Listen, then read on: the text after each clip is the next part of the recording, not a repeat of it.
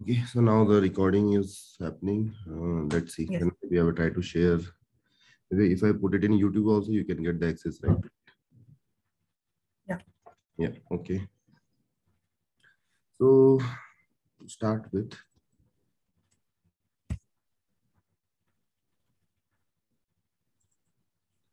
So as you said, so we will go with all basics and everything only. I am not going to skip anything because you know, uh, so we will cover uh, the entire topic with these content. Okay.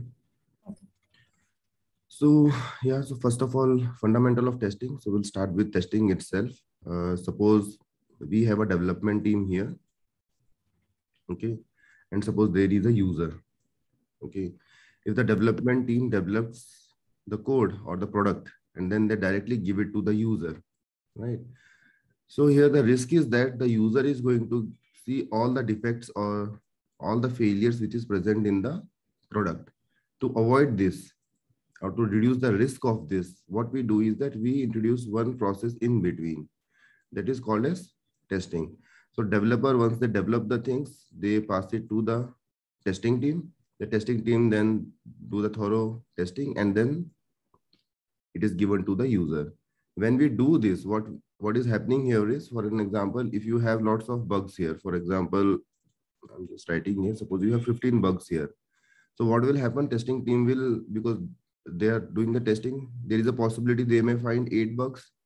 Okay, so instead of user, if if this is the process, they have directly given it to the user, user would have found all 15 bugs possibly, or many bugs they would have found. But in this process, now from four defects only, the user will find some defects. So that is why this process is important to cross check whatever was in the requirement, whether we have met that or not. So this Okay. is process of testing. Now, so now, uh, as we mentioned, so this is the testing process. Now, what is the objective of this? It's not only just that we just find the defect, that is the major objective. So if in the question, if you get uh, which one of this is the best answer or major objective. So the major objective is to find the defects. Okay. Mhm. So because I have seen sometimes four four options they will give, and you will see that all the four options are objective of, objectives of testing. But in that, then you have to find the best one. So best one is to find the defect only. Then many things will come, uh, but the main objective is to find the defect. Okay, so this is first. Okay, I think I made, I had made a uh, mistake here. I did get this question, objective of testing, and it had confidence building, uh, finding failures and defects. This is So I think I chose uh, confidence building. That is because uh, if the if the objective is not met for uh, uh, for that particular feature, if it is given and the objective is not met, and there are thousand of defects uh, in that particular module, then there is no point if uh, the fix is not given properly. but you will get So I think confidence I think when you find the failure.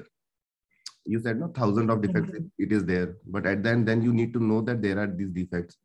So if you find Mhm. this, once you fix this, after Yeah. fixing you will get the confidence. But for to get this confidence, you need to find this defect because here also like if development team they don't find anything, they are confident. That's why they are giving it right here.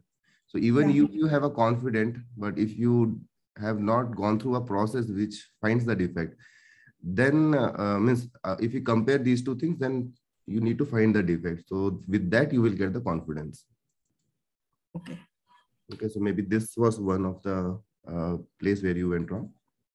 Yeah. So obviously, though it is written in the very first point that building confidence, yes, you have you will build the confidence, but the confidence will come once the testing process is done, and then once you have the result of it, right? Once you go through the result, then you see that okay, we had these many defects. Now we only these many defects are there, or we have fixed all the defects. Then you get the confidence, and then this product is given to the customer. Okay.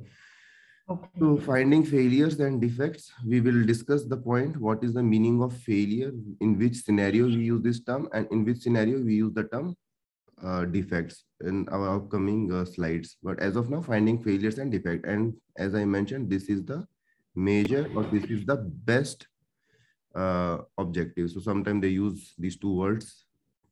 Okay. Then evaluate the work product. So what does that mean? Just a minute. Just need one thing here.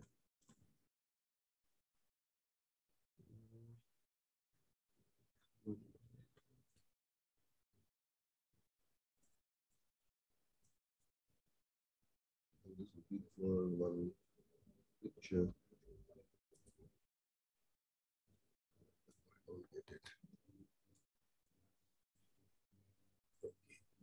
I just needed this one.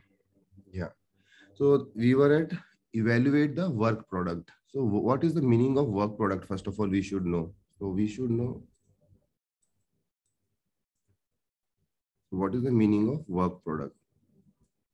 So when you are in an organization, okay, so this is usually the process that you get the requirement from the customer, user requirement. Using this requirement, you fine tune those requirement based on your organization and what task you do. Okay. So when you do that, so in this stage, what you have worked on, you have worked on the requirement. So requirement is your work product. Okay. Okay. When you are in the global design, means I am trying to relate how we work and what is written in the ISTQB syllabus. Yeah. So when they use the word work product, then you have the next stage like global design. So here what will be prepared? Design documents will be prepared. So design document is your work product. And similarly, uh, first the high level design they will prepare and then they go for the low level design. So here low level design is your work product. Once the implementation is done or during the implementation also, code is your work product. So I hope you got the meaning of work product. Work product means output of each stage. So in whichever stage you are in, whatever you deliver, that is referred as work product. Not only specific to the development side, even in the testing side, if we see. So what you do in the testing is you write test cases. Test case is your work product. You generate the report. Report is your work product. You have the summary report at the end. Summary report is your work product. You write the scripts. Script is your work product so work product means output of that particular stage. So I hope this definition is also clear. What is the meaning yeah. of work product? So we have to evaluate the work product. So you have already seen this diagram so that. Uh, I don't see any diagram in your screen. No, no, not now, but uh, this diagram you have not seen? No, no, no. I mean, I don't see anything you're sharing. I just see a pop-up window which says uh, displays display settings only is visible. Sorry, let me just see how is that because I'm sharing my screen. Which screen it is sharing? Let me just check once because I was sharing it properly. This is desktop too. Still, you are not seeing a picture in my in your screen. No, no, I don't see. Now you see a picture. Yeah, now I see you dragged something. Yes. Okay, now I understood what is the problem. Then we do one thing. I just shift my thing to other screen. One minute. First of all, I need to stop the presentation. Okay, because I, I was thinking that you are able to see the screen and not now.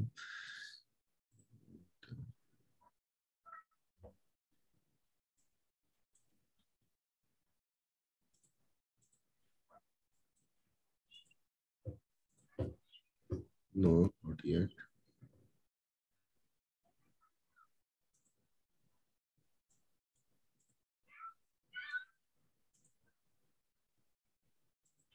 Now you see, right? Still coming up for me. Yeah, it is something. Static testing is that the screen you're sharing? Static testing? Yes, yes, that is the screen I'm sharing, but I want to share also my slides, which is somehow not into that screen. Okay, and then start presenting. Yeah, now you see, right? Yes, actually, I was sharing from here only, but somehow you were not getting it. Now, let me see if. Actually, I started from here only that you were able to see these diagrams when I was making no. Yes, yes, I was able to see that diagram. Okay, after that, so we were until here, so you, you were here, no, until here. Yes, yeah. yeah. Okay, so this is the place I was in and uh, it is the picture. And this is the picture I was showing you. You didn't had a look into it anytime, no, till now. Yes. Yes. So this is where I was explaining that you have a user requirement. Then from user requirement, you get the system requirement. This is within your organization. So they fine tune this requirement because this requirement is coming from customer and customer will have a lot of things into it. So they extract the requirement which the development team needs or the other team needs. So that those requirements will be there in your system requirement. From there, you have a global design, detailed design and implementation. So any of these stages you are working in, you will have the output of these stages. These outputs are referred as work product. Work products. Okay. okay. and similarly, I also explained in the testing side, test reports are there, test cases are there, test scripts are there, summary report is there. Those are the work products. So these work products we should evaluate. Okay, so any work product you have within your team, we should evaluate that. So this is what they are uh, they uh, mentioned in the third number point.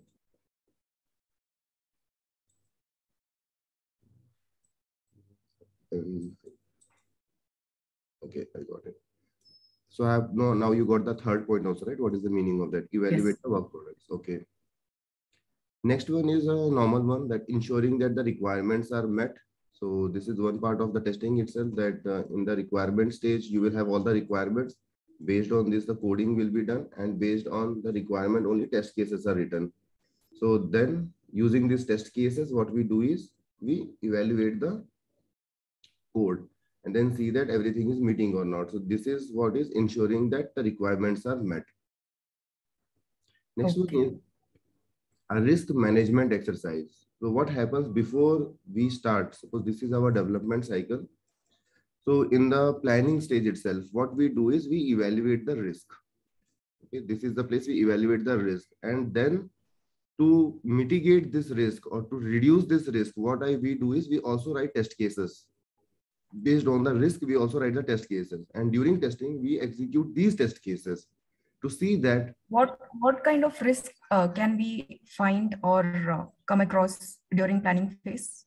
planning phase so you will have a product so it is again context dependent what type of product you are using suppose you are using a website or suppose you are using an aviation uh, domain something okay or automotive domain so when you are in the website uh, thing the risk could be that if what if the lot of users will log in together.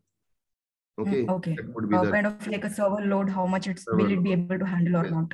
Load testing okay. stress testing. So you will plan that way. So your planning will go in that direction. Whereas if you have automotive product or avionic project, then there the risk could be with many things like what if the airbag does not open, what if the braking system fails. Mm-hmm. So considering these things, you will start your planning. So it is again a context dependent stuff, which product you are using. Based on that, you will evaluate the risk.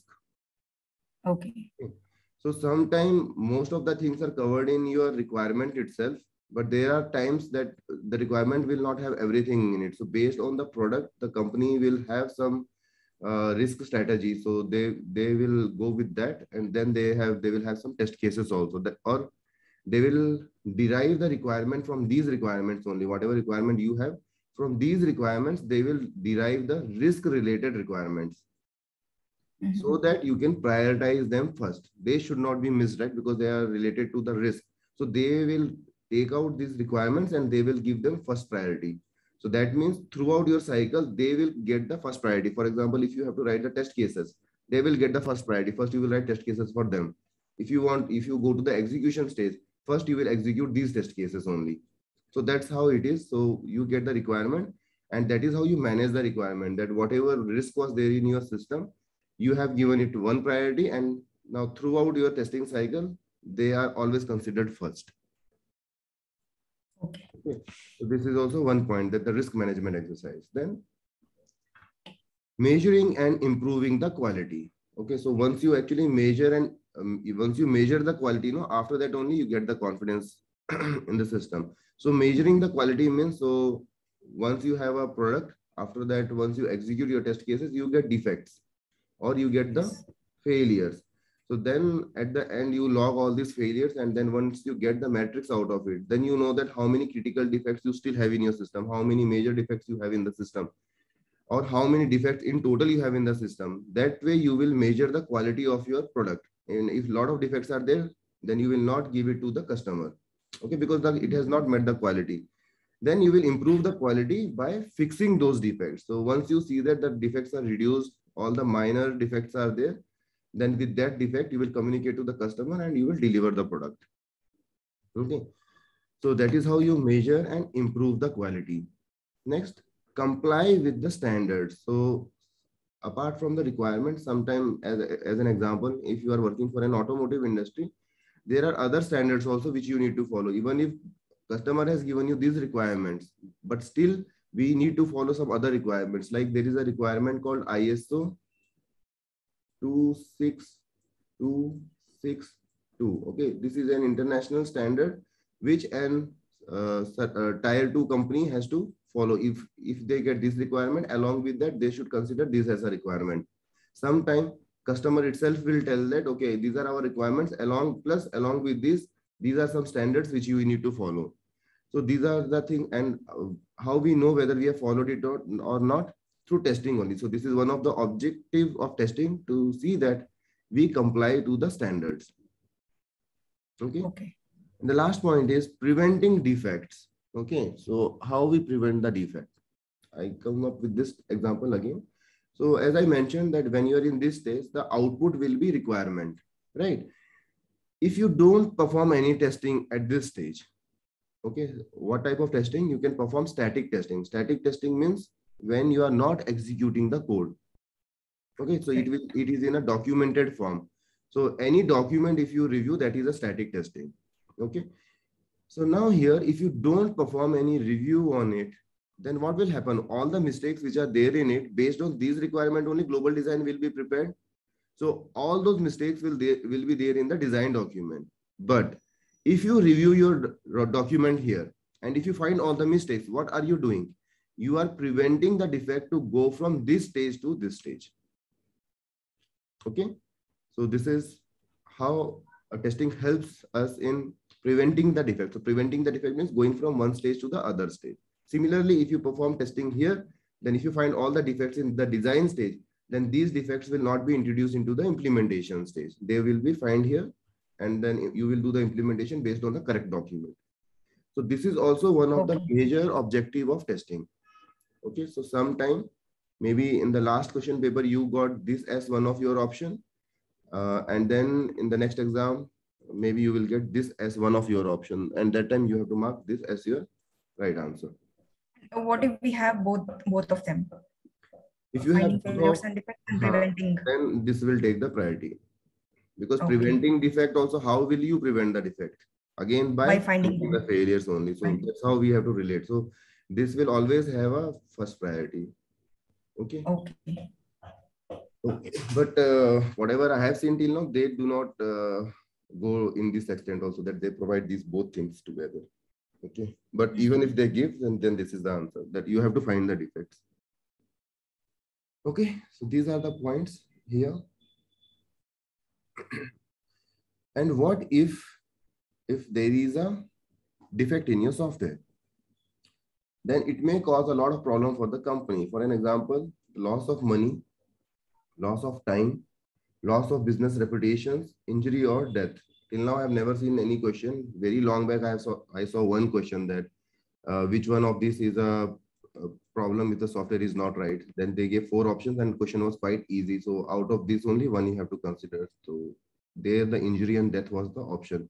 So if you ask how that means, uh, I mean, I can also just tell you how loss of money. For an example, you are performing testing at this stage, okay? But you didn't find the mistake. There was a mistake at this stage, but which you didn't find. Then what happened? This mistake is introduced here because you could not prevent the mistake, right? Then it is introduced here. No one found here. Then finally you introduce that uh, defect here. Then during the testing time, it was found, for an example. Then what you need to do now? You have to change this document. You have to change these two documents and you have to change this document because this was the source of all these problems, right? So now see the effort. Three, four places you have to change. If you miss the defect at your stage, then a lot of people will get involved, a lot of time will be involved here. Just imagine a scenario when the user is using it and they find the mistake. Then what will be the process, right? So that is how it is a time consuming process if there is a bug in the software. So loss, loss of money, loss of time. and if user finds it out, then it is a reputation uh, thing also Mm. And as I gave you an example, like if you are working for automotive industry or any other product where, where we have a risk of uh, injury or death, and if uh, product is not good at this happens, then again it's also it affects the reputation, money, time, everything. Okay. So these are the four points here: loss of money, loss of time, business reputation, and injury or death.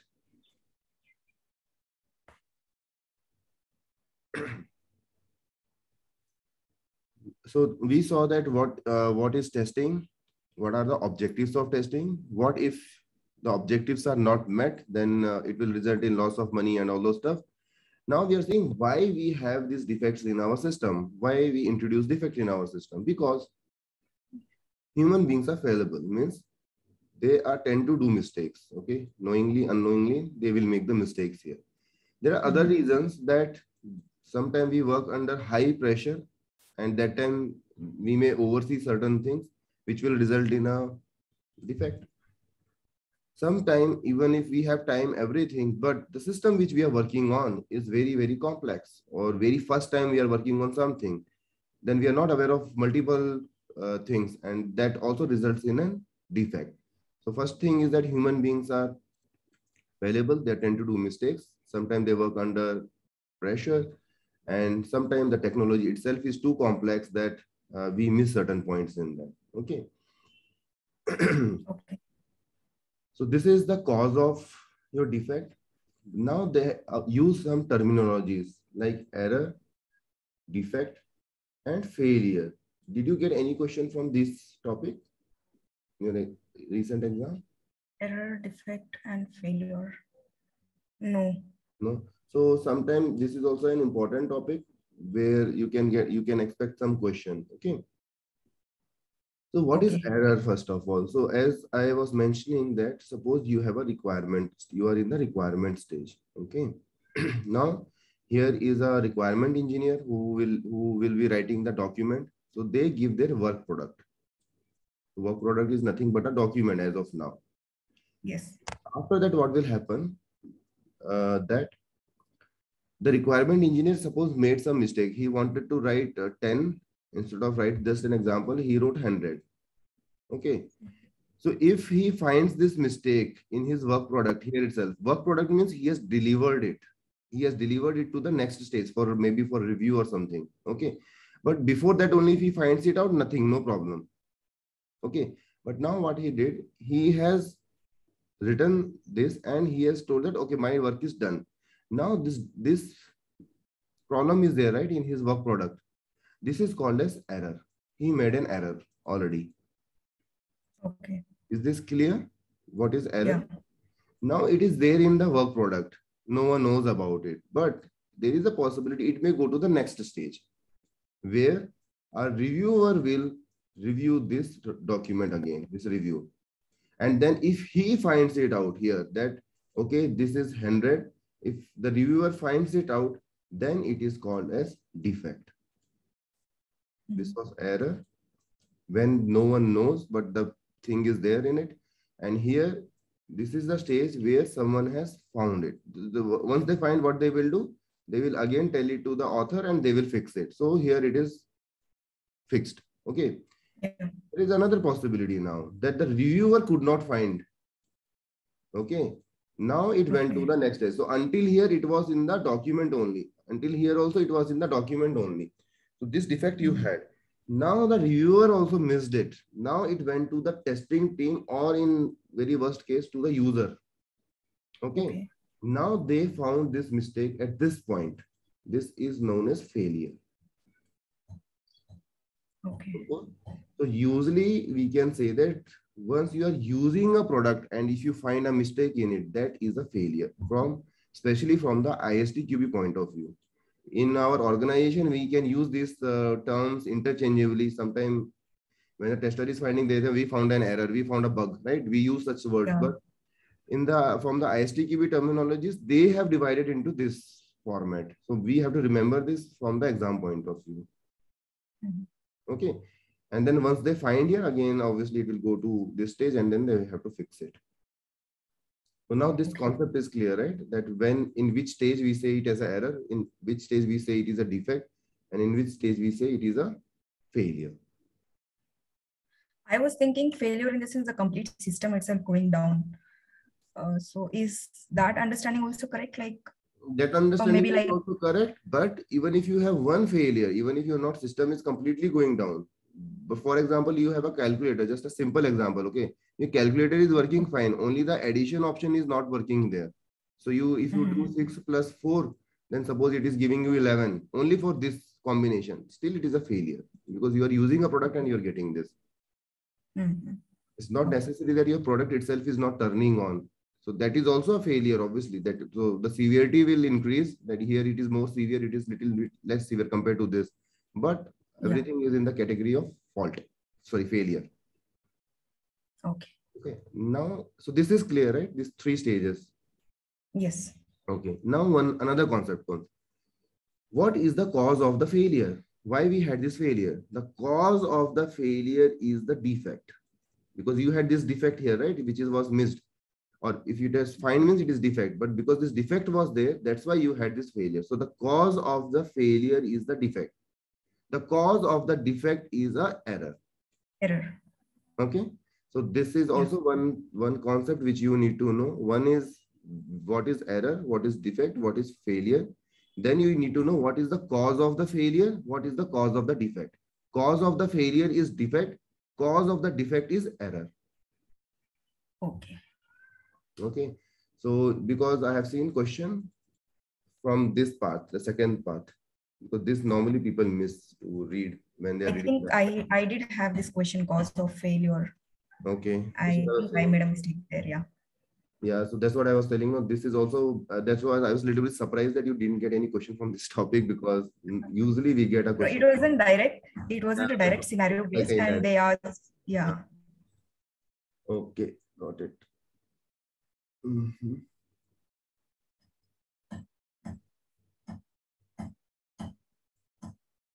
Okay, so now if we go through the PPT, then an error, a mistake made by the human. I think now you can relate with the block diagrams, right? So it's the mistake made by the human.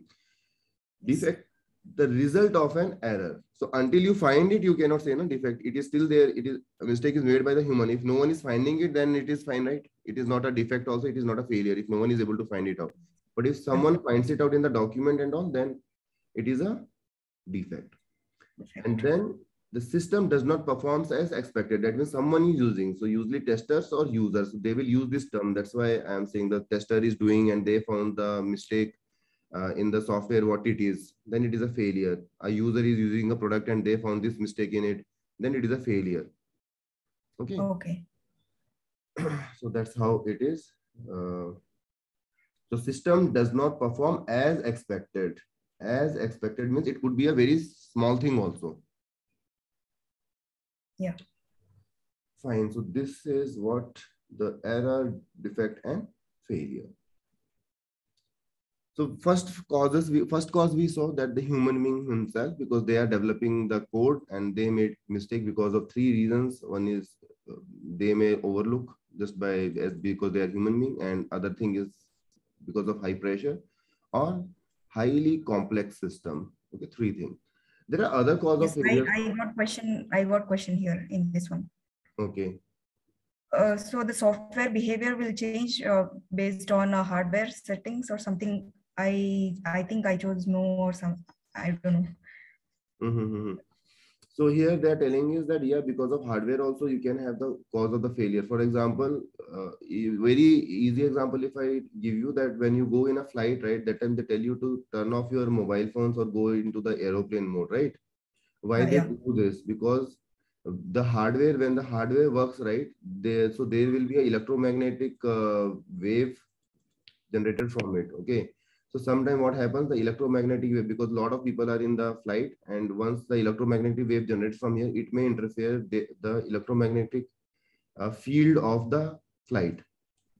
And then the signal, whatever signal they want to uh, re, uh, mm, get, they may not get that signal because sometimes you have analog signals also. So analog signals will have noise in it.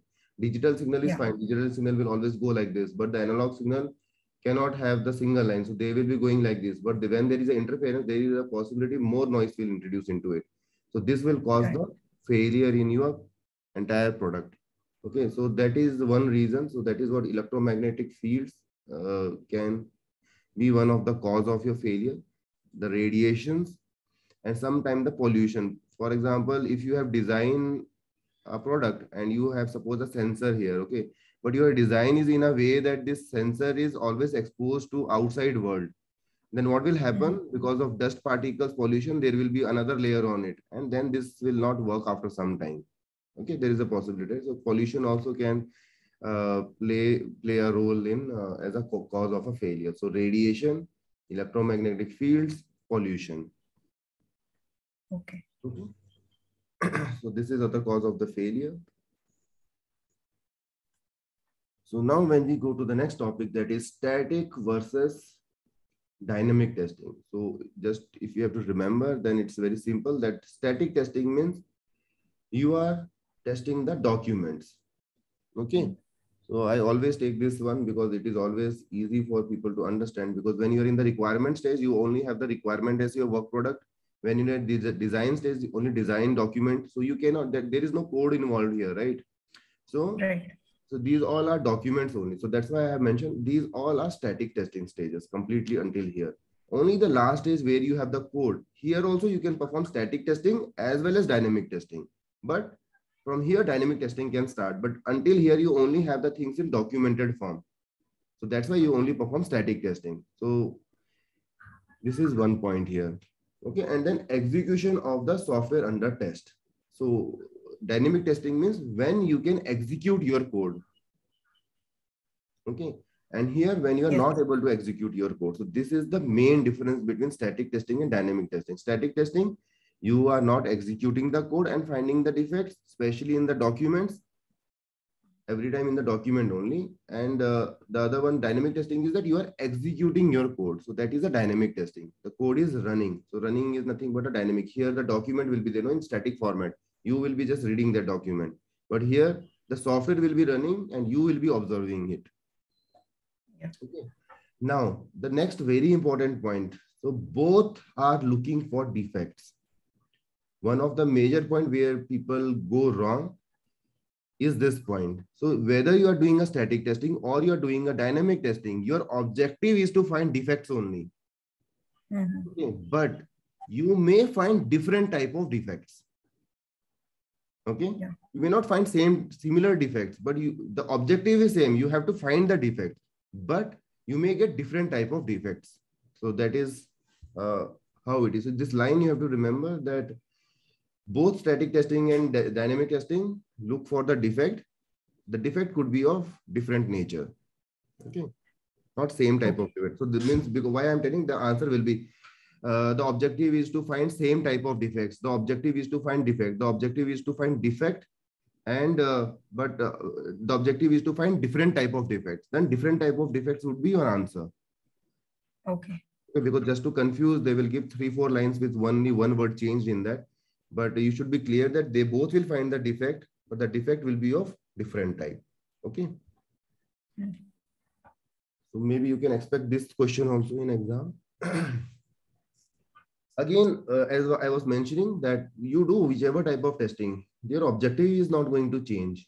Okay, your objective yeah. is to still build confidence, to reduce the risk of operational failure. Operational problem is when someone is using it, like user. When user is using it, you don't want to see the failure there. So that is what they want to reduce. Okay, reduce the risk of optional problem. Then improve software quality. So that's the point like you find a defect then once the defect is fixed that shows that the quality of your software is improved. And both both of them can do this. Even dynamic testing as well as static testing okay both will contribute here. Okay. next one. Again whether dynamic testing or static testing meet the contractual requirements. Contractual requirements again same like when you when uh, the oems are there right or the customers are there and when we are working here at this stage. So initially there will be a contract. Maybe they will give you the requirement. They will say that you have to fulfill all the requirement or many other stuff like you have to also fulfill the standards all these things. So this is will come with the contract. So even one of the objective of testing is to meet the contractual requirements. So if sometimes they will give you three four options and one of the option will be this. So sometimes we with what what is what testing has to do with the contract. Okay, so that time we we skip this one, but this is also one of the objective. Any legal requirements, as I told, no standard. So standard could be an international standard, or the standard can come from the government authorities also. So that will, if it is coming from government authorities, it is a legal requirement. Okay, and this I told you, no, meeting industry specific standards. So this is the standard industry specific standard or the standard from the governments. Okay. But we need to keep this in mind that these all are testing part of testing only because when we do normal testing in our level, we never uh, concentrate or we never do these type of things, but it can be covered. Okay. okay. So this is what uh, we need to know those three points also. And apart from this, this one, testing and quality. So how testing is related to the quality. I have mentioned multiple times previously also that first you find the defect. So testers will find the defect. After that, what we do, defects are fixed. Okay. Yeah. So developer will fix the defect. After that, tester will confirm that the defect is fixed. And that way, the software will have the fewer defects. And this will improve the quality. Okay. Yeah. Yeah. Okay. And this is what they have mentioned the same thing here again uh, in the long term. Like again, the develop the testers will find the defect. Then the development in the development team, they will analyze the defect. Why they will analyze the defect? So that they can got the get the root cause of the defect. Once yeah. they get the root cause, uh, what can happen is like uh, in one release, uh, you had suppose 50 defects you had, you analyzed all the defects, okay, and you got the root cause also. So for all the 50, you got the root cause.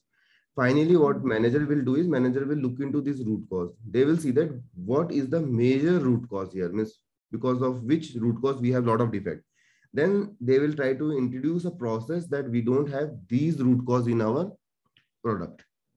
They will try to do some process improvement which is written here that so that these type of defects can be reduced. For example, uh, people may say that in the root cause that I was not aware of these things.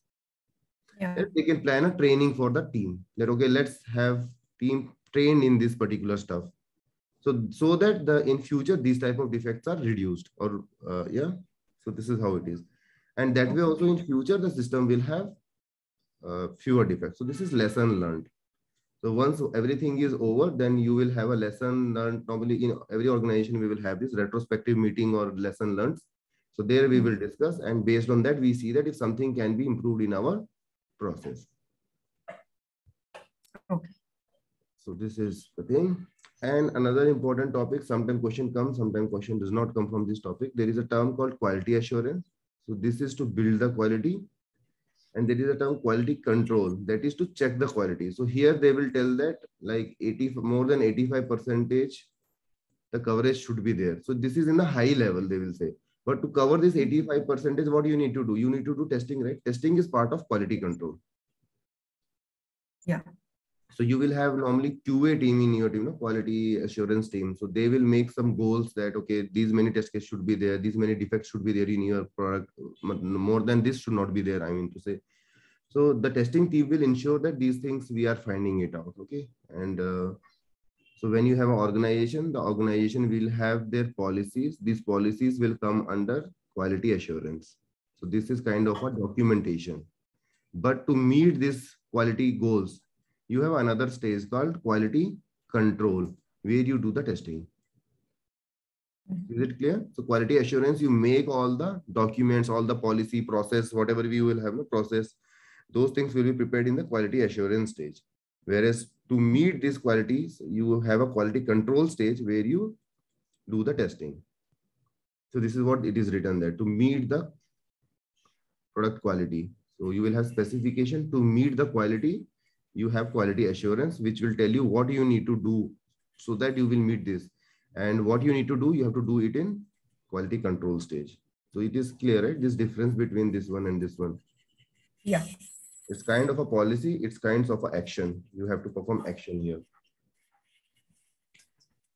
Now, sometimes there is a question, how much testing is enough? That's what they will ask sometimes it again depends upon the testing so for to for this how much testing is enough the testing team will provide the information first. The testing team will provide information to the stakeholders. Stakeholders means could be manager, could be tech lead, could be customer also sometime.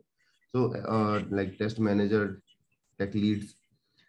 After testing, these informations will be provided. Like what all things, how many requirements we have met, how many requirements are untested, how many de uh, defects we found, how many defects are not fixed, fixed or not fixed. All this information will be provided to the manager or the lead or the customer.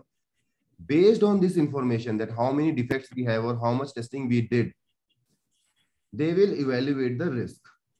And they will also see that available time. And based on that, they will tell that whether we have to perform further testing or we should stop our testing. This is clear? This point. Yeah, yeah. Yeah. So it's a normal activity in an organization. And the next point is that from, from far view or if someone else sees the testing, they see that testing is nothing but just running the test cases. mm. Means we just do testing means that means we are just running our test cases or performing some manual evaluation. But testing is not restricted only till here.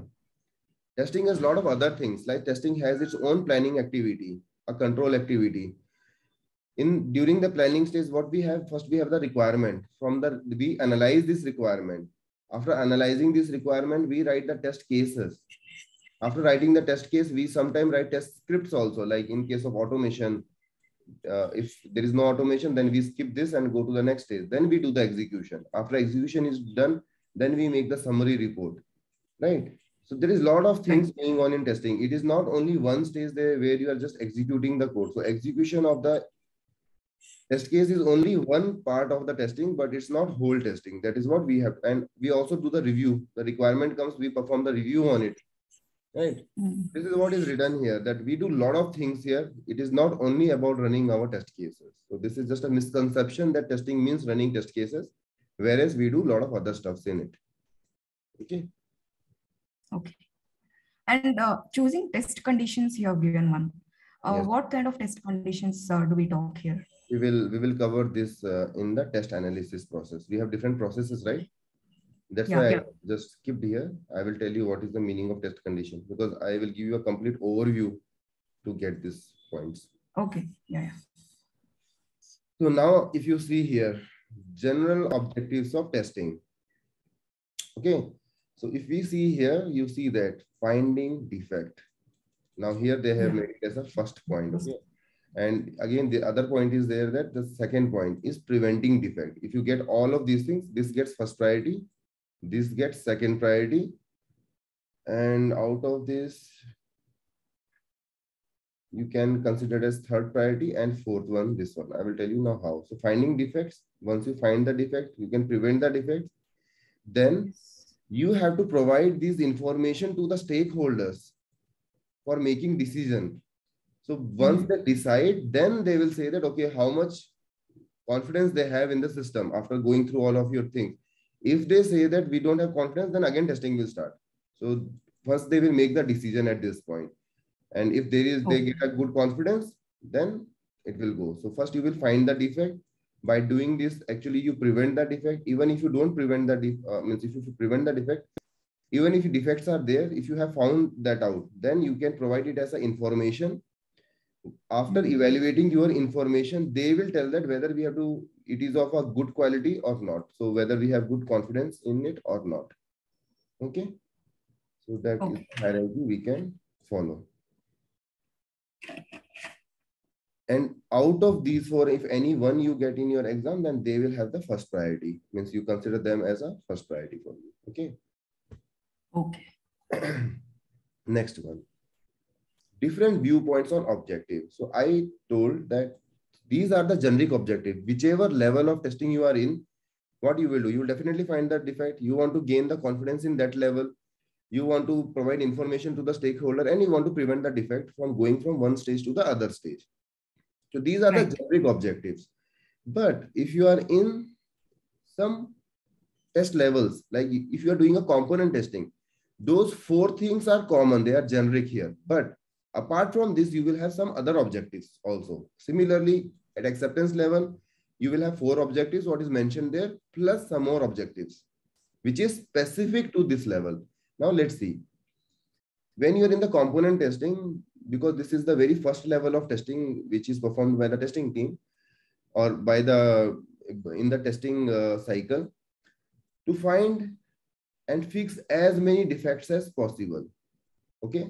So here our objective is to find as many problems as possible. But when you do the acceptance testing, so component testing happens here, then you have the integration testing, then you have the system level testing, and then you have the acceptance testing. At all these yes. level, your objective is to find the defect, but not here. If you find defect here, it is very bad because it is like someone wants to accept certain thing and there you're finding the defect. Here, the hmm. objective is that confirm that system meets the requirement. Here, their objective is to see that we have met all the requirements. Okay. So here the objective yes. itself is changing. When you are in the operational testing, you check here the reliability of the system, availability of the system, like installation, uh, uninstallation, whether those things are working or not. So again, the objective is changing here. When you are in the maintenance testing, what you see that is that suppose there is a code and now you want to change something in this code. If you change this part of the code, how much it is affected, how much it is affecting your code. This is what you will test in the maintenance testing. Okay, so impact, impact of the change you will test here. Yeah. So this is how when you are at different level of testing, your objective may, you may have to adjust your objective based on that level. Okay. Apart from okay. the general. I had got question here in this slide, two questions I had got. Uh, one is objective of uh, acceptance testing and the other one objective of maintenance. Uh, it was a scenario based impact analysis. Okay. So acceptance testing, then you have to remember that the objective is not to find defects. Okay. You have to see that the system yeah. meets the requirement. And maintenance testing means you have to see the impacts, especially the regression testing concept will come into picture. I don't know if you have this word regression testing in that same scenario. Yeah. Uh, but here you have to see that ensure that no defects have been introduced into the system. Okay. You remember the option if it is matching somehow here with or in uh, I remember uh, confirms the system meets requirement. That was a direct one which I had chosen for uh, acceptance testing. But uh, maintenance testing, it was like uh, they told if we try to upgrade the version or something to something else. -huh. So uh, what do you think? I clearly don't remember because it was a little long time back. Anyway, this maintenance testing again comes from second chapter also, this topic. Actually, this question what you got is from the second chapter, but you said that you got 100% in that, right? Second chapter. yes, I got 100% in that. Uh, that means then you have marked it rightly, whatever you have marked. Mm -hmm because uh, this this is just in the first chapter we are just uh, we are just uh, understanding that they both have different objective. But what is their objective is covered in chapter number two. Yes okay. So you have marked it anyways correctly only. Okay. Now going to the next part. Again one of the important question. I hope you have got one question also. Dynamic testing and debugging. I'm not sure. Dynamic testing and debugging. Yes there was one question. Yeah Okay. So here also in the concept wise, if you just know this much, it is enough that first of all, what you need to know is dynamic testing is done by the te uh, tester. Debugging is done by the developer. Okay. This is one of the major difference. Sometimes question comes like this. Sometimes they ask the definition. So dynamic testing, what you do is you find the failure. Okay. So in a testing team, you find the failure, then it goes to the development team. In the development team, the debugging activity will start. What debugging activity will consist of? During the debugging activity, you find the cause of the failure. You find the root cause in the debugging. Okay. Hmm. Then you analyze, actually it should be other way around. You analyze the defect and find the root cause. Then you fix the defect. So this is the definition of debugging. In the debugging, we analyze the defect, then we find the root cause, and then we fix the defect.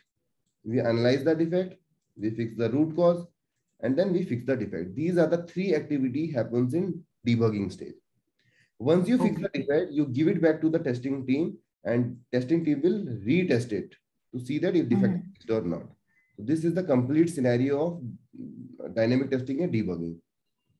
Yeah, there was a question like uh, who will do dynamic testing and who does the debugging? Yeah. So Direct question was. Correct. So you might have got this one right, right? Yeah. Yeah. So this is one question. Maybe when you're writing for the second time, no, they may ask you the definition of debugging. So that time you have to remember that, yeah, that in the debugging stage, we do analysis, then we do the um, root cause, we, we do the analysis, we find the root cause, and then we fix the defect. So these three activities happens in the debugging stage. What they do, no? Finding defect.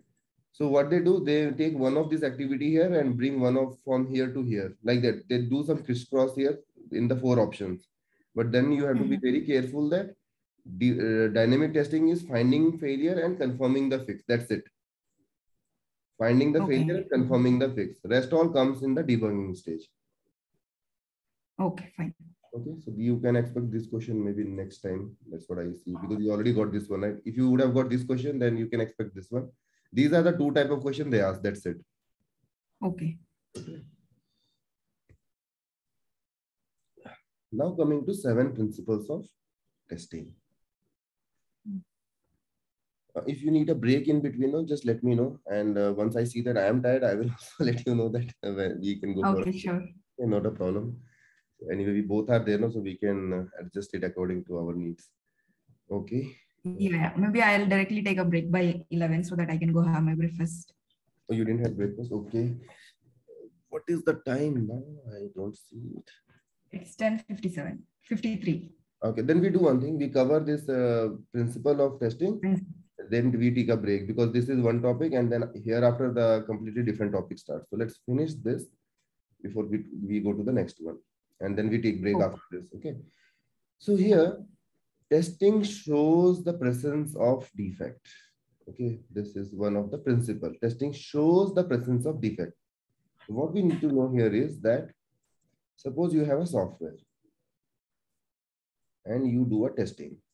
Okay Suppose in this software you had,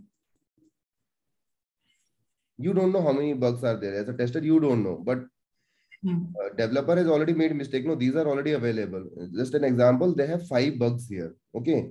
During the testing activity as a tester, you found three bugs in it. Can you confirm that? Can you say now that, okay, there is no defect in the software? No, right? No, we can't. Still two defects are there in the software. Yeah. So even if you test and you find the bugs, you are only showing the presence of the defect, but you cannot make a statement that there is no defect in the software. Okay. So that is the first principle that testing shows the presence of defect. By doing this, what you do is you reduce the probability of finding defects. Here, if suppose you test here, if the user use this one, the probability of finding defect by user is high right here and the probability of finding defect is low here because here only two defects yeah. are there yes. this is another concept probability of finding defect reduces when uh, you have the testing activity okay so testing yeah. shows the presence of defect not their absence okay not their absence. This is also important sentence here. Testing shows the presence of defect, not their absence. Next one. Exhaustive testing is impossible. So again, it is a context de dependent. And from the exam point of view, what is important? Sometimes they will only give you option until here. Exhaustive testing. Then this is not the principle exhaustive testing is impossible is a principle. This should be there, this part. Sometimes they will ask which of these are not the principle of testing. They will give you all the options here, four options. Suppose they give you all these four options, but second option, they give you only till exhaustive testing. Mm -hmm. That time you think, because you always remember this, then you will think that no, all of these are options, options, what to do. And you will be very confident that exhaustive testing is one of the option. You will mark something else here that okay this mm. is hmm. this is what happens i have seen so exhaustive testing is impossible is a principle how they are different exhaustive testing and exhaustive testing is impossible suppose you have a requirement where it tells it takes a single digit positive number right? Single digit positive number. So 0 to 9 is a single digit positive number.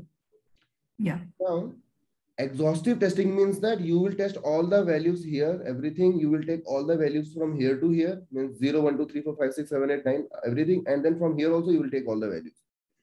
Mhm. But what testing tells, what principle tells you don't have to do like this. What you can do is you can take one value from here and one value from here. So you take only four values in one case, or you can take, if you want more regressive testing, you can take another value from here and here, and then you conclude your testing. So you can take either four points, six points, uh, instead of considering all infinite number of points. It is not possible, right, in testing that you test all the points and see that, yeah, everywhere it is fine, working fine. So if you Yeah. do infinite type of testing, that is exhaustive testing. Exhaustive testing is impossible means this is not possible. We should go with some techniques like boundary value analysis, something, so that we can reduce our time. So this is the difference between these two statements. Exhaustive testing and exhaustive testing is impossible. So exhaustive testing is impossible is the principle. This point is also clear, right? Yeah.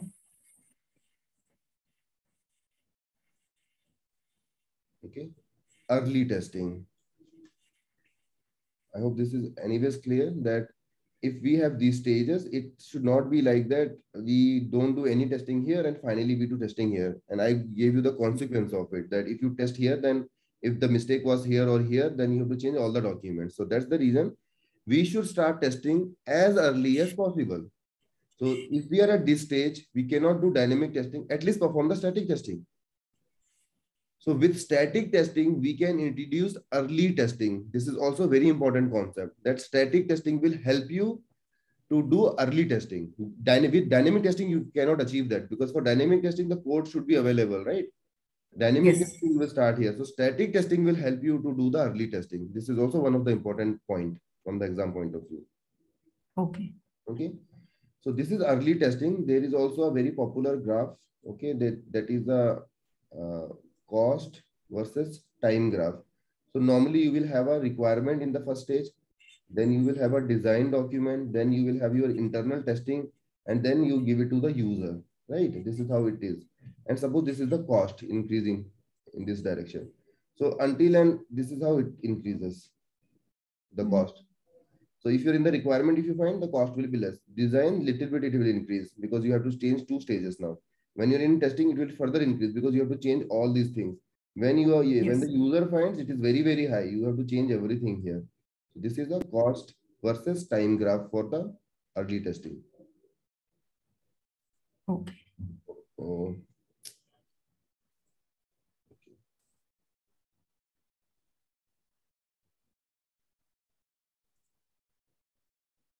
Okay, defect clustering. This also I have seen a question from and a scenario based question. We will also solve one of the scenario based question on defect clustering. So defect clustering means what? Sometime you will have a module where lots of defects are there. Mm. Okay. Some and we may neglect these type of modules because sometimes we see that this is a small module. Suppose you have two modules. One module is very big module and one module is very small module. So what sometimes we think that let's complete the big module first and then with the, anyway this is a small module less test cases we will complete this at the end. But we should not evaluate in that way. We should see the risk with the feature. Suppose this feature is not interacting with any other feature but this is a small module but it is interacting with lot of other features. And if you have a bug in this not only this feature is impacted all other features are also impacted right? Right. so that is how we should evaluate that. We should think that the defect could be clustered in a small area also. This, this we should keep in mind. So this is what is a defect clustering uh, mean here that a small, the defect can gather in one area, one focus area, it could be gathered, then uh, we should start testing with that. This is clear? Yeah, yeah. This is, this is just like gathering of the uh, defect in one place. One module. Okay. module or something like that.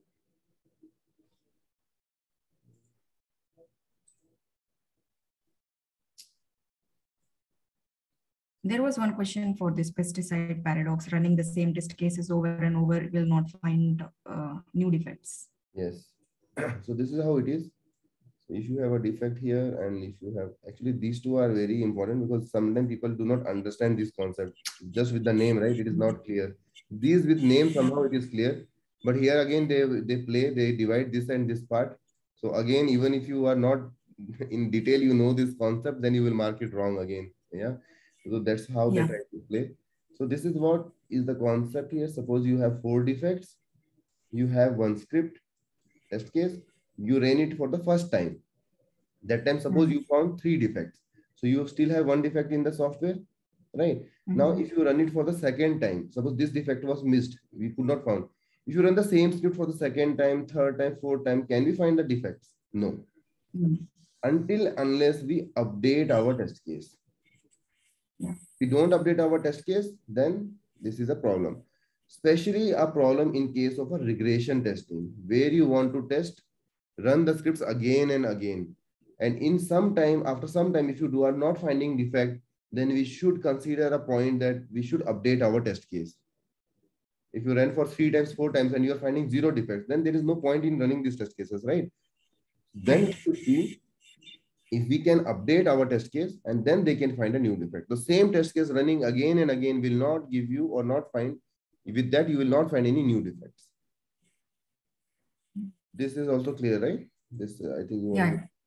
Again, testing is context dependent.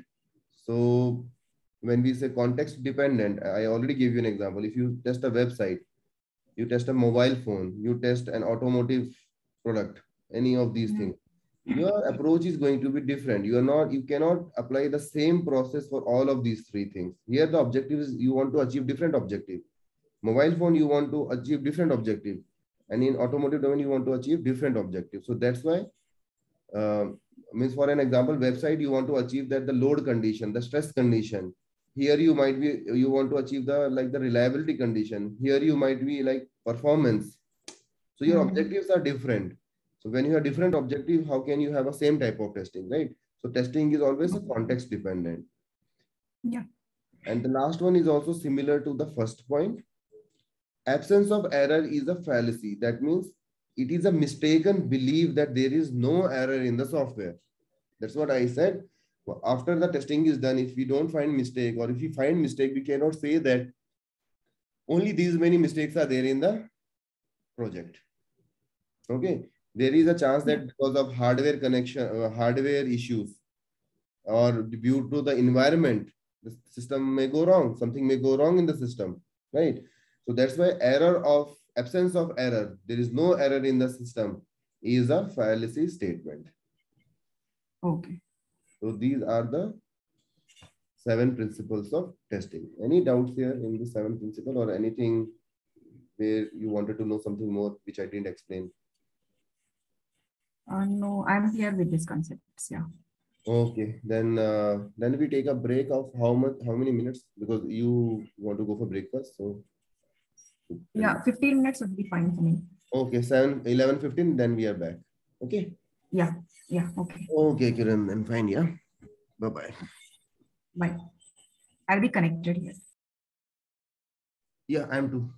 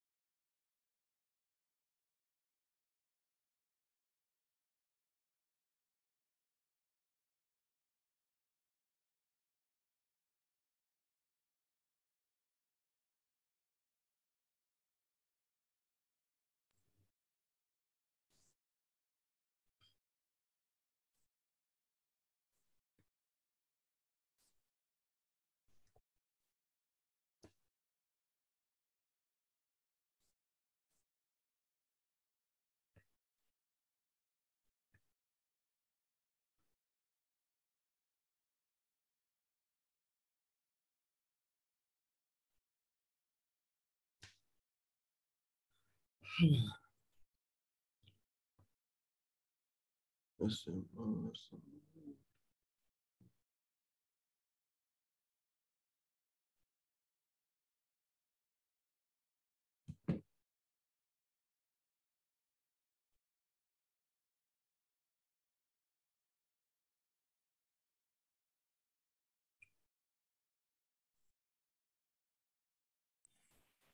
yeah, hi Ajit, I'm Okay, I'm also here. Then we can move to the next topic. Until here, it is clear, right? And uh, the way we are going, it is fine with you, right? Yeah, yeah. I'm satisfied with the way we are going. Okay, then it is uh, okay. Uh, hmm. So now from here, the second part of this chapter will start, which means like previous one we took one hour right so similar to this it will also take another one hour for us now we have uh, some of the main activities here. Uh, actually we have seven activities. So this is uh, analysis and design. This we can consider as two activities okay? So it starts with planning. Anything we do we, it always starts with planning. Then comes the monitoring and control stage test analysis and design test implementation, test execution, and test completion. And again, uh, it is not necessary that this should be the order. Sometimes they also mix it. For example, here you see, no, here we have two stages as one stage. Similarly, you sometimes this fourth and fifth stages are combined together, means overlapped. So we can also have an overlap here, right? maybe in your in your organization also you will not have these separate steps like this so sometimes these these steps itself is all combined all three steps test analysis hmm. design and implementation they make it as one step stage only so it again it is a context dependent how which stages you want which all stages you want to combine totally depends upon your project product and company but istqb has defined it into these seven parts planning, monitoring and control, analysis, design, implementation, execution, and completion. I have seen once or once, I think, you know, some of the paper I have seen that um, they they provide this order like this. They will give the order, okay, mm -hmm. uh, question, and then they will tell you which is the correct order. So that time we should know it in this order only, sequential order only. We should know. So I mean, you you might have understood. They will just uh, jumbled up these things first completion they will do or in between completion then one place they will change and then next option they will make but then you should know properly that planning monitoring analysis design implementation execution and completion that is the flow anyway you will you, by end of the lecture you will be remembering that properly okay planning and monitoring and control this is part of fifth chapter okay Okay. We will cover it there. As of now, we just have to know that that in the planning stage, the objective is set. So we set the objective in the planning stage. Through monitoring and control, we try to see that whether we are achieving this objective or not. Okay, so this is the major difference here, and this is the major activity also that in the planning stage, we define the objective and through monitoring and control, we see that whether we are achieving that objective or not. More than this, we will see in chapter number five. Okay, not now. So let's make it simple.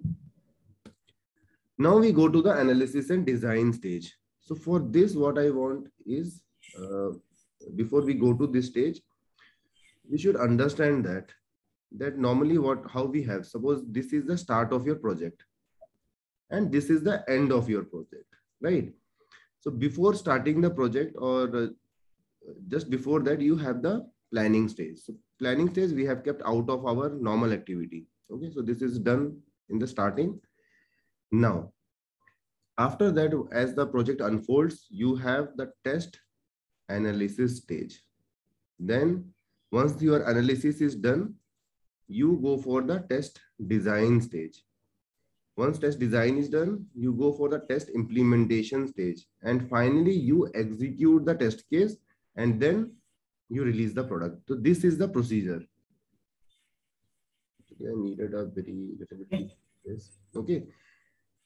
Now there is a concept. First, what will happen? You will get the requirement. right? So this is the major step.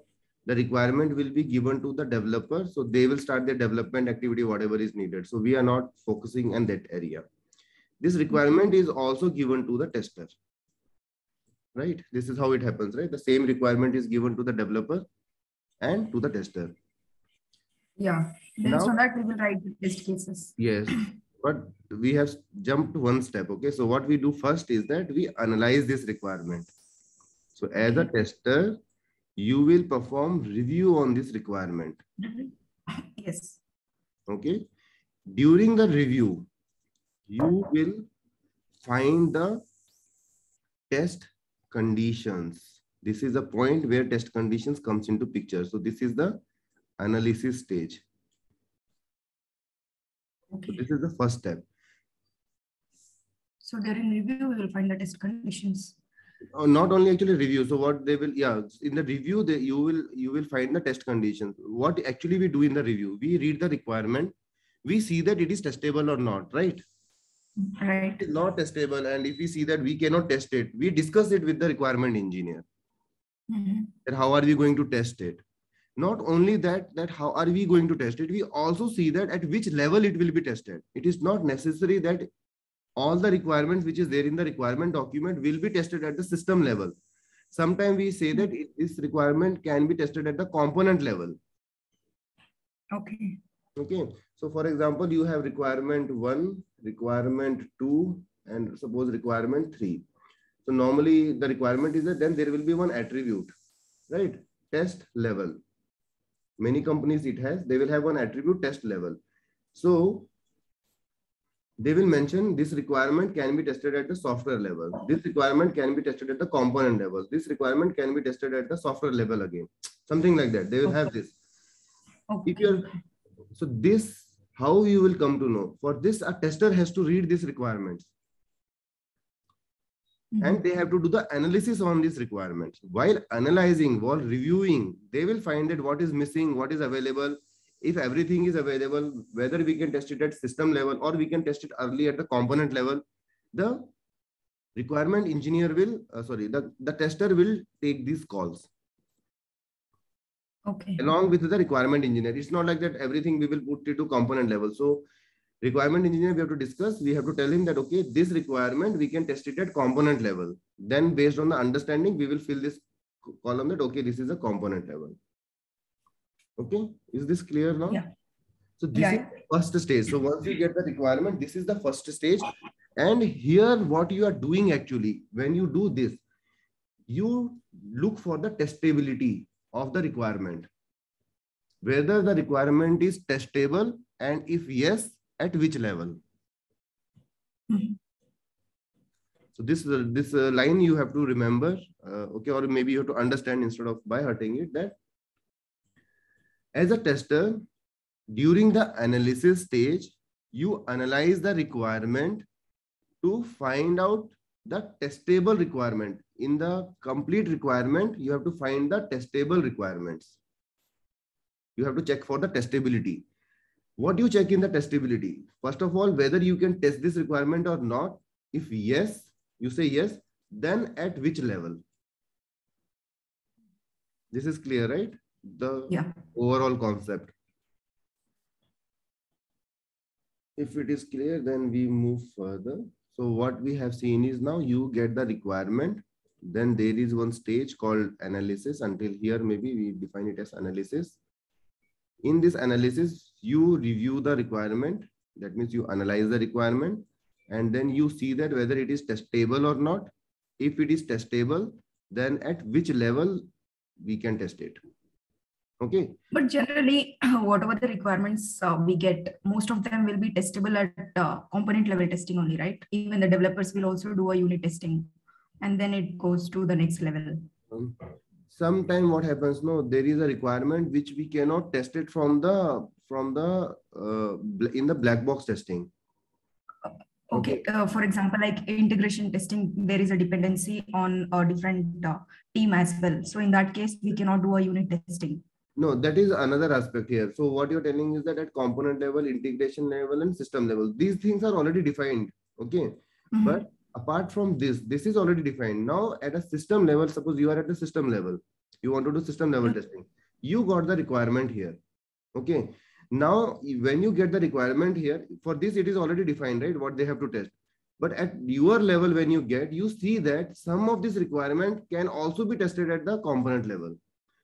Mhm. For component testing, the requirement, the, the input is component requirement, component design.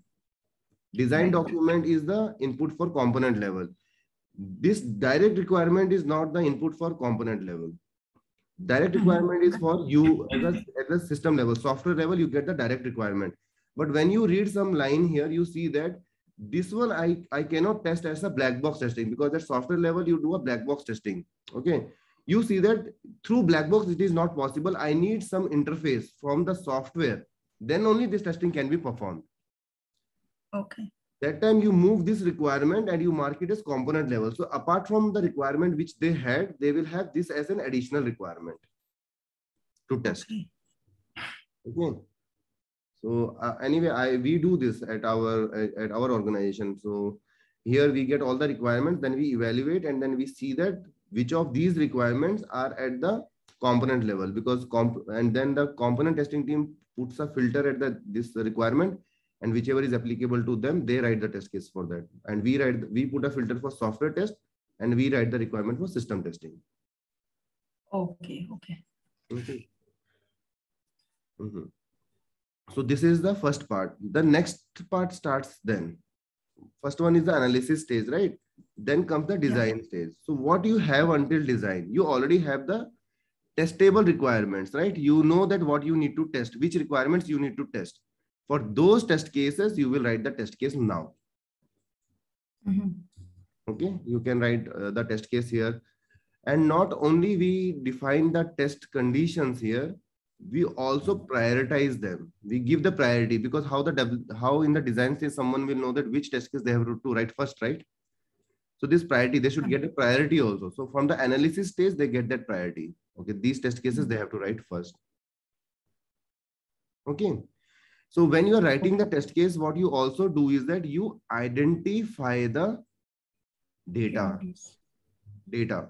Means uh, input data. What all input you have to give to your system that also you have to identify na, in the test when you write the test case.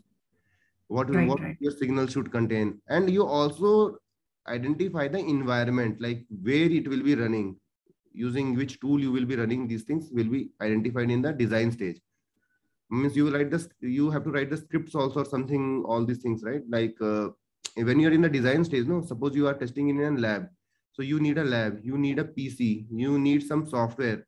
All these things also will, what all softwares you need, all these things will be identified in the design stage itself, what you need for testing this test case.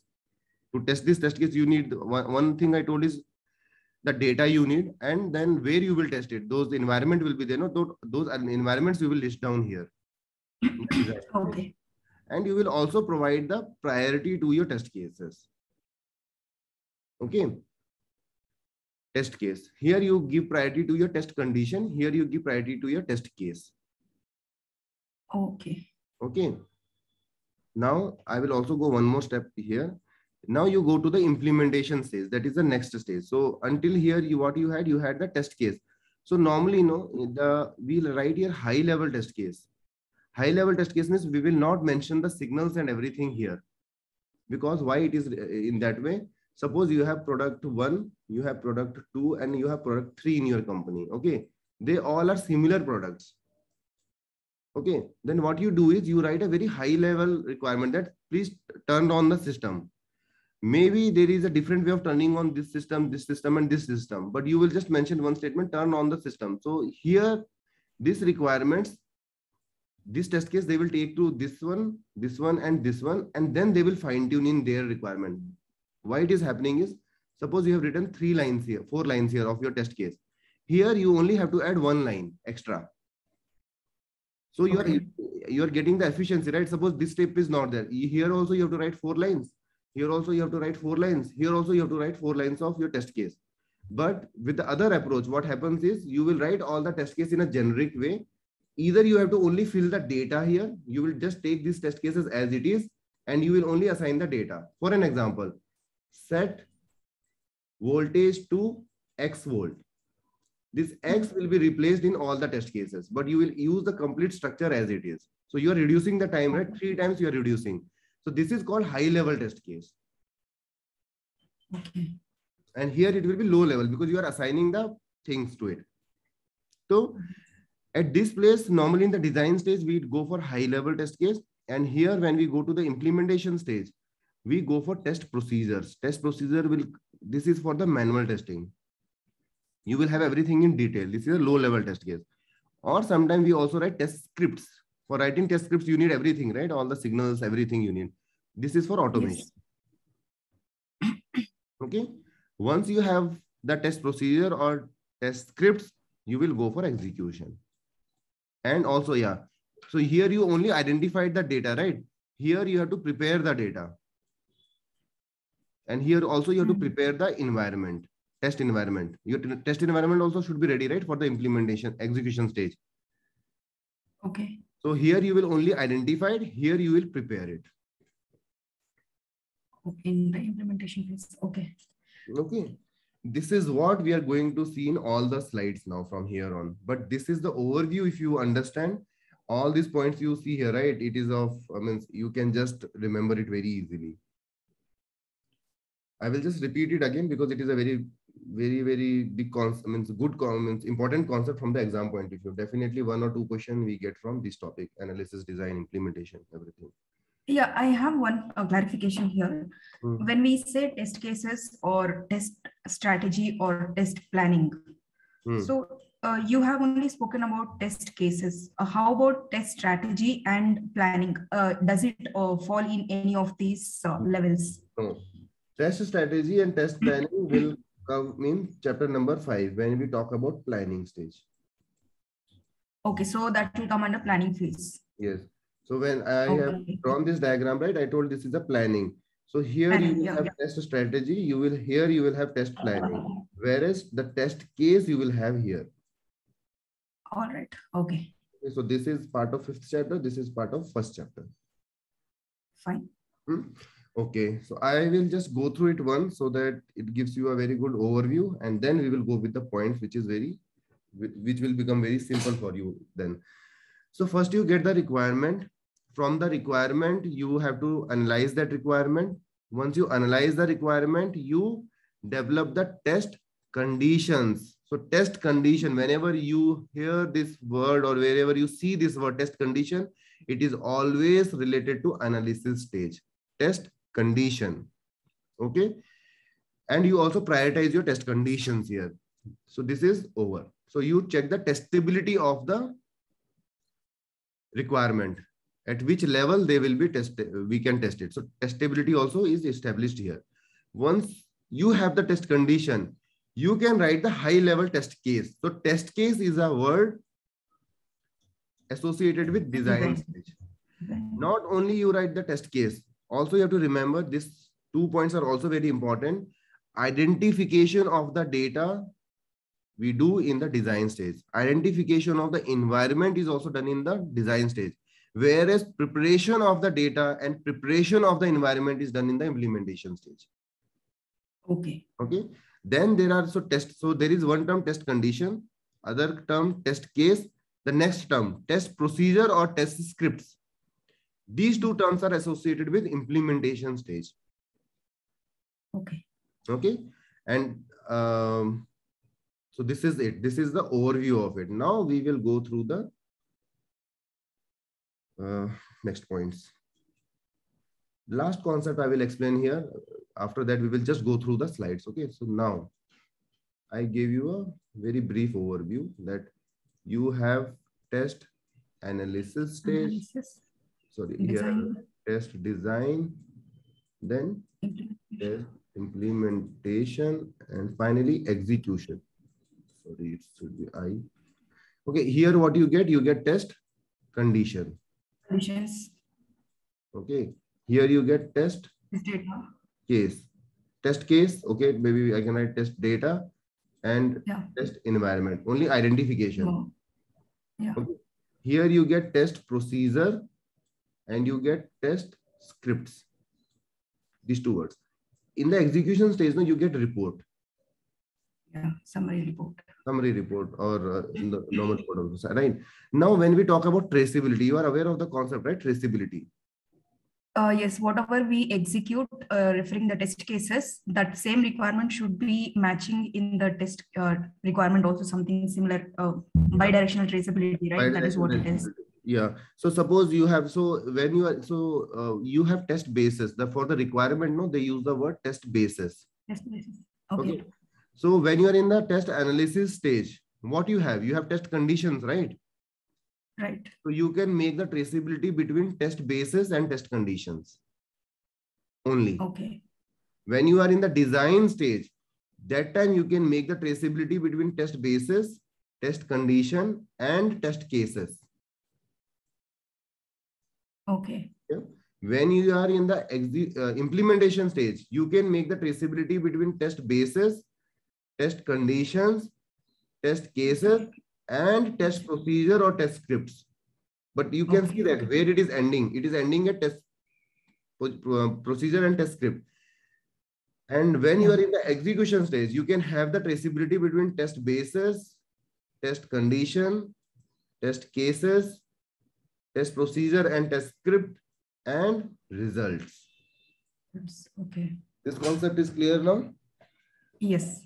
So sometimes the question also comes from the traceability and that time, whichever step you are stopping, for example, you stop at test procedure or test script, that means it is execution. If the your if your traceability stops at test cases, then it is test hmm. design. Okay. So I hope this is also clear. Now we will go through the points and then I don't have to explain a lot of things here. Okay. So here in the analysis stage, until here we have the test analysis activity. And from here to here we have test design activity. This is for test analysis. I'm just writing it down and i will go through it also. And this is for test case. Uh, sorry test design stage. So reviewing of the test basis. Test basis means what? Requirement. Okay so in which stage we do the review of the requirement or analyze the requirement or identify the requirement in the analysis stage. Yeah. This is clear, right? Then evaluating the testability. So this term also is associated with test condition. Test condition and finally with test analysis. Yes. Okay. okay. Then identifying and prioritizing the test conditions. So where we do this, identifying and prioritizing analysis analysis only. So we identify the test condition from which document? Uh, test basis. Test basis. Okay, so this is how it is. So that's how you can play with it now. So you okay. should know that test basis, testability, and test condition are the three terms related to test analysis. Test now analysis. they say they they can change this word. We are reviewing it, we are evaluating it, we are identifying it. Anything they can change your answer should not change if you have test basis there. Okay. Okay, so these three are the strong points which you have to remember for test analysis. Okay. Now, when we go to the next stage, designing and prioritizing high level test case. I don't consider any of this. I only go with the test word cases. test cases. Then okay. here it is very important, not only test data. If you have test data, you have to see what it is. It is identifying. identifying. Okay. And similarly, when you are test environment, it is just designing very high level. Designing means just telling that what all things you need. Okay. Yeah. And also identifying the infrastructure. In test environment is nothing but infrastructure only, you know, which you need for running your test case. Yes. Sometimes they may ask identification of test lab. Lab. Test lab is what? Mm -hmm. It is the infrastructure. That is how you have to relate. Okay. And that will come to design stage. Okay. Okay. Then test cases to test basis. So this is the traceability. Test cases to test basis means uh, test cases to test basis. Uh, from design to uh, we have test conditions. From conditions it will go to test basis. Yes. So this is how it is. I hope then all these points are clear right? We can clearly differentiate yeah. between what comes to design yes. stage what comes to analysis stage. Move to next point. Okay so now we are here. So implementation stage. Another point I will uh, tell here that in the implementation stage, what we do. After implementation stage, we have the execution stage. So this is the implementation stage and this is the execution stage. To execute our test case, whatever is required is prepared during the test implementation stage. Okay. If you want to, here we, we don't want to think anything. We don't want to spend even single minute to do some other task. Here, our main job is to just do execution. And for that, whatever is required to achieve this, we do everything in the implementation stage. So this concept is clear to you, right? That whatever yes. we need to run our test cases, everything should be done here. Now, from that point of view, you have to think, and then you will get all of these points. For an example, first one, finalizing and prioritizing the test cases. So first we prioritize the test case here. In the in the design stage, we design the test case, but in the implementation stage, we prioritize them. Yeah. Now, next one we saw no previously test data, environment, infrastructure. We have to build that. Yes. Now we don't have to identify. We have to build it. Why? Mm. Because after that we are going to execute it, right? So it should be ready in ready state. So that's why it should be built here. Then developing and prioritizing the test procedures. I already told you, know, you will have test case. So prioritization of test case you do here. From test case, you can develop test procedure or you can develop test scripts. This is yes. for manual testing. This is for automation testing. So, but all yeah. these things will come under implementation stage. So that's what is here. Test procedure. Creating test suits. Test suits means what? It, sorry? For automation. It comes for automation. Uh, yeah. Putting uh, a number of uh, test cases in one particular folder or a file directory. Yes. So creating a group of test case. Yes yeah so that will come under uh, that is a test suite so you can have multiple groups in for your project first we will execute this group then we will execute this group something like that so create yes. test uh, yeah this is one creating the test suite from test procedure for efficiency so so that we can just take this group and then start executing now in which order they should be executed that is also decided in the implementation stage create test execution schedules which test case we have to run first, which next, which after that, or which test suite should go first, second, and third. All this, as I told you, we are not going to spend any time for doing all these things. Here, our job is whatever we have decided, just do that. It is just for do, not to analyze execution stage. So here only we are creating the test execution schedules. Okay. Okay. And and the last one first i will go writing automated test scripts this i already told you right test scripts or test um, procedure both of these words preparing test harness test harness means anyway i will cover this in more detail in chapter number two test harness. If you have heard the word driver and stubs test driver yes, and, heard. yeah. So these there are was one question in, in this one step the uh, stub and drivers. There was one question. Okay so this we will cover in chapter number two. So these steps stubs and drivers are also prepared during the implementation stage only. Okay okay what they are we will see in chapter number two when we go. But now these points are clear right? All the points are clear here. Yes yeah. Would you like to go through it once just to see if anything you need?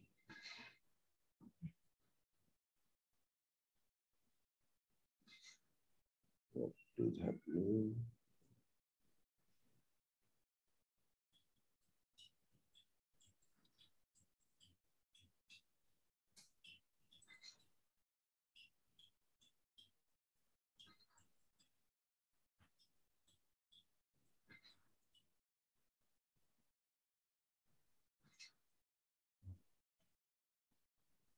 So if you read any of these words, you can clearly identify, you know, this is for test implementation only. Yes. Now, when you go for execution, so as I mentioned here, you are only going to execute the test case. So once we execute the test case, what happens? First, we have to run the test. the report results. After we run the run the thing, we get the report. The report we have to analyze. It could be pass or fail. If it is failed, then we have to create a defect report for that. Right? So this is what is happening here. That is what is mentioned also here.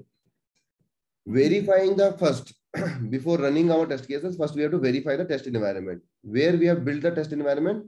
In the implementation stage. But verify we have to do in the execution stage. Okay. Yes, correct. So there is a chance that we have built our system long back. Now execution came after three weeks. But that time we have to see that the environment is still working fine, right? So that's why verification of the test environment happens in the execution stage. Okay. Then verifying traceability between the test basis and test cases. So um, traceability between test basis and test cases. Actually, it should be test basis and report, right? Uh, results summary report. Not actually here. This we should change it because this traceability we see. Actually, this For test traceability is, it is actually established during the design stage, but it is verified in the execution stage.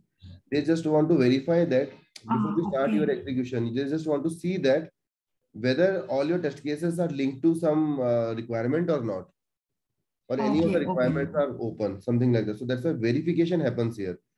But establishing is done in the design stage. Hmm. Okay. Right. So if the require, if we say report, then we say we will see here the word establish traceability between test basis and requirement. Okay. Then uh, this is a very simple point we told them we have to execute our test case. So execute the test procedure in planned sequence. Where it is planned, the sequence, In implementation phase. right? This is done in the implementation stage. It could be of manual or it could be of like through tool also, anything. Manual also, they will tell these are the test cases you have to do. Okay. logging the outcome of test execution obviously right whether it is passed or failed whatever that Uh-huh. logging we have to do. How we do that? Obviously by comparing the actual result with the expected result. So this is expect okay see comparison of actual result and expected result is done in the execution stage clear. But where is defined? What is expected? Where it is defined which stage which Uh, design doc. design stage, right? So in the design stage only we define it, but we compare it here. Report Hmm. the defect based on the failures observed. So reporting also done here. Analysis of the anomalies means like failures. So we have to analyze the failures in this stage. And repeating the test activity. In which case we will repeat the test activity. Suppose you find that you have executed your test case. Developers have fixed it. After that, what will happen? Again, we have to retest it. Retest that. Yeah. So retesting is nothing but again execution only. So that will also be done in the execution stage. Okay. Okay, so this is all about the test execution activity. Now what will happen in the completion stage? Whatever we have done in the testing, we have to store them and we have to create the report. Right? Mhm. That is what we are going to do. And whatever we have done during the execution time, we have to see that whether we have read anything lesson learned and all those stuff will happen in the completion stage. So that's what let's see what is there. So final summary report will be created in this stage. Okay. Okay. Close Yeah, uh, Ajit, there was one question here in completion. Uh, it was a scenario based where uh, they said that uh, such and such uh, thing happened and what was missed in the report expected actual and uh, uh, environment setup and few two three uh, options were given in that i was supposed to identify what was actually required to uh, Hmm. fill in that incident report Uh-huh. The incident report is different. That is from the chapter number five. oh okay That we will cover there. Okay. I have a very big list. What all things should be there. And then you have to see that what is missed in it. Okay. Okay okay this question, but it will come from chapter number five, not from here. This is different. So here, like all the defects you have created. So that question is for while creating the defect. This is you have Mhm. already created the defect. Just uh, how many defects are closed, how many defects are open. All this list will be present in this completion report. okay Okay. Raising change records for remaining open defects. So that's what I was telling. The open defects also. Uh, the defects are open, right? For the next release, it, they, someone should fix it, right? So for that, they will they will create a change request. Mm. Okay. Yes. Then documenting the acceptance of the system. So if everything is fine, then uh, someone will do approval and everything. Then like the system, they can accept something like that. Finalizing and archiving the test and test environment, testwares and test environment. So testwares, I told you, know, whatever is the output of your testing activity is a testware. It could be test case, test script, or uh, your reports, anything, whatever you have developed during your testing activity, all the outputs are testware. So you won't need to store that as well as your test environment. You have to at least mention that which version of the hardware you have used, all these things. Okay. Okay. So this also like in completion report. So it is part of the completion report. Handing over the testware to the maintenance team. So for example, if your activity is completely done, normally this is how the testing activity will happen. In one cycle, many testing activities happen, but there will be a final uh, stage where you release the it to the customer. After that, this team will not work on this one. It will give it will be given to the maintenance team. They will take care of it. Okay, so that is that is what they're talking about. That it's a completion of the project final. Analyzing the lesson learned. So many things will go wrong in the project, right? Or maybe right also. So those things we have to discuss is parts of completion only. And we have to use this information to improve our process, to increase the maturity of our team or the process. Okay? Yes. So this is all about the completion activity.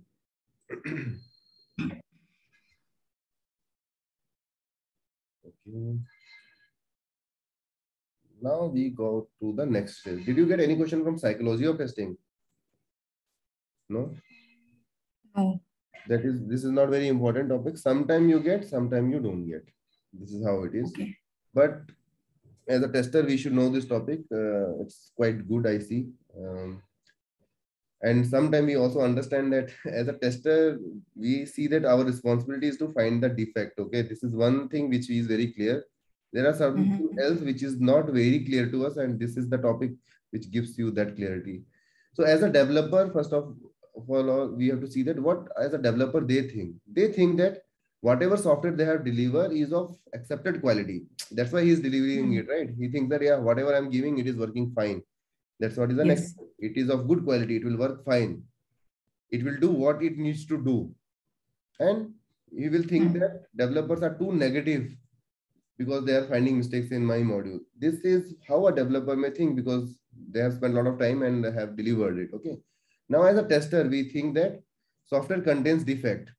Software will not work. It will not work the way it should work. Okay. And they think that developers are too optimistic. They think the developer think that everything will work. So you can see the prospective difference here. Okay. Yes. But this is our job. So we we think this way, but this is developer's job to provide the solution. That's how they think in this way. Now, we will, this topic will cover at the end, independence of testing. I want to maintain the continuity first. Okay, so psychology of testing again, testers. If a tester finds a bug, okay, or a defect or a failure, that means he has done a good job. He has saved time and money. He has reduced the risk, right? This is what it means. But yes. developers can take it as a criticism for their work or at some time for themselves itself. They may mm-hmm. think that someone is criticizing their work or they may think that someone is criticizing them. Though it is about the document or the product, it is always about the product. Okay, this is what we should keep in mind. Yeah. The next. So, what is the possible approach? Okay, promote collaboration, not battle. So, when we go when we go with a defect or a problem to a developer, we should go with a report. It should not be like a verbal thing. Uh, if it is like sometime we are friends and colleagues here, so that time it is fine. But otherwise, we have to see that we go with a report in a fact focused way. That this is what I was expecting. This is what I am getting. Can you please have an analysis? Instead of going and saying that this is such a small mistake, uh, this is such a small thing, why it is going wrong there are different ways of saying the same thing, right? So that time the developer may think that they are saying I have made mistake even if it is such a small thing. So we should go with a facts fact focused way. We both as a tester as well as a developer, we should see that, remind that we are working for a common goal. That is to give a better quality system. We should always yes. keep this in mind. Any discussion happening, anything, we should always keep, okay, whoever is talking, we have a common goal that we want to increase the quality. This is the last point, uh, third point, which I have already said here. Communicate failure found. So it is the task of the tester to make sure that we communicate the failure in a neutral, fact-focused way. Mm -hmm. We should be neutral. We should not be criticizing the product or anything. We should be very neutral, saying that this is what we are observing. This is what we are expecting. And we can also ask them, are we doing right thing? We can ask them. So they will only see that and they can only tell, yes, we are doing it right or wrong. Okay. Do not criticize the author. So this is a big no. We should not anytime uh, criticize the author yeah understand how the other person feels so as a as a testing team because we are the one who is going to give the negative news then we should see that normally how a how a person takes it every person takes it in a different way when we communicate. Then this is our responsibility to see that how are we going to communicate to them okay? Try to understand why they react as they do. So sometimes we may also see that the developer once we give tell that this is a problem they may react. Every developer will react in different way right? So that time yes. we should see that how why they are reacting it. So maybe under pressure or their modules are very complex or they are finding so many bugs in it there could be multiple reasons because of which they are reacting in that way. So there is no point in fighting over there. Then confirm the other person understood what you have said and vice versa. Okay? Then we also have to understand what they are saying. So instead of sticking to point that oh no no this is how it should work. So but when they are saying then we should see that okay is it making sense? We should read the requirement again. If we still see that okay there is a problem again communicate that as per the requirement or requirement number this this is how is the behavior fact focused way at the end so this is how we should discuss so these are some possible approaches and the main thing which we need to take here is that it should be a fact focused way everyone should see that it should be a common goal to increase the quality and never criticize an, uh, the author. Okay. Okay. Mm -hmm. So now uh, I have seen recently one question where they were saying that uh, as a tester, now what is your uh, good characteristics of a tester? Apart from this, they have written one more thing to find defect. Okay. We are reading only this part. So here, what is there? Let's see first curiosity. So as a tester, we should be curious enough. So if we give, if we are given with a feature, we should be curious enough to know about this feature instead of just testing it. We should be curious enough to know this feature, how this feature works and all those stuff. And then apart from our testing test cases, we should play with this system just because of the curiosity. And always, like we have said, this professionalism should be there. That is one thing. Next one is the critical eye. So if you are testing test case one, if you see something else going wrong, we should also capture that, not only what is written in our test case one. If something while doing something different happens, even if these test cases are passing, but we saw some different behavior, we should not see that, okay, no, my test case two or three does not include this, so I will not. If it is there, if it is not part of you, you have to inform to someone that I see some different behavior. So it should be critical, I should be there. Attention to details. So when we have a requirement, then each and every line we should read with a complete detail, with a with complete concentration and focus, we have to go through each of these lines. And we should be a good communicator. The other person should not feel that we are criticizing them. So that way. Apart from that, I saw one more line to find the defect. If all these options are there, no, the characteristics of a good uh, uh, tester is that to find the defect only. Okay. We have everything yes. and we are not finding the defect. so it is not going to help, right? So at the end, finding defect is only the first thing, first priority. Okay. Okay. okay. So this is one thing. And after this, we are end. But now this level of independence. Okay. This topic we will cover. I will not go through these lines here, but I will give you a generic information. So suppose there is an organization in that you have a team. In this team, you have a developer so you have a person, okay, here one person, one team member is there. He is only doing the development activity and testing activity. So can we get an independence here? No, right? So here the least independence you will get. Could be another scenario that you have a develop team. Here you have two team members in the same team. And one is doing the development activity, another one is doing a testing activity. With this, the degree of independence is increasing. Right? Yes. Absolutely. There is another thing that you have a you have a department. In that department, you have one team here, you have another team here this team is completely responsible for development activity. This team is completely responsible for testing activity. You can have a different mm -hmm. manager here. You can have a different manager here too. So here again, it is the degree of independence is increasing. You can have another scenario that where you have two different organizations. This organization is responsible for development activity. This organization is responsible for testing activity. So here you will achieve the highest degree of independence. So this is the concept. No need to go through these points here. And same thing is written. So with this the chapter number one ends. Now you see that that any question came from chapter one and then is not covered here or everything is covered you see. I think from oh, it's covered. Everything is covered. Yeah okay then before we start chapter number two i think i also need some break now maybe 15 minutes uh, so it's okay. already 12 3 so shall we have a 15 minute break and then join again sure sure yeah Okay, then yeah. Thanks. Then let's join after that. Okay, bye-bye.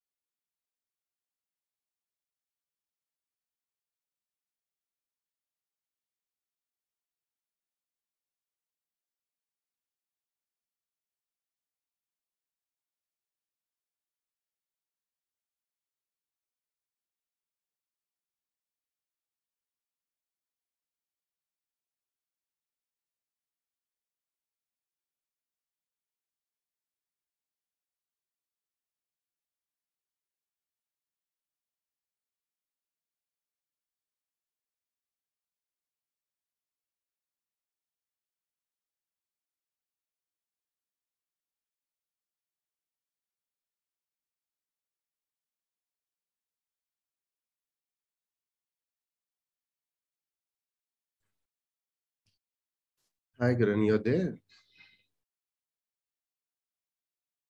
Yes, Ajit, I'm there. Okay. Um, we see some questions from chapter number one or let me see if we can see some questions.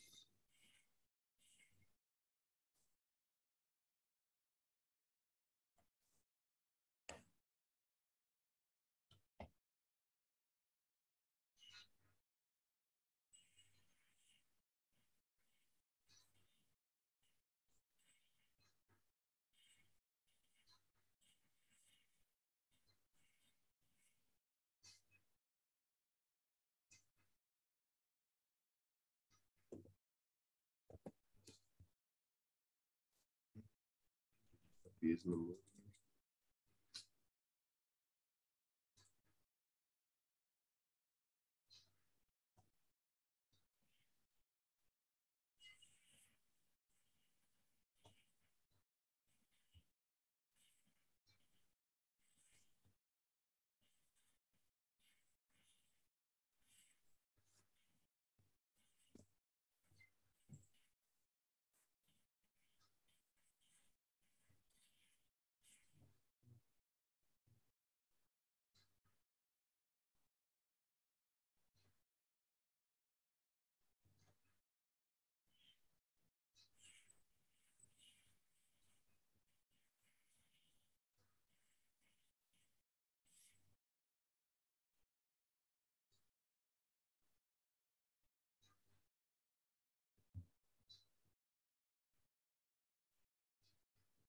Okay, so there are some cases.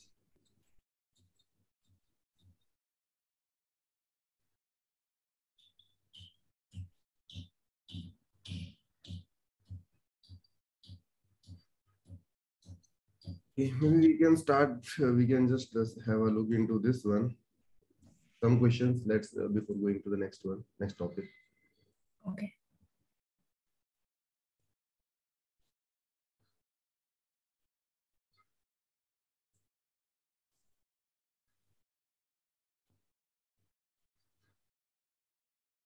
Uh, B is the right answer, right?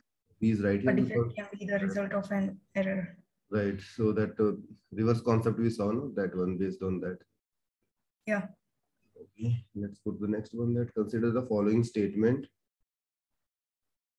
And which one is, which one of them are correct, we need to. Okay.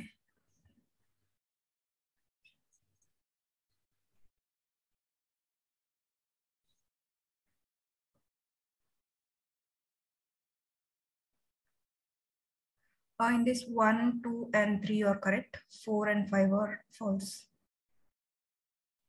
Mm, so here we they have have that? given this- A defect is produced as a result of failure. It No, failure is produced as a result of defect, A defect. Ah, okay. correct no? This is Yes, yes. defect is not produced because of failure. Failure is produced because of defect. So this is how we sometimes go wrong. Yeah. So looks like first is not the answer in that case. Uh, so we can leave this. Error can be environment conditions. This is your shot right. Defects are also referred to as bugs. Or, yeah, that is correct. The third one, where and all we have three. I think in these two we have three. Right? B and C, yeah. Now let's see the fourth one. Failure can cause bug. No, no. Bug can cause failure, not failure can cause bug. Now we are left with C only. the right answer. Two and three. So it's like uh, uh, you can have more things here also, okay? But then like we have to combine both. We are, should read here and we should also have a look into the options too, just to Mhm. eliminate and then reduce our effort. Otherwise, you have to read these lines again and again. So when you have such type of questions, always start from here Okay. so that you can directly remove two or three options and then left with only two, and then uh, you can mark easily. Then third one. Software testing will be required for the following reason to evaluate the quality of the testing.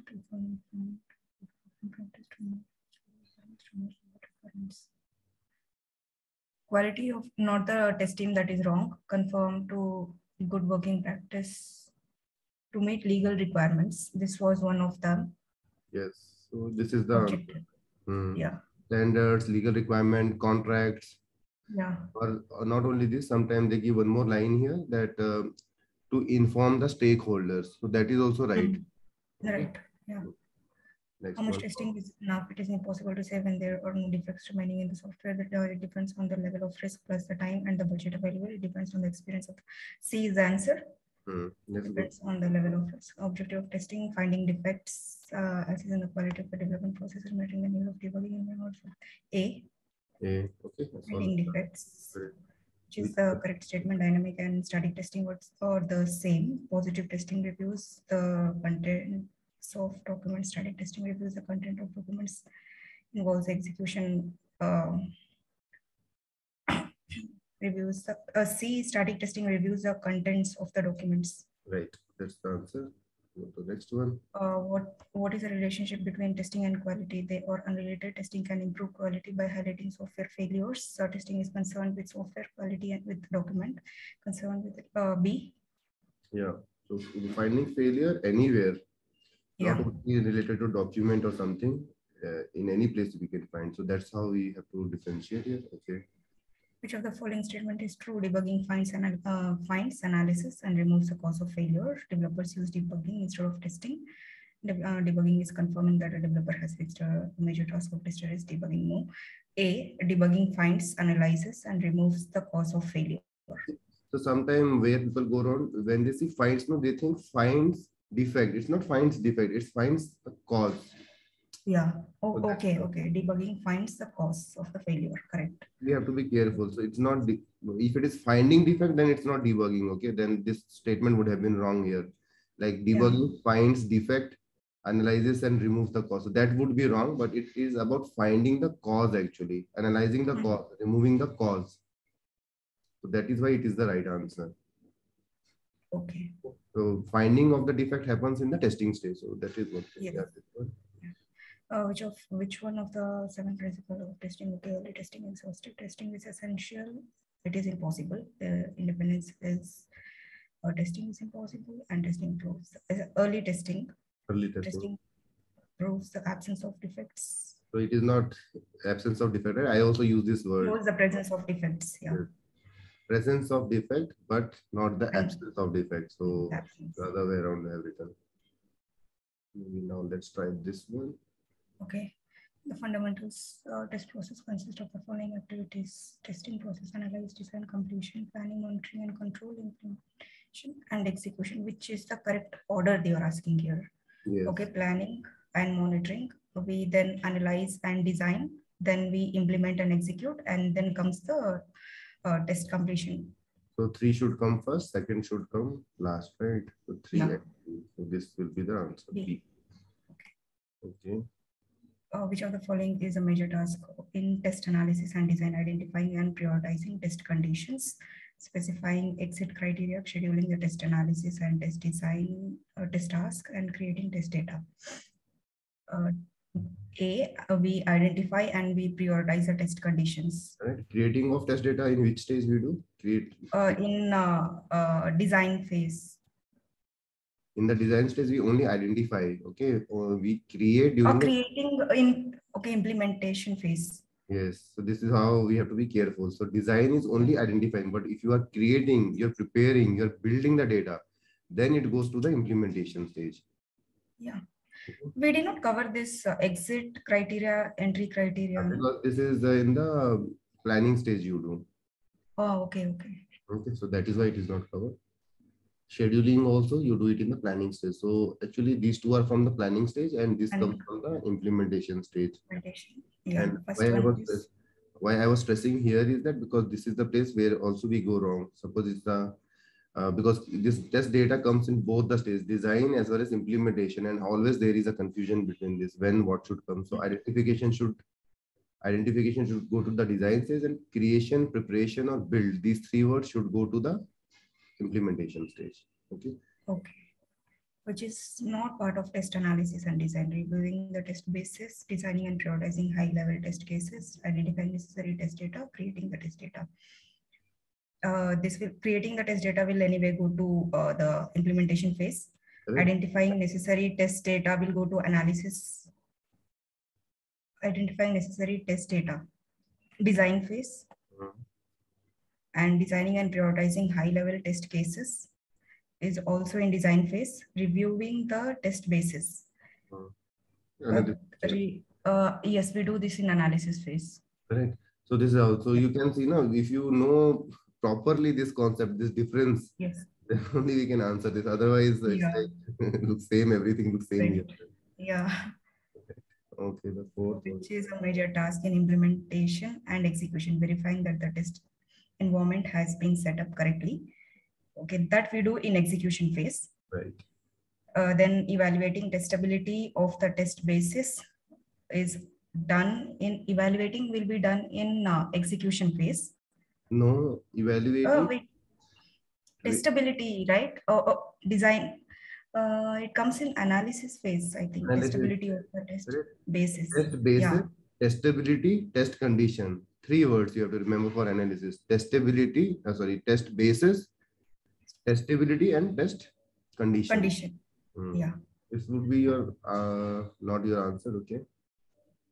Uh, then writing test summary reports for stakeholders will be in the execution phase. Mhm. Oh, Completion, completion, that is in the completion phase. Yeah. Test and designing the test environment setup, it is in implementation phase. It is in design stage. It is only Designing the test environment. You're not Okay, building it. So it is just designing means they are in a paper, you are just telling that this is what will connect to this one, this one will connect to Um. this place like that. So you'll just make a design here. Whatever you put here will be built or implemented in the implementation stage. Okay, so A is answer. A is the answer because it directly relates to the execution. Even Execution. at the end in the implementation also you do that. So this is the major task here. Okay. Okay. Yeah. Next one. Uh, monitor and control includes which of the following tasks? Logging the outcome of the test execution that is uh, done by execution, not monitor, specifying exit criteria, creating test suits from uh, test cases, assigning if more test, or- uh, C, creating test suits from test cases. But why this is monitoring stage, no monitoring and control. Monitoring and control. This Creating one, this one normally when you do test suits are Implementation. implementation, but they are not asking implementation. Anyway, I Uh, have not covered this topic anyways. Yes. part of your chapter number five, but uh, what do is that, yeah, logging the outcome of execution. So whatever you execute, then you log it. So it's maybe part of your, no, sorry, assessing if more tests are needed, maybe part of monitoring and control. So you see that you have executed everything? Because logging is done in the execution stage itself. Specifying the exit criteria happens in the planning stage. Planning. creating test suits happens in the uh, implementation stage. You are assessing right? Because you are monitoring you are something is happening you are monitoring and then you feel that that you need to write more test cases to complete something. That is a control activity. Something is going in different direction you want to control it. You think that something is not covered now you want to cover to cover that you are writing some more test cases so assessing if more tests are needed so you are monitoring it and based on that you are taking some action that is a control D is the answer here. But anyways, once we cover chapter number five, this will be clear. But this is how, this is the answer. Okay. Okay. Uh, sixth one, not not a task of uh, test completion. Analyze uh, lessons learned. We do that. Closure of uh, defect reports. Documentation of the acceptance of the system. Writing a test progress report for stakeholders. We do this. Closure of uh, defect reports. Documentation of the acceptance of the system. Not a task of test completion. You're saying. Hmm. But C, documentation of the acceptance of the system. Hmm. This Closure one, of the defect reports. Writing a test progress. see what it would be. One minute. Defect reports. I am suspecting between B and C. Documentation and acceptance you will create here because in the completion I told you that you will analyze everything and then we will then we will say that whether we are expect accepting this or not.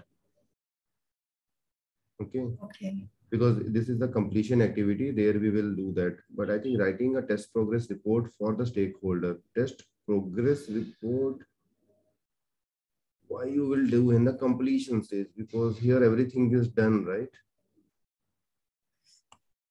so that's. Okay. That uh, writing a test progress report uh, part of execution activity? Yeah, let's just see that what is the here because we have some confusion that. Six to one. Answer also towards end. Six to one, right? That is six to one. Yeah. Should be D actually. That's what I feel. Six one D. D. Okay. The Okay. reason I gave you there only, anyway, I will explain it further. Because as I mentioned, right, your task is completed, right? And then why you will give a progress report? Mhm. Progress report you will give when you are doing the task. That time you will tell that, okay, this much we have completed, this much. But now you are, have completed. So that time you don't need a progress report. Okay, okay, yeah. And that's how That uh, it uh, that time we would need a summary report. That time we need a summary report, correct? That what we have done everything and this is what uh, we have achieved. So, and documentation of acceptance testing, why, as I mentioned that uh, now your task is done, you have a lot of defect, this, that, everything you have there. Finally, you have to give a report saying that whether this we are accepting this system, then you will deliver it to the customer. Okay. closure is fine. What all defects are that the closure report and lesson learned, all these things are fine. Only thing is once we are done with everything, then why we need to give a progress report now. Okay. That's why option B is the answer. And I think this is this exact part we have also covered in our uh, PPT also. That's what I think. But let me just open the PPT. If not, I will also include there. But I know that it is already covered. Chapter number one, right?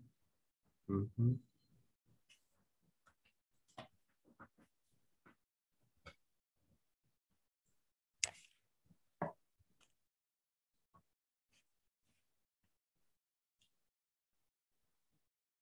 See this one, Document- acceptance of the system. Okay. Okay, so this is covered here.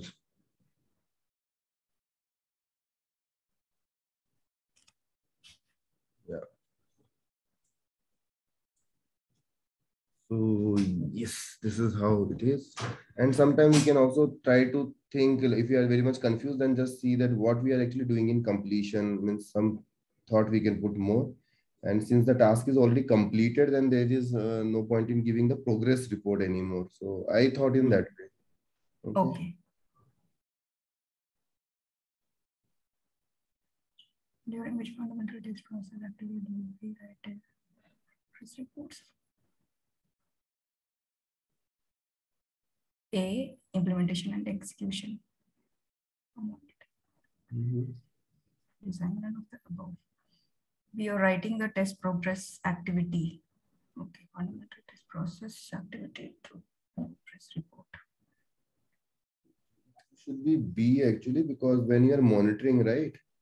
So while monitoring, you get the data. So that time you know that, okay, how much you have written, I mean, how much is the task done during the monitoring. For example, monitor, one of the activity of monitoring is the your normal meetings, stand-up meetings or daily meetings. That is part of monitoring only. And this is the place where you know, right, what is the progress happening. Okay, I was actually thinking in a way that we have execution, we already have what is pass and what is fail, so. Yeah, but that is not a monitoring again. You are executing is one thing. Then after that, you're collecting the data that how much you have executed is a part of Ah. monitoring.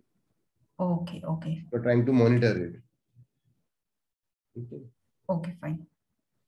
Now, the following are Hmm. levels of independent high. This one should be simple, I think. Design, test designs are designed by an outside organization, test designed by a person who wrote the, what we have to do, levels of independence. Okay, test designed by the person who wrote the software. Uh, uh, X will be the least one and uh, W is going to be the highest priority, designed by someone else in the development team and uh, designed by the independent test team. So uh, W, Z, Y, X. W, So that is not there. W designed by an outside organization. First W one, will be the first one, uh, least one we need first. or least one, Least to most. okay, least to most we need. Okay. least is X, that is first one, Mhm. and uh, uh, Y, Mhm. someone else in the development team, then Z, Mhm. and then W, B. Then B the answer here. So independence in testing means, what does that mean?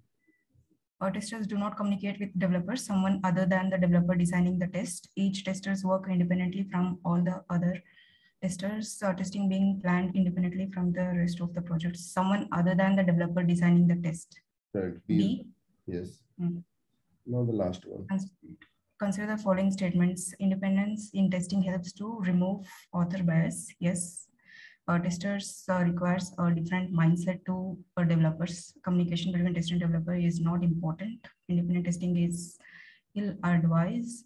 Uh, independence is gained. Independence is gained by someone other than the author design designing the tests. Okay, what we have to do here, true or false? Okay. Uh, we Mhm. then uh, Z is true.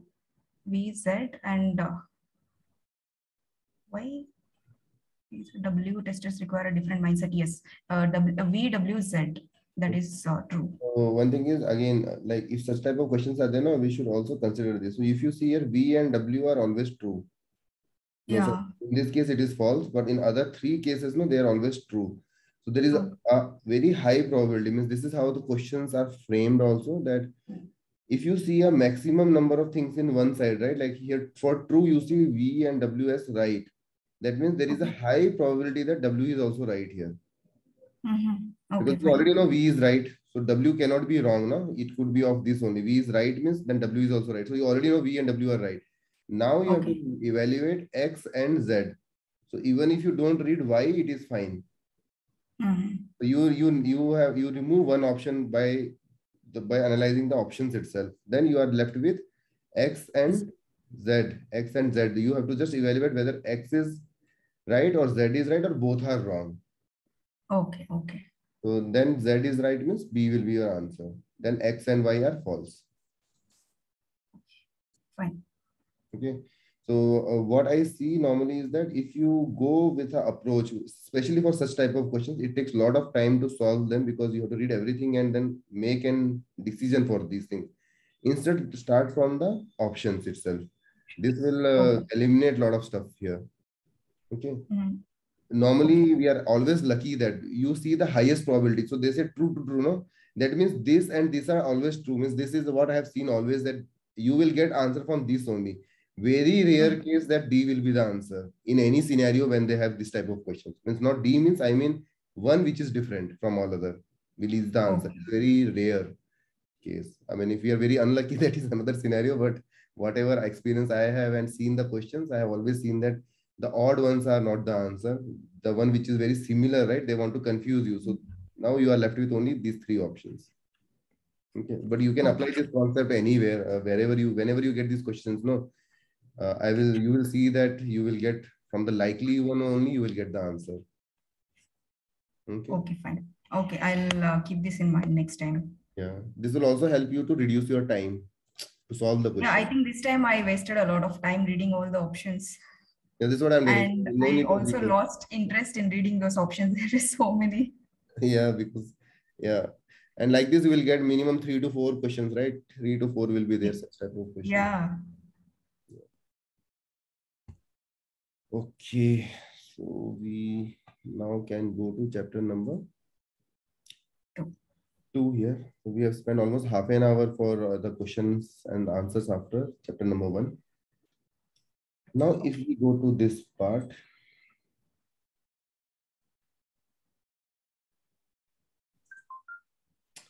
Okay, so testing through the software development lifecycle. Again, this chapter is uh, divided into, I would say, three parts basically. The first part we discuss about the software development life cycles, SDL life cycle model. SDLM software development life cycle model we say, and then we will talk about test levels, and then we will talk about test types. Software development lifecycle model, we are going to cover only two. One is the uh, incremental and other one is the iterative. Oh, okay. okay. So it is V model we will cover here and here it is agile model. Mm -hmm.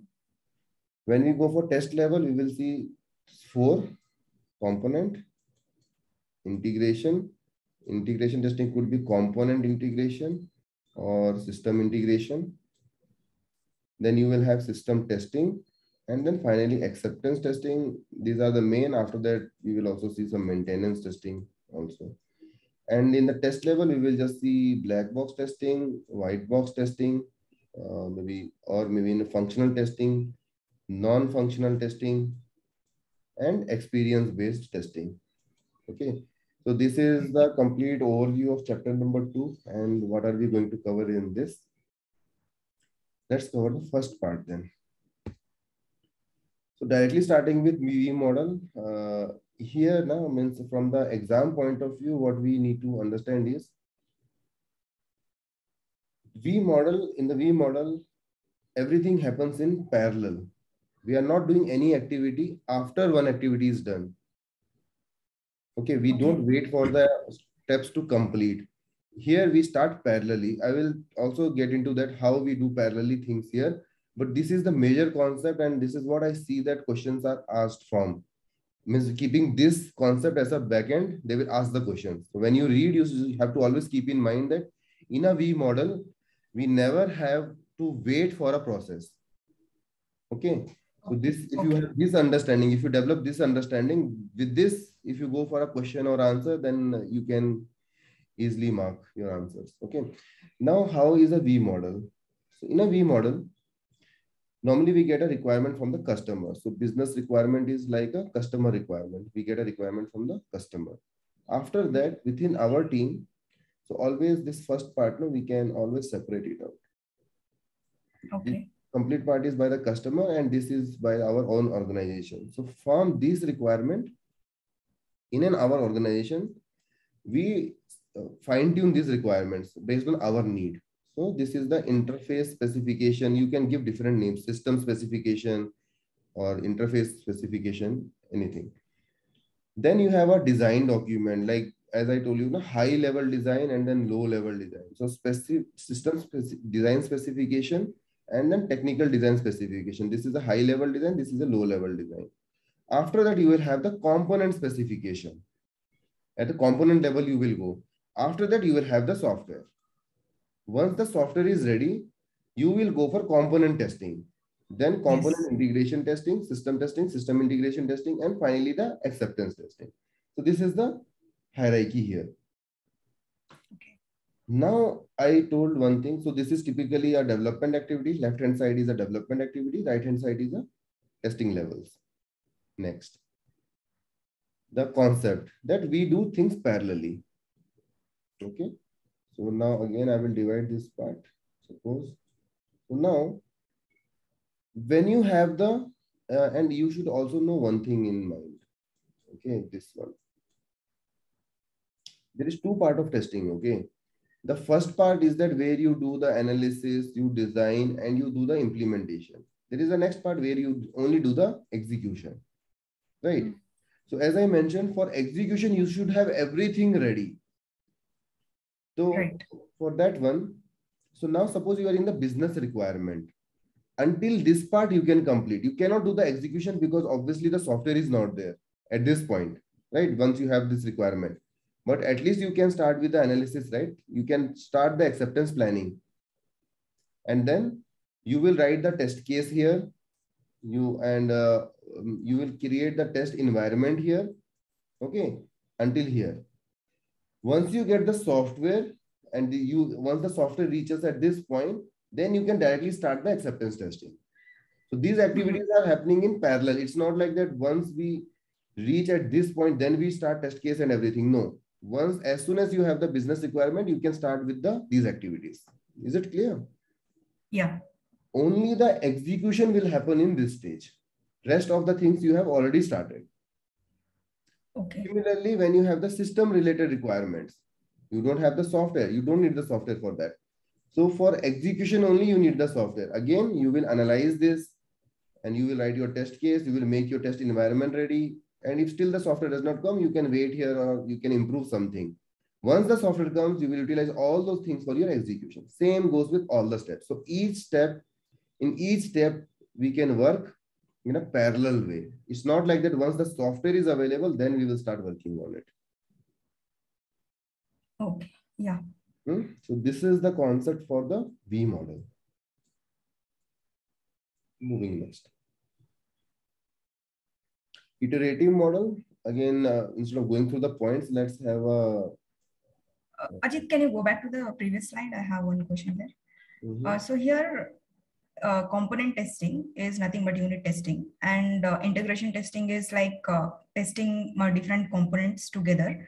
Mm. i understand uh, after uh, integration testing we have system testing but what is a system integration testing? So what exactly do we do in this level? Mm -hmm.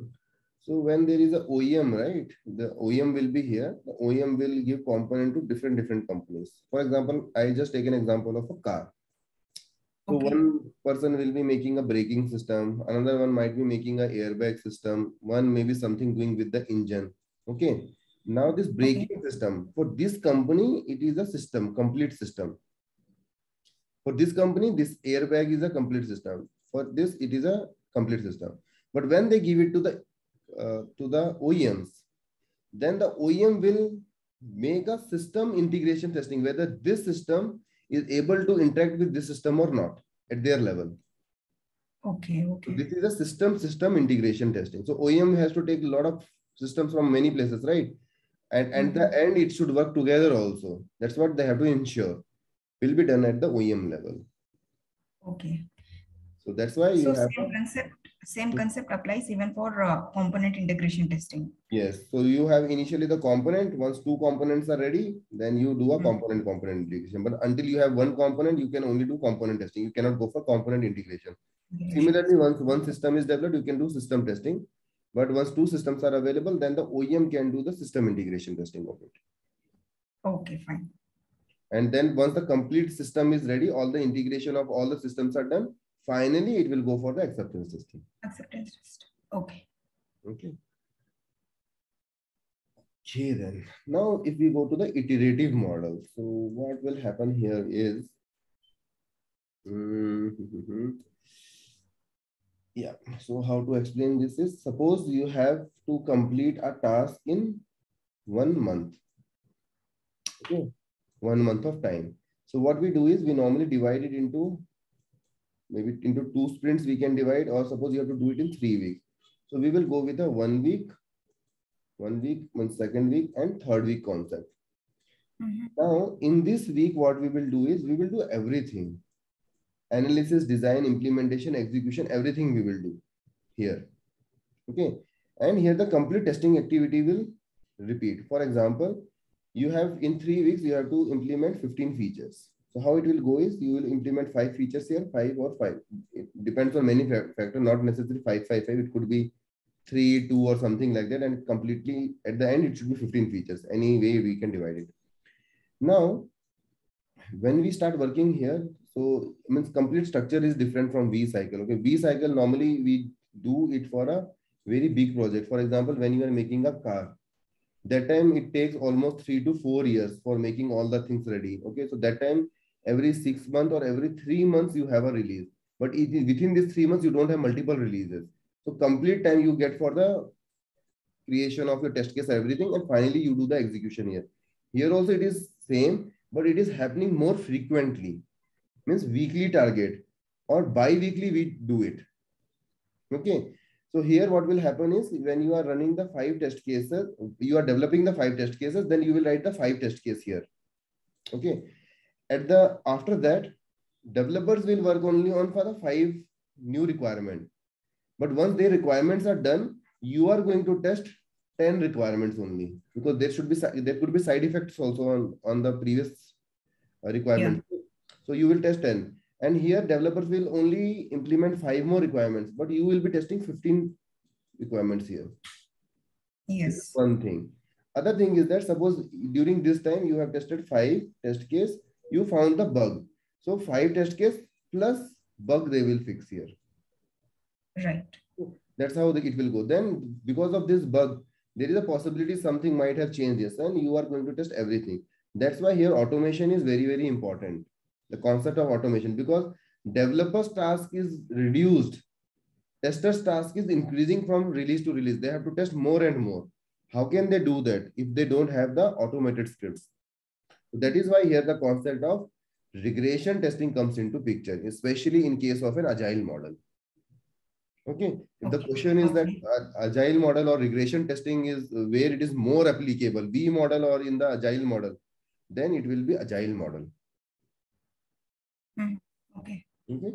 So this is what is written here. We will also go through it that user usable subset of the requirements. So we have complete requirement, 15 requirement. We took a subset of working requirements. End of each release, now we have a working software here. Okay. So this is what they're telling. From the requirement, we take the subset of the requirements. First thing. Shorter development cycle. This is what I told. Three weeks. Three weeks also means they will also divide into three, one, one week. It's not like that they will implement everything and then finally do the testing here. They will not do like that. So three weeks they will divide. That's shorter development cycle. Software produced in iterations. So how it is like first five features plus five features, then here 10 features, then here 15 features. So it is subset of features you are uh, creating. Regression uh, testing. One, mm -hmm. one, question is now whatever we are discussing, I, I work for agile model. So this is what we follow. So are we talking totally about agile model here when we say iterative incremental model? Yes yes this what means here i was telling no where i have mentioned in the first slide. Yeah so v model or the sorry uh, incremental model or iterative model? Iterative model means example is agile model only agile model okay. Okay so i think then uh, you are already working in this model so nothing much is required. Your day-to-day -day life is this one only so we can yeah. so it is again a growing partial system, right? Slowly it is growing. And as each increment at uh, more testing is needed. So that's why we yes. also need a concept of regression testing. So, and then you are aware of these terms. Otherwise also after this uh, course, you can also go for agile testing course where again, these things are explained in much detail. There's Scrum, Kanban, oh. Uh, this thing is not explained, but spiral, what is all these things they have mentioned there. Okay? But it is nowhere related to our uh, foundation level. It's not required. Mm. Okay, so we'll restrict until here only. Okay, now there is a next concept called verification and validation. So verification is like, are we building the product right? Like each stage we check that are we building the right product? Validation means once the product is ready at this point or the part of product is ready, then as a whole product we use it. So verification comes here and validation comes at this type when you have the product ready for you. Okay. Okay. So you will have multiple releases, right? All these releases, it's all verification only happening. But at the last, when you have this, when uh, you test with help of specification and you also can test multiple random stuffs also, right? So you are actually doing a validation here and especially at the acceptance testing level it is validation. It's no more verification. Okay okay. So if i have to just divide that component component integration system and acceptance testing for an example. So here you are doing verification. At system level you can do verification and validation. And acceptance level you do val validation only. Okay. Okay? So this is how this goes but you have to you have to be very careful with these two words. Very very important. And uh, just remember if you have product at the end that means it is validation. Sometimes we get confused no, between these two statements like are we building product right? Are we building right product? So here only difference in these two words here. So when you have product at the end it is they are referring to validation. If you have product before then it is verification. You can also remember this diagram that if it is before, it is verification. If it is after, it is validation. Okay. Okay. And just for uh, to so that you remember it. That's why I'm just telling in this way. Otherwise, the concept I have already explained you, right? So, because I have seen that uh, means we know it properly, but in exam, uh, some again we get confused. What is the answer here? Because uh, apart from these two, no, two more options will be there for making it more confusing. So if you yes. had at the product at the end, that time consider it as a part of validation. Nowadays, they are not asking question on these two. Uh, that's what I've seen. Mm. So what is the uh, good characteristics of a life cycle model? Uh, that is what we will see here. So this is also very important. From there, I have seen some questions, and I think anyway you have you got hundred percent. So you also know these concepts clearly. That every development activity there is a corresponding testing activity. So we have seen here right that if it is a good model, then you will for each testing each development activity you will have a testing activity for it. Yeah. Each test level have objective specified for that level. So we have seen the component level, component integration. We will see the objective anyway. System testing, acceptance testing, their objectives are different and they are defined also properly. Okay. Then oh. test analysis and design of the test of the specification, all these things is written. Early test design or early testing can be done. If it is a good lifecycle model, you can start your testing as early as possible. So as we have seen, as soon as you have this document, you start your testing activities here only. You do not wait the software is available and then you start from there. No. As soon as you have the requirement, your testing activity starts. It could be analyzing, designing, whatever it is. So that's the early testing or review activities. Apart from that, this is also one concept. Sometimes I have seen questions from it, very rarely, but yes, testers should be involved in the reviewing the documents. Okay as soon as I, the drafts are I had got question from this one. Okay. Uh, tester should be involved in reviewing document.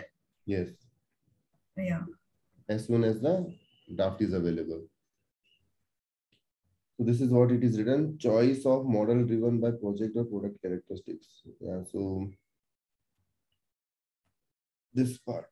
Okay. Choice of model means whether you go for iterative model or you go for incremental model it totally depends upon the project and the product you are working on. It is again mm -hmm. a context dependent. Okay. Okay. So that is how it is. That's the first part. That's what we need to remember there. One concept I told you is that um, always keep in mind for the V model, we never wait for any process to complete. Okay. We always do the activities parallelly. That's one um, important concept over there. Okay, so now let's move to test levels. So when we have test levels, right? So I have also mentioned that you have component testing, component integration testing, or system, system integration testing, then system testing and acceptance testing. Okay, these four levels we are talking about in this chapter. For okay. each of these levels, we have to see that whether we have clear objective, what we should test here, what we should test here in this level, at system level. So it should be clearly defined. Okay. Test. But you have not mentioned system integration and then system test. No, I have just uh, mentioned here system uh, component integration or system integration, any of these. Ah, okay, I just okay. mention it as one. Means what I'm I am telling here, not hierarchy. I'm just telling that any of these level, we should know the clear objective we should know what are the input for these levels, what we should test in these levels, what are the different type of failures we are going to get in these levels, okay. and if any additional things. Test harness means anything you need, you have to develop in addition of uh, like... addition to your test object. Okay, that is then tool support. If you need any tool, different type of tool. Obviously, for component testing, we need different tools. For system testing, we need different tools, right? Yeah. So these things, and then if there are any specific approach and who is responsible for this type of testing. So usually for first two, no component and component integration, it is by the developer. Then system system integration testing by the tester. Acceptance testing by the tester, by the user, by the customer. Okay. This is how we have to divide it. You have component testing. It is always done by the developer component integration testing by the developer, system testing by the tester, system integration testing by the tester. You go to acceptance testing, it could be by tester user or the customer. Okay. So this should also be clearly known. Sometimes question comes also from the responsibility part. Okay. So how the question is going to come like this uh, jumbled up and all those stuff, which test basis belongs to which uh, test level, its Mhm. requirements. So something like that. And what is the objective of component testing? Or they will give some objectives, then they will give some test levels. They will tell you to match it. Yeah. Something like that. So here we should clearly know the uh, inputs, what is required. So test basis means you already know the requirement. Test object means what are we going to test? Our product. It could be application, it could be with hardware, it could be application plus hardware, any combination. Okay. Um, shall we take a break of 15 minutes and then we continue this one? I think I Okay, yeah, sure. Yeah.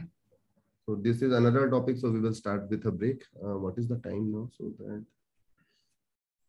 One, Yeah, one one five. four, yeah, one five. Then maybe another ten minutes only. We will join back. Okay, one fifteen. Okay, fine. Okay, Kiran, thanks.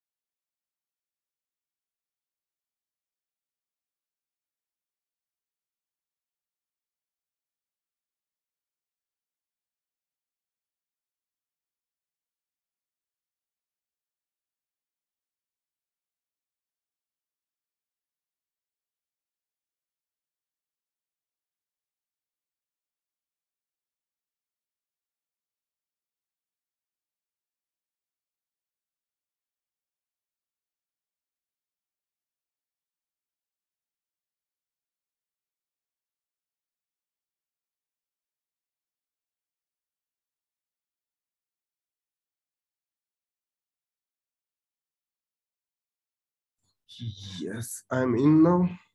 Are you also in, Kiran? Oh, yes, I'm there. Okay.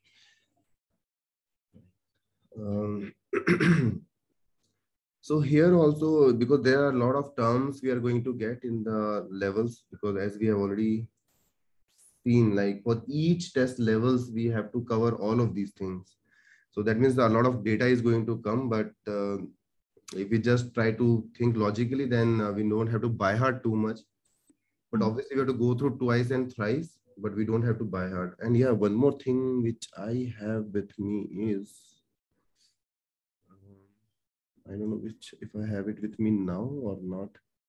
I, what I have done actually, you know, I have created one, one pages and in one page, I have all the details like this test basis and test object, everything for all the levels is in one page itself. So you, I will also give you that. It's a very good quick revision uh, before the exam or even now also, if you go through it, you don't have to go through all of these chapters and all. Yeah, I will provide you. I think I don't have that. So certain types of things I have prepared as a notes. Let me check in my place. Mm, no. Okay, no problem. Anyways, it's in my other system, so I will open it. Uh, maybe tomorrow we will see. Okay. Okay, but yeah, means from each chapter now I will give you a summary also of the chapter itself. So first for first chapter also I have. So like what are the important data? No, since you have already given exam, you will see that. So whatever page I have, so you will see that if you read that, I think very easily three or four questions can be asked, can be answered directly from those pages itself. Okay, so that's how it is, and it will help. Okay, so now when we go to the component testing level, we will understand what is component testing. But before that, so if we think from the uh, from the testing point of view, at the component level, what we test is we test the component. For that, what we need, we need the component specification, we need the detailed detailed design, and we also need the code. These three Yeah. things should be very much understood, right? That these are the things which we need. Even if it is not understood, then we should keep this in mind. We want to perform a component testing here. So that's why we need minimum these two data, these three things. Yes. One is component specification. After that comes the software, and before that is the design document. So that's why these all these three things act as an input for your component testing. So this is the logical way of thinking it or understanding it. Then there is a data model. Now you may ask, why is this data model needed when we need these three things? So in a component, inside a component, if you have a if and else statement, you have some data types, right? So their definition, what type of data this function accepts, this will be mentioned in your data model. Okay. Okay. So type, like if it is of a, if this function is expect, accepting a value of Boolean type. So you need to know, right? This one, okay, is expecting a Boolean. These are the variables here. These variables are of integer type, these, that. So all these things Mhm. you need at the component level. These things will be mentioned in your data model. So Okay. that's why addition to these three, you need data model. Fine. So this is, these are the requirements to your component testing. Okay, fine. And what you can test at this level, obviously you will test the components, units, modules, all these things means the small, Everything related to code. uh, smallest individual testable unit. It's not the smallest unit. If it is not testable, why should we perform component testing on it, right? So it's a Right. smallest individual testable component. So this is uh, so if any of these things are missing, then uh, it's difficult. It should be an individual component. Uh, and then the classes uh, normally if we go for a concept of C++ and all, then we know that there is a classes and then there will be a class member and a class function. All these things will be there. So this, this is also a single component. Okay, so this is one thing. Then code itself. So obviously when you take a function inside that, what you test is a code. Yeah. And then the data structures okay and then database module also so, so sometimes if this component is interacting with some module or inside this itself like you have a you have defined a variable of integer then it will have my means 8 bit integer so you see that it is all these values you are able to give and when you give these values how the system reacts right Yeah. so like likewise, if something is of character, if you pass something else, it is not taking. So all this at the component level, variable level, whatever things we can do is a database model here then. So components, units, modules, classes, code, data structure, and database. So quite easy to remember. A lot of terms, if I see a 10, 12 terms are there, which we need to remember. But logically, it's easy to remember, right? Uh, that it, they are they belong to component testing. now, suppose this is your complete system. And then A is one component, B, C, D, E, F, G, H, all these are one, one, one component, single, single component. If you want to test component D, so as we mentioned, you need a component specification or design specification, or you need a code itself. This is inside this will be the code. So this is what is a component uh, in a complete system, a single um, individual testable unit. Okay, so that is a component. There are two ways of testing it. In the component level, there are two ways. So this is the first way where what you do is you execute your test, okay, and then you see that there is a failure. Then you locate the defect like you have a function, just an example. In this, you have a lot of lines of code. You executed your test case and you find that here is the problem. In this line is the problem. So you locate your defect. In which line there is a defect or in which line the variable didn't update properly. Then you fix the defect, then you retest. And then if you have a failure again, then you continue this. If you don't have a failure, then you stop. Yeah. Any normal testing process is like this. But we also have one more concept that is called as test driven development or test first approach. What is the difference between this and that is that suppose you have a requirement. In the first approach, that is the normal approach, what you do is you start coding and you start testing activities also together. And once the code is ready, then you perform the testing on it. Right? This is the approach. But in the test driven approach, what happens is from the requirement, you write the test case first. Then after that, you write the code based on the test case and based on the requirement. So two inputs. You will, for writing the code here, you had only one input. But here you have two inputs for writing your code. Then you execute your test case. And if it passes, it is fine. If it is not passing, this process will continue. I hope this is clear, right? Here at the coding level, uh, when you do the coding, you have only requirement as input. Here, when you do the coding, before that only test case is written. Okay. Now, if you see here, so you have a test basis that is a requirement. From this requirement as a first step, you prepare your test case. This test case, as a, okay, anyways, here first is written. The second stage, you automate your test case. Then Preparing the test case is uh, like we, uh, in a simple English, we write like what this Yes. particular uh, yeah. case is going to do. Yes, and here actually actual scripting or actually in unit testing level, these two steps are combined only. You actually don't write any test case type test case. You directly write the code level test case only, and that you execute it. So normally means uh, if you see in any organization, so these two steps are always combined there. Okay, but yeah, you have a test case and normally you automate it. Okay. Then when you write the code, so as I said, this will be the input and this also will be one of the input means you have to always keep in mind okay what is the requirement right based on that we have to develop the code then you have to execute this test case so here you first wrote the test case that's why it is a test first approach Yeah. okay uh, Oh, okay. So this is how it is and i also told you the difference between that. So here from requirement you write the code and test. From here you from the requirement you write test. But for writing the code you have you get two inputs. So if you remember this diagram if it is in your mind then it's easy to understand this concept. Now we go to the next topic that is stubs and sorry drivers and stubs it's very clear. It is a calling component or driver is a calling component stub is a called component. But now we hmm. need to understand it. What does that mean? For example suppose you have one component. So always remember this is what you are testing. Your focus is to test this module. Okay? Now Okay. now you want to test there are two part in it. You want to test if any function calls this function that should be successfully. Means we can call this function successfully how you can test you don't have any other function no? How you can test that? That some other function is able to call this function. For that you will create a dummy function. Suppose this is the only piece of uh, function available to you right now. Because developers are developing the code right? And uh, this week you got this component. Now you want to test that if any function calls this function then uh, they should successfully call this function. Okay, that is what you want to test.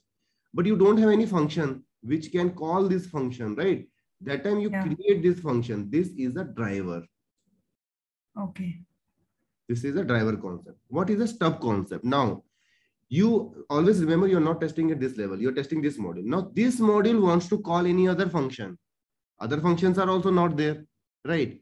So now you will develop another function so that this function can call that function. This is a stub. Okay. So understood, right? This, so where you are testing, that plays a very important role here.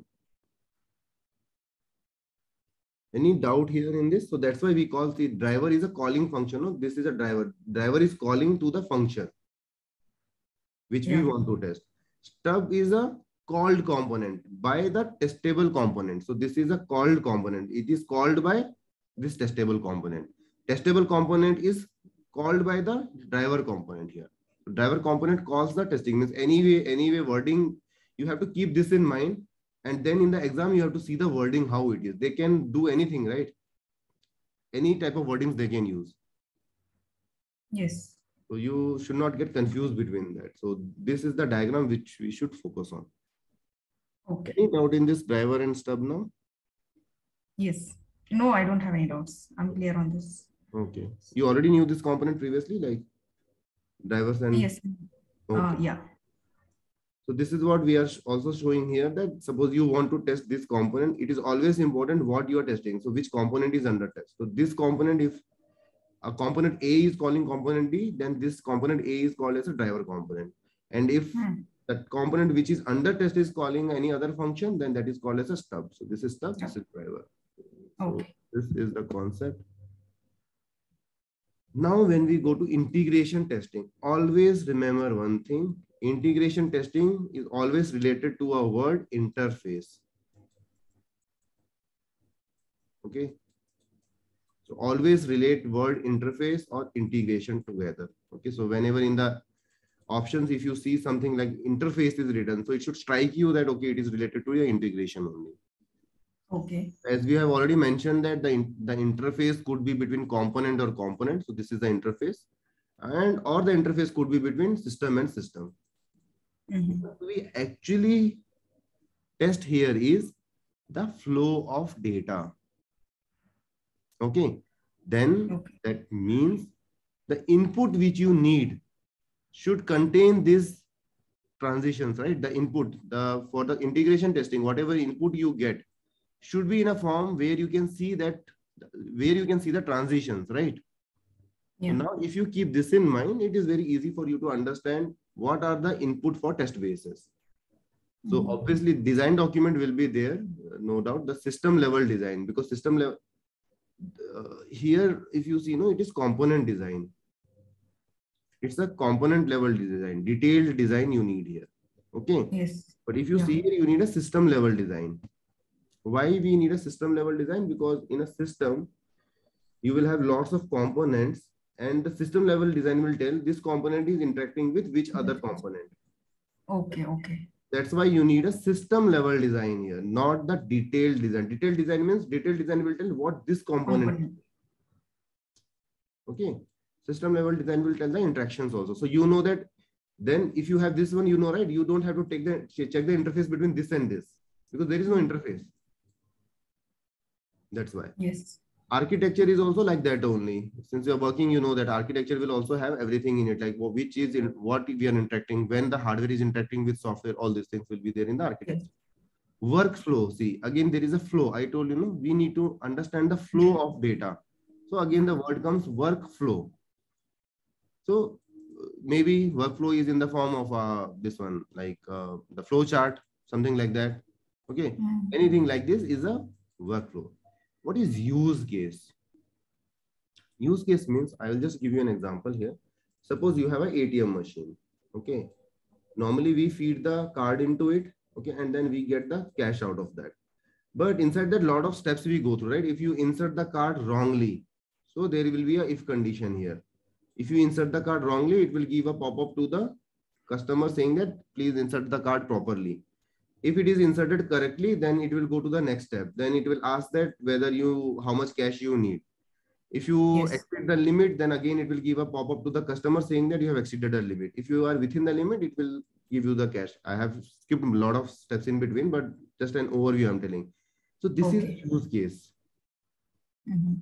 Okay, now you know that when you have this use case, you know that which module is interacting with which module and what data needs to be transferred between that. So that is why this also is an example of integration testing. Sequence diagram, I don't have to explain here again, right? The sequence. So again, you see the sequence, which function will come first, which, function, which function will call which other function. So this sequence diagram also uh, is the input for the integration test. So what are you going to test? Obviously the interface here. So subsystems, subsystems means these are the subsystems, right? This, this, this, this, this, these are, this is a complete system. These are the subsystems. Hmm. Infrastructure as a whole, infrastructure means how the data will flow from here to here, here to here, here to here. So complete infrastructure and APIs, application programming interfaces. So for the software, you will have some interfaces, right? Sometime with the help of uh, this GUI also we test whether we are able to give data to that particular uh, point or not. So these at the lower level, we have these interfaces, application level interfaces. Okay. Okay. Or sometimes this software is that this software wants to interact with this software. So they will have some mm -hmm. interfaces available. So once this function is this, this product wants to interact with this product, that time they will use the help of interfaces. So at the API level, we can have it. Both this complete concept is applicable for both component integration test and software integration test. Fine. Okay. Yeah. Hmm. Okay. So what are the different types of integration testing? There are two, incremental and big bang. Big bang is a big no. Okay, because here, suppose you have component like this. Okay. Now in big bang, big bang testing, we have done something and we found some error here. Okay now we have to, hmm. it is very difficult for us to evaluate what went wrong, where the variable changed, that we are getting a wrong answer here in a big bang method. I'm, I'm giving a very small example. Suppose like this, lot of components are there. If you test all of interfaces together, it's very hmm. difficult to identify which thing went wrong because of which yeah. module we have a wrong thing that's why we should always go for an incremental model. So if you get an option where they tell which is the preferred model, big bang or incremental, if they are the option, then always incremental is the preferred one. Mm -hmm. Okay, and now, so here we test one link at a time. Here we take check all the links at the same time. This is the main difference. Okay, yeah and then top down uh, yeah sometime what we can do is we can check the interfaces like top down approach bottom up approach top down bottom up approach means suppose you have like this so bottom down means so first you will check this this and this interface. Then you will go for this this this one and like this.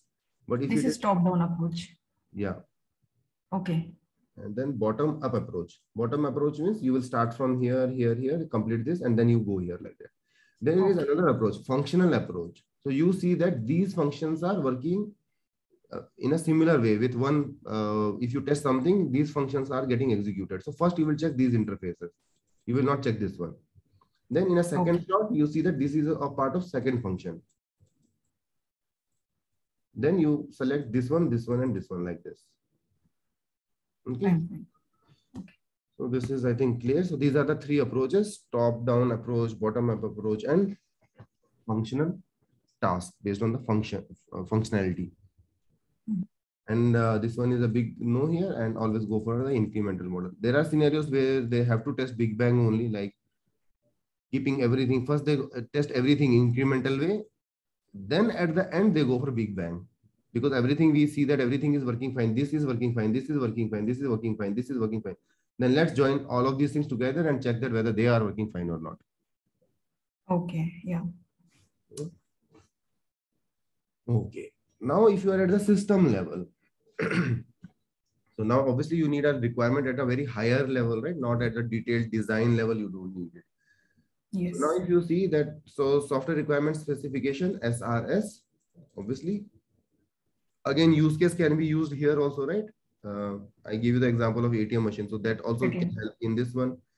If you have something in model or state diagram format, you have no, normally you will have state diagrams also that once this event occurs, event one, you go to this one. If event two occurs, then you go to this stage. So this also helps us in writing the system level requirement.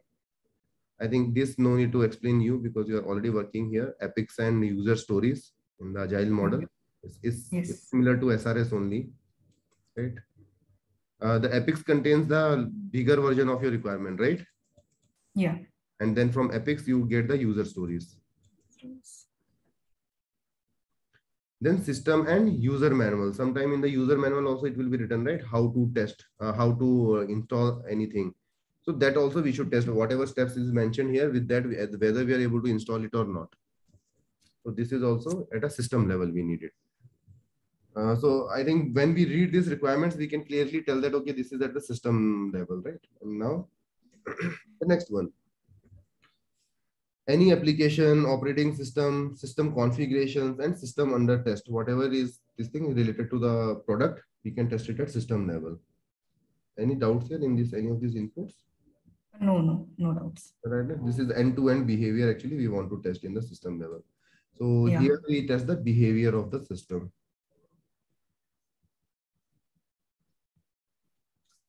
So here we test this complete stuff.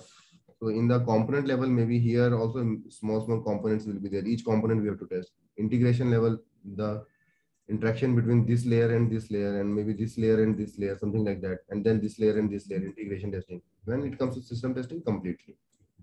Okay. Like a final target environment. maybe the word may be different. Yeah, final target environment. So in exam, this word may come. Mhm. Final target environment. Okay. Okay. One more thing. When you are at the system testing level, you can perform both functional as well as non-functional testing because your product is ready, right? So Yes. that's why you can perform both functional as well as non-functional lit- right, like type of testing. And it is often done by the independent test team, the system level testing. And when we are doing a testing, we can do risk-based testing. I told you, know, initially we will identify the risk. Based on that, you can do the testing.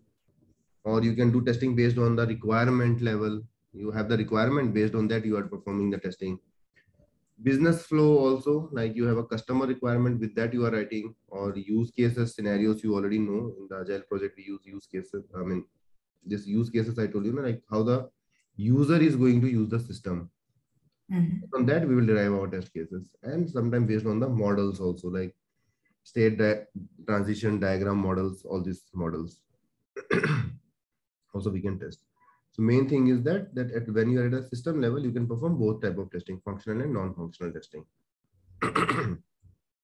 Okay. So one more big, uh, good, uh, one more important concept is that when you are at the acceptance level, no, you establish the confidence. Mhm. But all the previous level, you only build the confidence. Okay.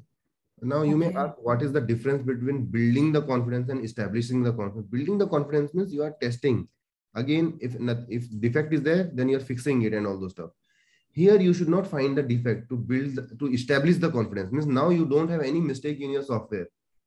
Means at least when the software obviously there will be, but the customer is not able to find at that point of time, right? That time. That time they say that we have established the confidence in your system. So here by finding the defects, you are building the confidence. Here by not finding the defects, you are establishing the confidence. This is the very thin line difference between building confidence and establishing confidence. Okay.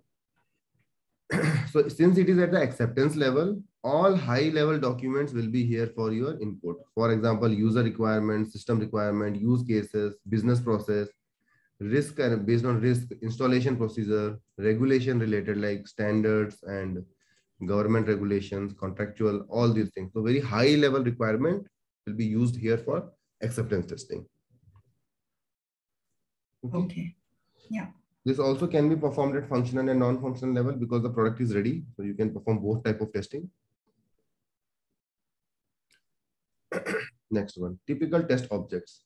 So business processes, again, the high level things here. If you see the system testing, no, there you see that it is with respect to the project only, application, operating system, these things, system mm -hmm. configuration. But if you go here, you see a very high level things like the business process, the complete process itself of the business, operational process, how it is operated, as I told, installation, uninstallation, if something goes wrong, how the system will behave, all these things are tested here. Maintenance process, user procedures, as I told in the document, the which is given to the user, right, with the product, like how to use this pro uh, product or how to install yeah. things. So those things are also tested here. Any forms, reports, uh, if it is there, if it is a website, they have to fill some form or something like that. That will be tested here. Mm -hmm. Recovery system and hot sites. Recovery system means if you're using a product, something goes wrong, then can the software come back like the mobile phone? Sometime it will crash, right? It will be while turning on or while when you're using on it will crash. But after that, if you press the button, are you whether the system is able to recover or not? Mm -hmm. That way. Hot sites is also related to that. Suppose you are using server one, suddenly something goes wrong with server one. Can you switch it to server two, which is a hot site? Okay, okay. Okay, so this is your hot sites there is a difference between hot site and hot fix.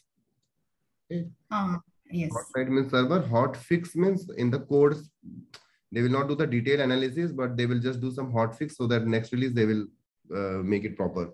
So that is hot fix and this is hot site. So we have to make the difference between these two. I have seen in an exam, uh, they had these two options and uh, then they were asking. So that time the answer was hot sites for this acceptance testing.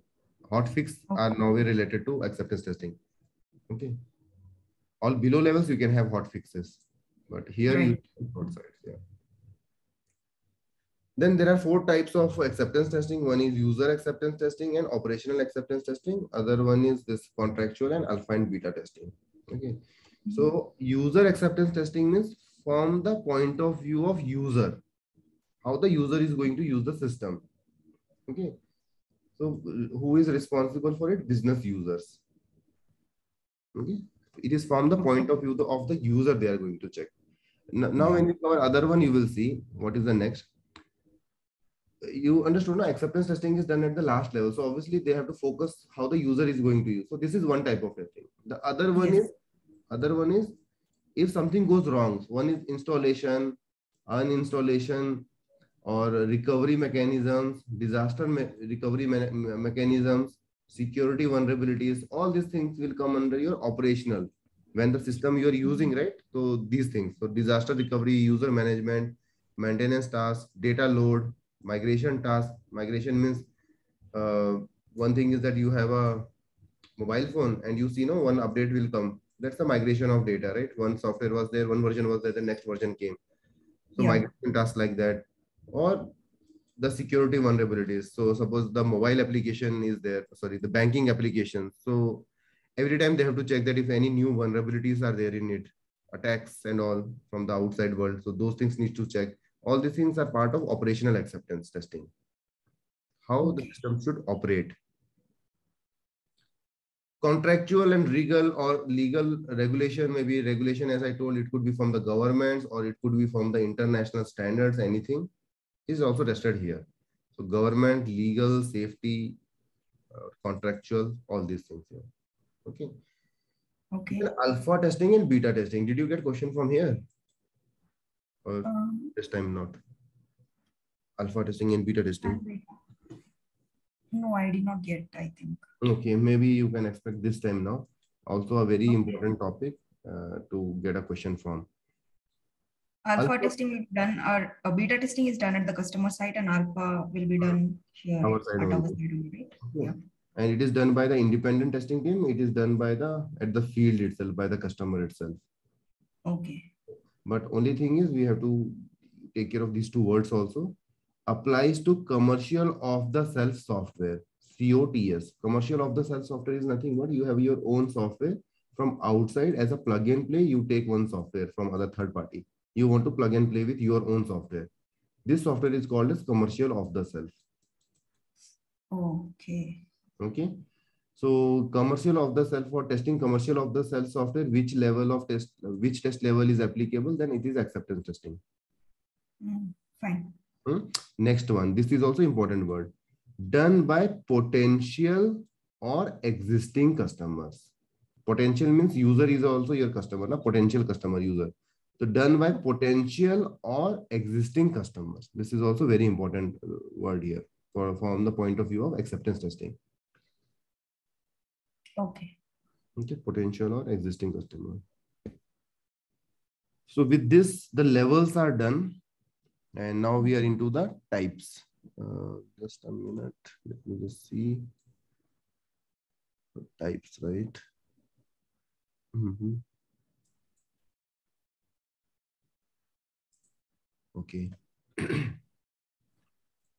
so types here we have like functional, we have non-functional, then you have the, this is like white box testing.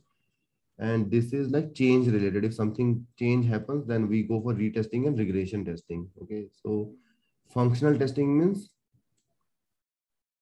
what the system like, should uh, function. Yeah. Like we have whatever we do in uh, component integration, they are functional testing, right? Yes. Yes. This one. For example, I will give you an example of suppose you are in this website. Okay now there is one click button. Mm. So now uh, functional testing tells what what should happen. So it is just like if you click here, they will tell that another page should open. This is yeah. what is happening. Once you click, this is what is happening. This is your functional testing, non-functional testing. Once you click here, after how much time it should open, how smoothly it should open. Mm that yes. how. So once you click how this page should open, and once you click what should happen, that is the difference here. So in the functional testing, like how smoothly, how, what is the response time, all these things, performance will come into picture. Okay. Yes. How it should load, right? So so this is the main difference between this. But normally, if you just remember what the system should do and how the system should behave or do, uh, that is enough for, from the exam point of view. Then this is okay. completely white box testing. Uh, we will see. and last one is testing related to changes. And yeah, I had got many questions from uh, software structure and uh, regression testing and retesting. Yeah, this is very important. This is what I was to, wanted to tell that that retesting regression regression testing is like uh, is a must question which we definitely yeah. get okay and uh, this is actually in the chapter number four also fourth chapter mm -hmm. so mm-hmm. white box testing there we will cover in more detail but the other point which you need to know is that these all things can be done at all apply to every test levels you can test functional testing non-functional testing white box testing and change related testing can be done at any test levels when we say test levels, it is component testing, component integration testing, system testing, and system integration testing. At any of these levels, you can perform any of these type of testings. Okay. Okay, so this is one big concept which we should know. This was the question which was asked in this sure. kind of testing can be done in which levels? Mm, all the levels. Yeah, all the levels. Anyway, you got it right only, 100% yeah. getting yeah. Okay. Yeah, so we already covered what is the meaning of functional testing, the what the system should do. So once you give an input, what should you get as an output? Yes. It is part of your black box testing, also called as specification based testing. This is another name for it, specification based testing. Let's see, because the points here, uh, some these points are taken from the question papers only. So that's why I also go through this, even if I explain the concept the unit or system has a functional specification. So functional specification is as an input. input and test data generated from functional specification or models of the system. So this is also input like uh, the data. Sometimes you pass the data, right? Like this one. So you give some data and you expect what should be the data you get back.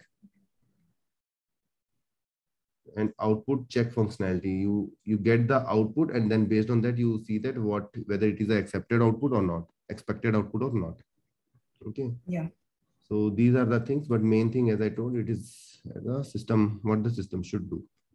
And here, if you see, that is what is written. How the system should do. One minute, let me connect the charger. Okay.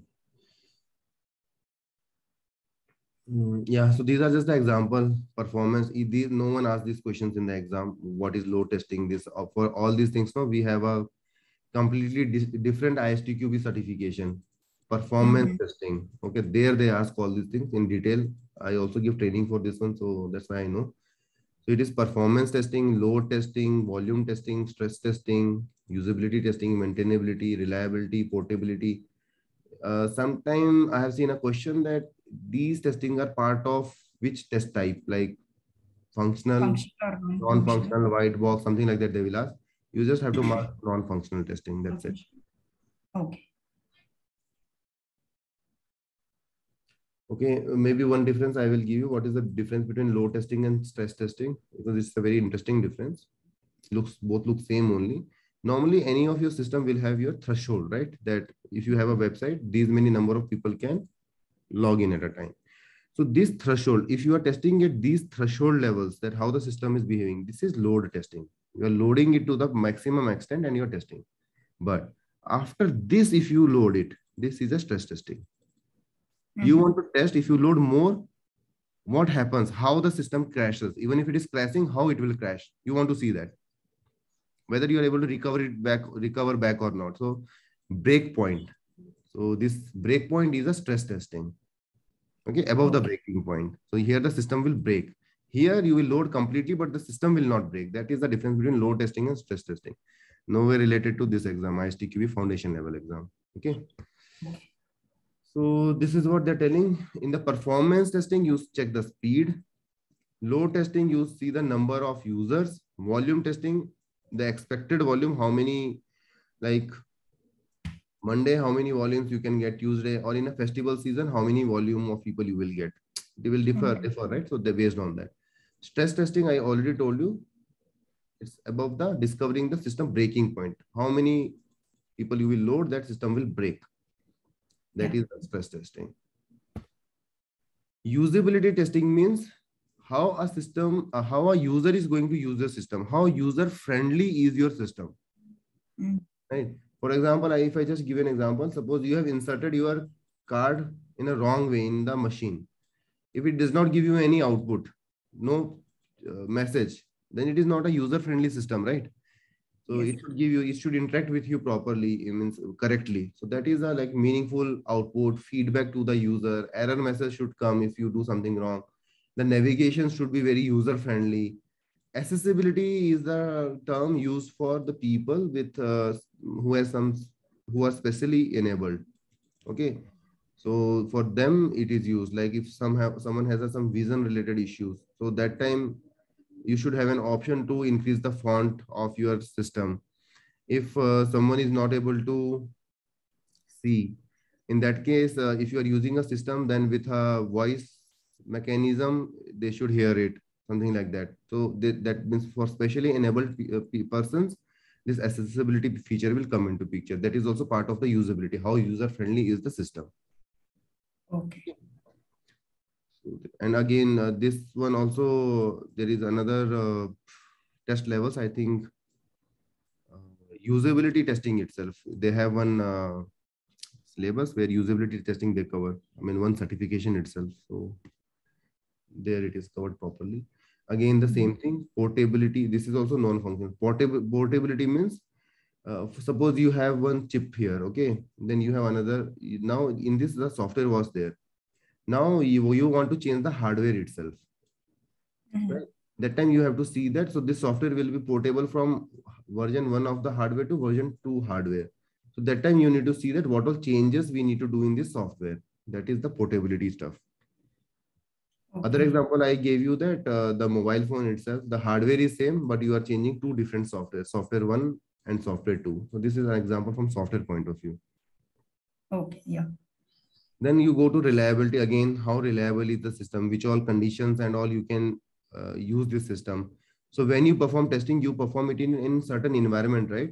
After you deliver it to the customer, you say that under these conditions, we have tested it. And it, if anyone uses this system under this condition, the system will work fine. It is reliable. yes. And then comes the maintainability. So like, if you get any defect in your product, how difficult it is to fix that. Or if you have any new system, sorry, new feature, how can you implement that new feature in your existing feature? How difficult or how easy it is? That is the part of maintainability. To correct the defect, to meet the new requirement, to enable maintenance and to adapt to a new environment itself. Like I told you, you know, from the here to this environment that you want to sit, how easy it is. That is all these things are part of maintainability. Yeah. If any defect comes, how are you going to fix the defect? If any new requirements come, how easy or difficult it is. In general, also, how are you able to maintain it? And if your environment itself changes, then uh, how you will take care of the maintenance. Okay.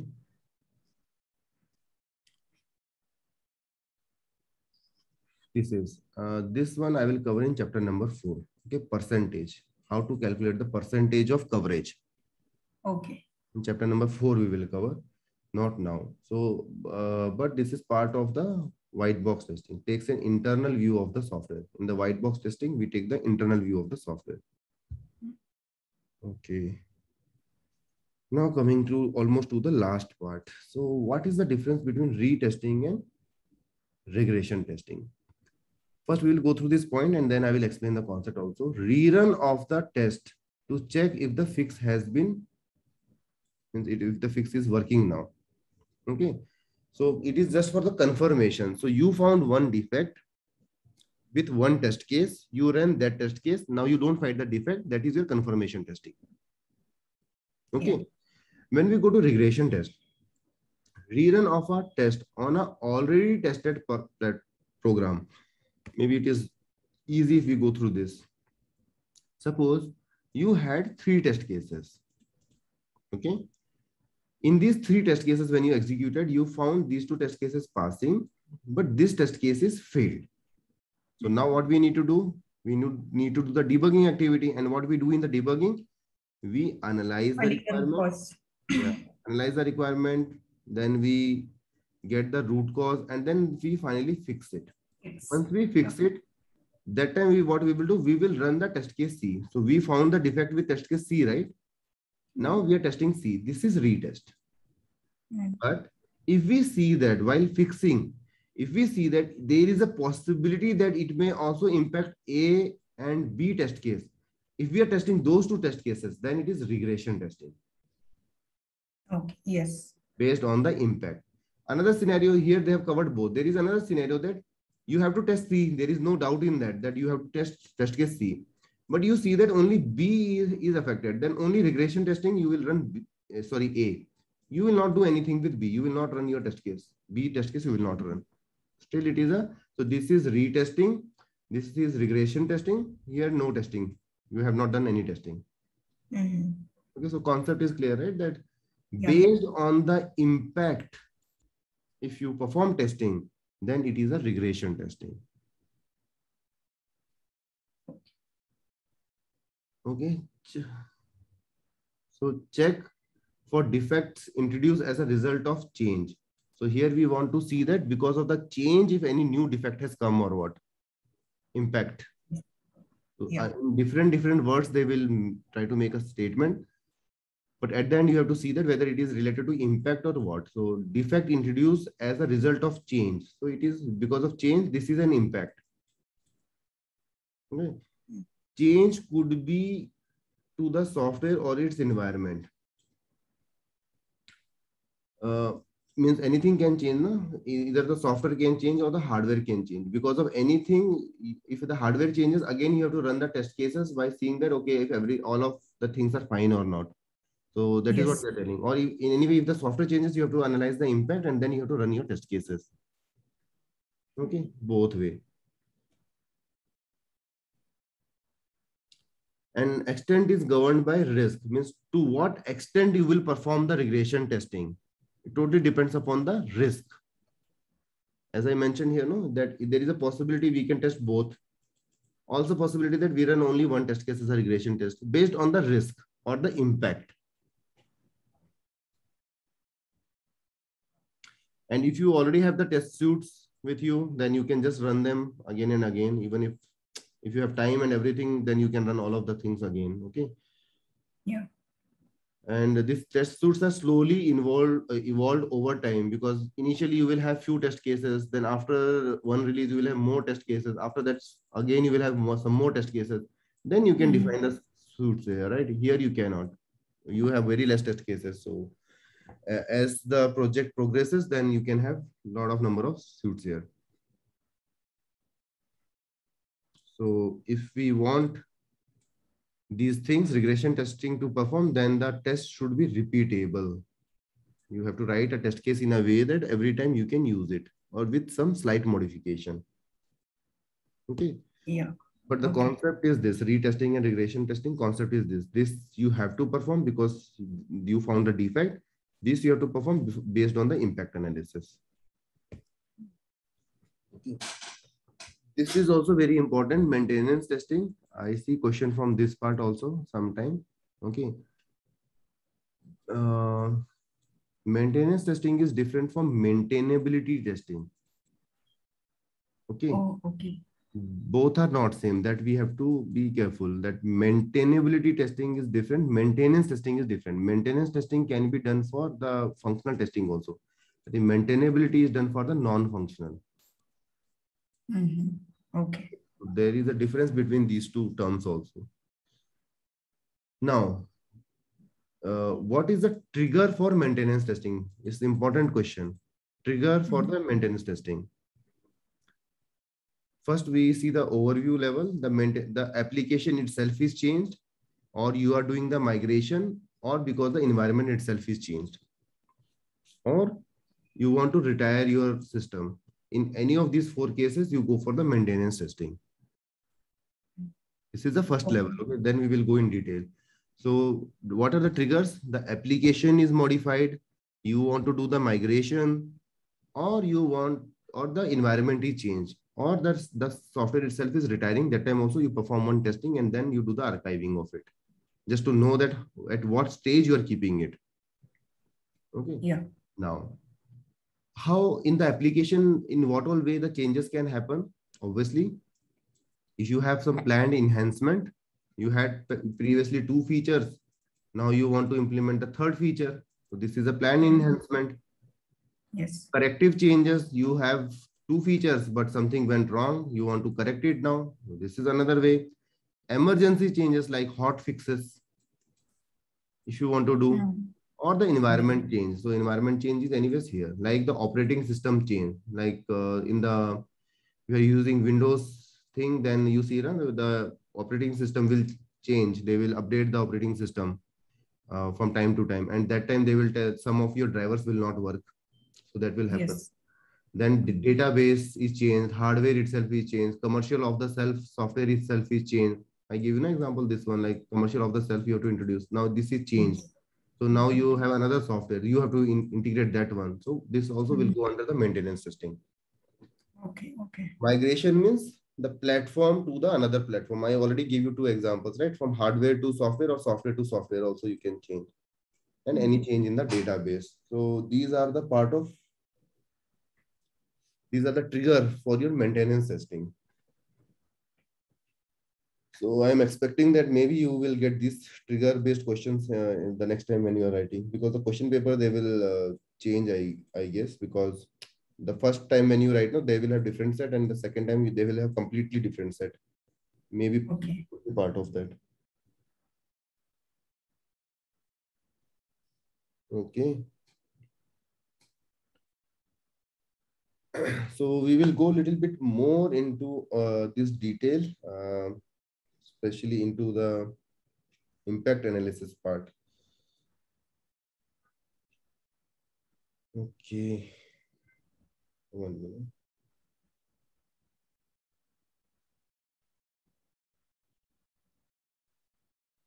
Sorry, I just got one thing. Impact analysis. Yeah. so suppose you have a software here and if it is unchanged, fine. But if it is changed, then you have to analyze it. You have to analyze the changes. This is one way that what is changed, you should know. The second mm-hmm. point, so this is a parallel activity. You know what is changed. Then by seeing the change, you decide how big is your system, first of all. In that big system, how big is the change? Because of this change, what might be affected and how bad it may impact your system? Four questions, important questions from exam point of view also that when you do the impact analysis, you see that how big is, is your system, first of all, how big is your change, how is this change going to affect badly to your system? Once you analyze that, then you select the regression test cases. Right? Once you know which part of your module in this, suppose you see that only this part is changed, then you will select the test case related to this part only, right? Why you need to change, uh, you need to select test cases for that. So that is what they have told here. And then you will perform the testing. And if everything is fine, then this will become your software again. Yeah. Okay. Okay, this is one part. The second part. Uh, you had previously one software, like this is the normal case, right? That you have a software. In that software, you do the change, right? So with time, it will do happen this one. That time, what you do is there are two ways. One is that obviously for these changes, you will write the new test cases. Suppose you had you have introduced one feature Z here. So for this feature, definitely you have to write new test cases, right? So that is what the new test cases you will develop. There is another possibility that because of this change, something might have changed in your own software. So uh, you will store all the data into the testware. For this testing, you might have stored all the data, right? Testware means everything what you use for testing, for testing version one. From this one, you will select some of the test cases that will be called as regression testing because based on the impact. Okay, okay. And then if you put here, uh, uh, this one and this one. So two inputs, new test cases as well as the already existing test case you will use for testing your complete software. Once this mm -hmm. testing is done, again, you will store it in your testware. So that with time, if the next time if changes, the same cycle will continue. You have to write new test case and then you have to take the test case from regression testing. Okay. so this is the concept of your uh, maintenance system. Maintenance. This is all about the maintenance system. Okay, so maybe you can go through also these things uh, afterwards. Actually, in these slides, no, they have made everything very simple.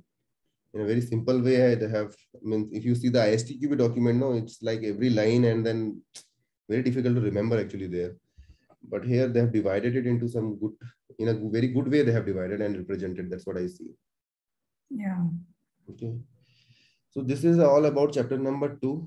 And uh, um, would you like to go through chapter number two? I will go for break. You can also go for break now. Or if you want okay. you can go through chapter number two and then we will go through the question. Uh, we will take break and then come back and check. Yeah. Okay fine then uh, it's already 9 10, so 15 minutes break we will take okay? Yeah yeah okay. We have to have lunch also right? We will take yes. half an hour break then? Uh, yeah let's finish our lunch and then get back. Yeah fine then. So i will also ping here that i am in and you can also ping when you are in okay? Let's see. Okay yeah. I'll be back by 2:30 then? 2:30 is fine yeah? Okay, okay. thanks yeah. Thank you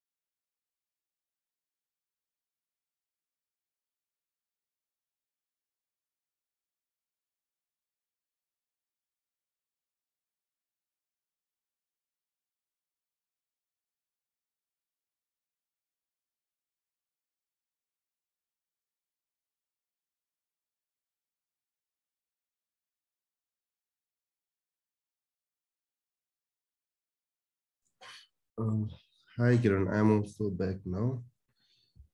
Yeah, Ji. Yes.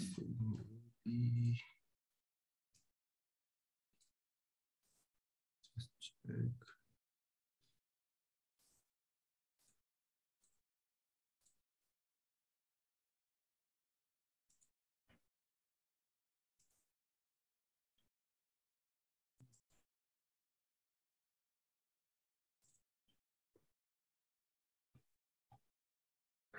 Not this one.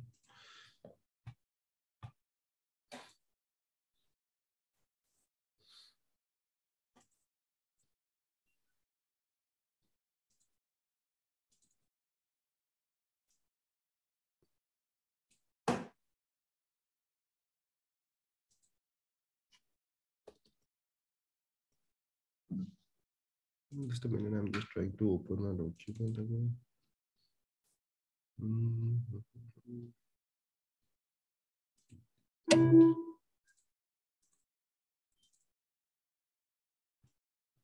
Okay.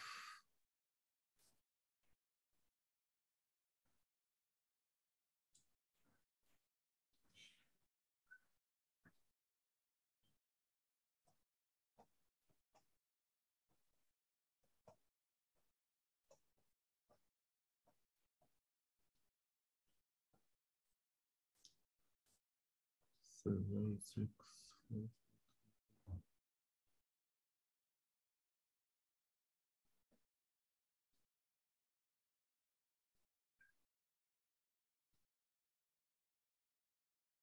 This we did.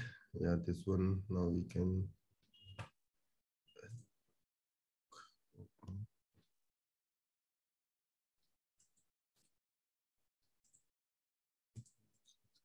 One page, but it's fine.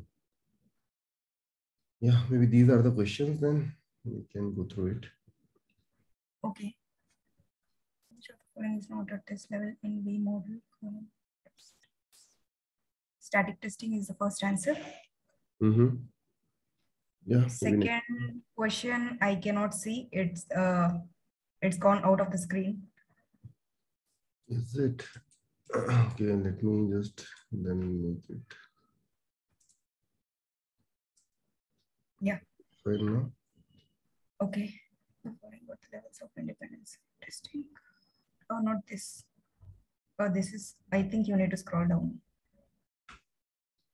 Okay.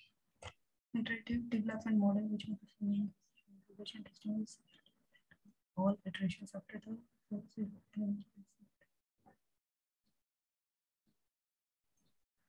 C is the answer. Is increasingly important on all the iterations after the first one. Mm, yes. Okay, in any life cycle model, there are several uh, several characteristics of a good testing, which is not such a characteristic. For every development activity, there is a corresponding test activity. True. And in, uh, it inco- incorporates independence. Yeah, B is the answer. Yeah. In any life cycle model, okay, that is done. Then which of the following is not true of component testing? Um,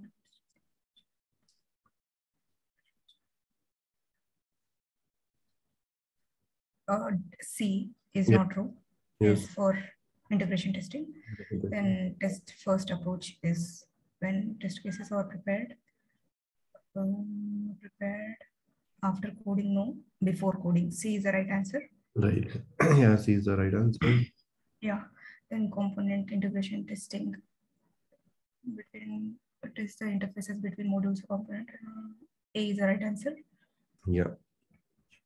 And then what is the main purpose of integration strategy for component integration testing? To ensure that all of the component are tested adequately within the new. To ensure that all of the component are tested adequately. Purpose of integration strategy for component integration testing. Yeah, Yeah, and the other one is then if we just see here, no, the seventh, uh, the C option to specify which order components are tested in. Mhm. In which order we have to test them, right? Because uh, it's also mentioned that we cannot test one component and the other component where we don't have any interface.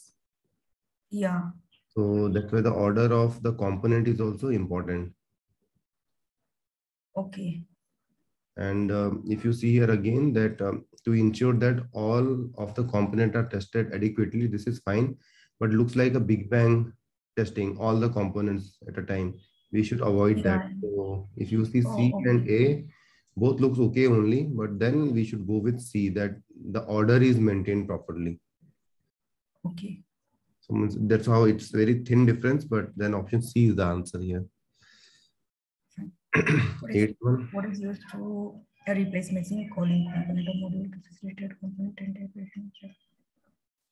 What is used to replace a missing calling? calling is uh, stub. calling component or module to facilitate component integration testing. Okay, so that's also not right. So, Why? Calling yeah. and called. Yeah, calling will first, no? Oh, yeah, right. It's the driver calling. So it's a calling one. So driver is calling, stub is called. Called. Okay. From this point of view, you have to see. That's what I told. If you are here, then this is calling. If you are here, then this function is called actually. Right. So that's why you should have in middle. And then if it is a calling function, that is a driver. Okay. okay. Calling so, driver and called is the stub stub but don't also go with just with the name. You also have to see that who is calling whom. Mm -hmm. okay. Yeah so that's also important. Here it is fine with calling and call it has come. Sometimes it will be calling but you have to see who is calling whom. Uh, the missing function is calling to the called uh, to the function which you're testing or the function which is testing is calling that function uh, other function. Then also the definition will change. For example what i'm saying is so if you are here and if it is calling, then it is a stub. But if you are here and if it is calling is, then it is a driver. Okay. And then if you are here, if, if you are at this place, if this function is called, even if the word is coming called, who is calling this function? This one, right? If this function gets called by a function, then this function is a driver. If I frame the sentence in different way, that the, the component under test is called by a function, mm -hmm. then that function is a driver function. Okay. You're getting my point, right? Yeah, yeah. So the question can be different ways. See, if uh, the missing component calling a component under test. So here calling word is coming like the missing uh, the missing component is calling a component under test. So here calling will come, but the component under test is called by a missing function. Mm -hmm. Both are driver only. If you go this way or you go this way. So you have to see yeah. that who is where. Maybe you can also draw it quickly in your exam and then just see that the wording is related to what. Okay. Okay. They try to play a lot of with this. I have uh, multiple times I have seen. So, so these are two questions. There could be another two questions, right? For here. So yes. four combinations are possible. So you have to say which combination they are uh, referring to. Maybe it will come here. Which of the following statement is correct concerning stubs and drivers mainly used in component and component integration testing? A is the right answer. yes, maybe 11th one then. Let's describe system integration testing, collaboration between testers. C no, one minute, one minute. Checking uh, that all the component function correctly. Okay, they are telling about system integration testing. Interfaces hmm. between uh, D. D is the answer. This between systems, yeah. Yes. Then for yes. system testing, the uh, test basis includes the following except. So requirement, use case, risk analysis report component. D is the hmm. basis include except, yes. D that is for uh, component testing. Uh, then uh, which is incorrect about system testing. It is concerned uh, with the behavior of the system as a whole. It may employ structural test techniques. It should more functional.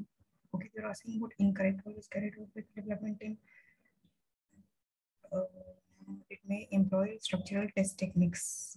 That is why it works. Always carried out by the no. No, D is wrong. D is wrong. It is not carried out by development. So always remember system component testing and component integration testing. that is done by the developers. Yes. yes But uh, Hmm. the option B here, it may employ structural test techniques. Yeah, What are they trying to tell here? Uh, structural test techniques only they have mentioned. Like, no, even the White boundary. No, no, not no, no. Don't get confused with that. See, they are talking about test techniques. So in the structural testing, or even if you are doing structural testing, the test techniques are same. No, you can apply boundary value analysis there also, Uh-huh. and uh, uh, equivalence class also you can apply that. Same thing you can also apply here. Okay, okay. So it is not structural testing; it is structural test techniques. So. Techniques. Okay. or maybe it could be also like um, uh, statement coverage and decision coverage right? Sometimes we may think that it cannot be used at system testing level because uh, i think we will see somewhere it is written that in that document only it is mentioned that we we might do this type of testing at this level. Okay i will see that where is that statement coming there we will try to cover more of this part okay? Okay. it will be coming in the at some places Then 14th one, system testing is testing the system function with other system end-to-end functionality of the system as a whole. So testing the system. Uh, here I am confused between B and C. One minute. Uh, end-to-end functionality of the system as a whole and uh, checking that the system will perform business functions. C goes uh, well with this, right? Mhm. So again, business functions, na, it is always about acceptance testing, business level. Okay. Okay, so this is this is why they wanted to confuse you. So anyway, uh, uh, one more thing is whenever you see business operations, such type of words, you can relate it to acceptance testing. So here you These, get right. as a whole. Yeah, Okay. this is part of actually acceptance testing. Yeah. Okay. Is untrue of user acceptance testing. The aim is to establish confidence in the system. Main purpose is to find defects in the no responsibility of the users. It may assess the system's readiness for deployment and use. Untrue. So B. That is not the purpose of acceptance testing. Yes, sixteen. Then uh, 16 operational acceptance testing may include all except disaster recovery, backup restore testing, data load and migrations, usability testing, operational acceptance testing, usability testing, data. Usability testing because uh, first three Yes. part of operational acceptance Yes. So uh, just remember operations means all type of operations, these things like installation, uninstallation, recovery, hot site also, they could have used that word here.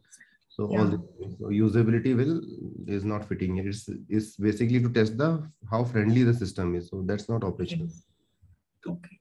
Okay. Uh, the main focus of acceptance testing is defect, no, testing the system with other system, building confidence in the system, users training in the use of system, give users training in the use of system, uh, building confidence in the system, That is main purpose of acceptance testing.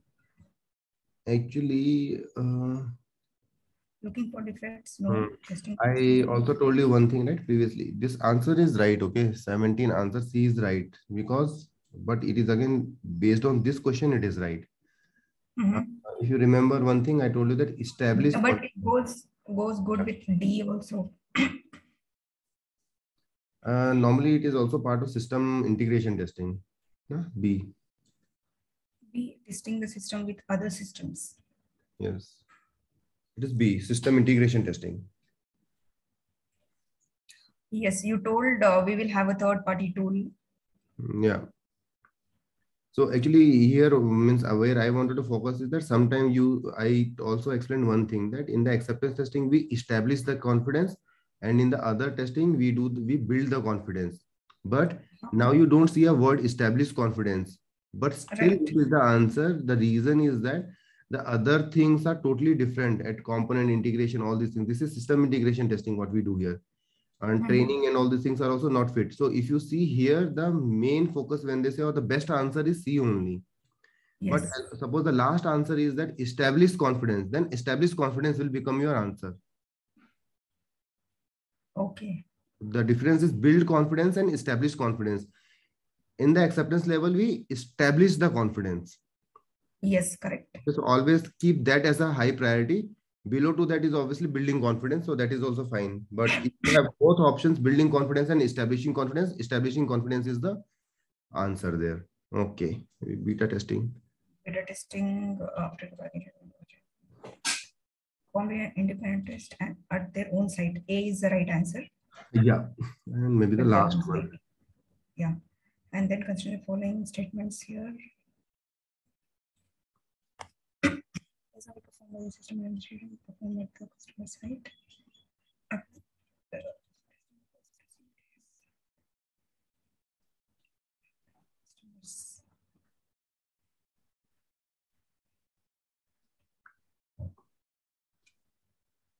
So one uh, testing is performed by the system administrator.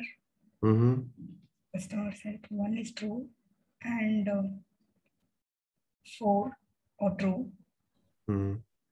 Uh, then alpha testing should ideally be performed by the potential users, you said. So it can be even the testers also. So one, four, and five are true. And one, sorry, one. C, C. C, one, four, and five, you said five potential users uh, could be uh, like testers like us, right? Um, customers. No, potential customers means users only, no? Potential users. customers. Uh. Customers. So uh, when we are at alpha testing, it is done at our site only, no? Our own site. Mm, correct, correct. Our own site. 19, C. Yeah, yeah, you're right actually here. Correct. This should be the answer. C only that uh, perform the customer. Yes, user or customer. Tester also could be one of them. Mm -hmm. Yes, I think, yeah, this is the answer. Then C is the answer. You're right about it. Fourth is, okay, fourth is also the answer. That's clear. I think you remember it. Both of these statements were there. Yes, that's, uh, I remember because you told potential customers are also referring to us uh, testers. Mm-hmm, correct. And then the first one, yeah. And also, if you see here, right, somehow like you you by seeing here, you you can directly make sure that that one is true. One is there in everything. Three is false, and two is also almost false only. So yeah. it is repeating most of that.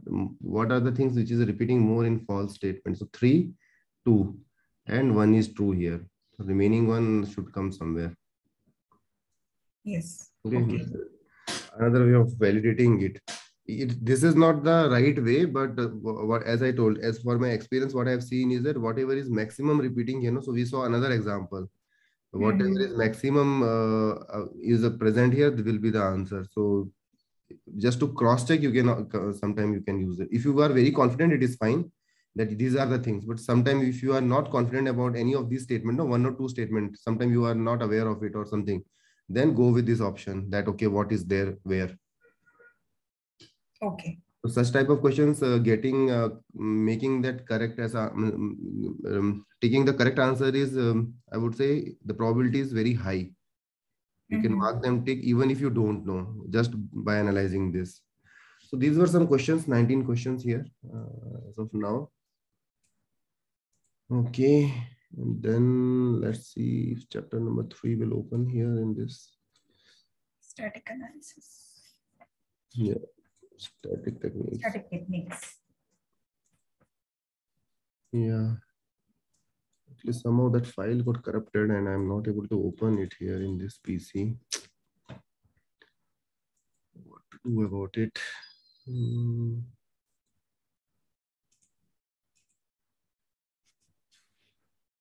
first two chapters slides are working fine. The third chapter, some problem is there. Mm -hmm. One minute. Let me just check if it is in my PC here. I don't know. All of a sudden, third chapter, fourth chapter, fifth chapter, they were throwing some problems. Oh, okay. I mean, they just got corrupted. I'm I'm not sure why, but I also had some backup somewhere. I just want to see if we can open through them. check if it is possible now.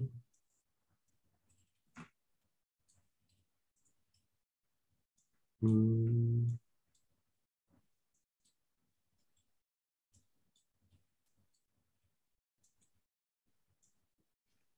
If you see, you know, if I just open this static technique, so you just see that somehow it's got corrupted. I'm not, I don't know what is the reason for that. This is coming fine.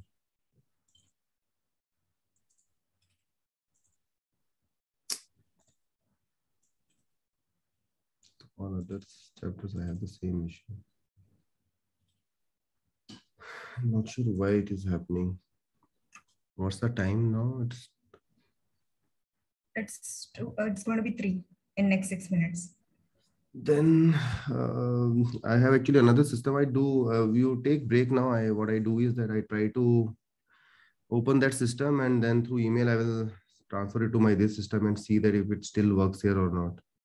Okay something else. I have to just find it out. Okay, there is another way also, not necessary. We should go You that. can copy from your uh, in the pen drive and then put it here from the system to this. Yeah, that's also there. Uh-huh. But I have another way also. That's just now I thought of using it. I have all the slides here, so I can also directly go with it.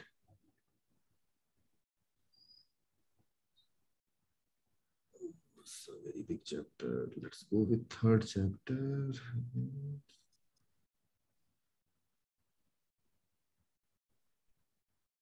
Were you part of anytime development activities? No.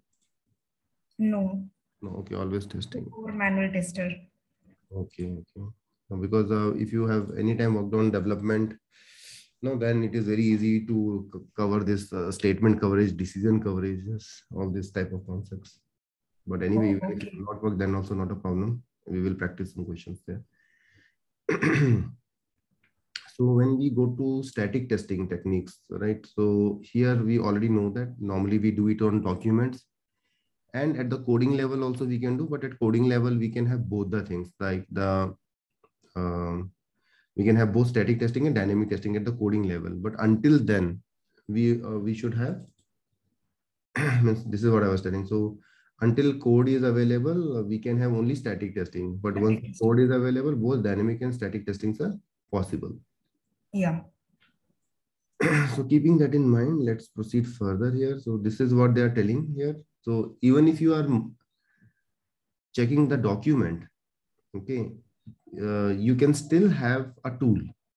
For example, just a very simple example, if you have to give the Word document, the Word document will have a tool engine running in the backside, right? Where it will take, give you the spelling mistakes. Yes. Okay, so that is again a tool which is giving you all the mistakes. You can have a little bit advanced version of tool where you put your Word document and then each places it will tell you uh, that in which line and all you had a problem. It will give you in a form of a report. That is actually a static analysis tool. So what we do here is that the code is there that code in, uh, normally we write a code in an editor only any kind of editor. So this through this editor we will we will uh, give as an input to this static analysis tool. And this tool will finally give you the defect list. Okay, okay. so that is how static analysis tool will be used by the developers is it? Yes it is used by the developers. And static testing is also mostly done by the developers only but only when we have a requirement, the requirement in uh, the requirement analysis or requirement mm -hmm. review is done by the tester. Okay, okay. and rest of the time it is with the developers only. Uh, yeah. so what all things we can review in the or what all things we can cover in the static testing? We already know any type of work product which is of type documents. Yes. Any work product which is of type documents. So looking for defects in work product documents. Documents like requirement, design specification, user stories, epic, source code, even the test plan you can review. Once the planning is done, no, it goes for a review, if it is right yes. or not. Then test specification, test case, test script, user guides also, web pages, all of these things can be an candidate for your review. Okay. Mm -hmm. So when you see web page, do not get confused whether web page can be reviewed or not. Yes. So the font size and all those stuff, the spelling mistakes on your web pages, color combination, what you have used, all these things can be verified using a static testing. Okay. So test plan, test specification, test case, all these things. anything which you have as a document and as an output can be reviewed. Okay. Next. So we also saw two things, right? That one is defect and one is failure in the previous concepts. Then here, if we see static testing finds the cause of the failure. Okay, that means defect. Yeah. And dynamic testing finds the failure itself. Okay, so these two concepts mm -hmm. also we should know properly. Means uh, they can twist in this part. Then uh, if we use static testing, we can find the defects early. So this is clear. So if we find defects here, then that means we are finding the defects early. But if you only have the dynamic testing, then after this step only, you can find it out. So it's a little bit late in your process. Okay. So this is, you are able to see complete screen or how is it right now? Or only the, this page? Uh, no, I can see, uh, you have not maximized the screen, but I can see it. Okay, but you can see two documents in the same screen right now? Yes, or? yes. Okay. Yeah. Maximize it also in that case. Now, this is the problem when I am maximizing it. I don't know why it's taking all three documents. Ah, understood.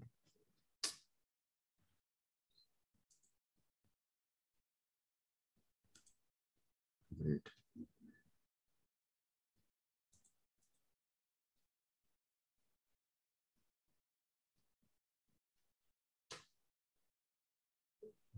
You, this is the problem if you make single page.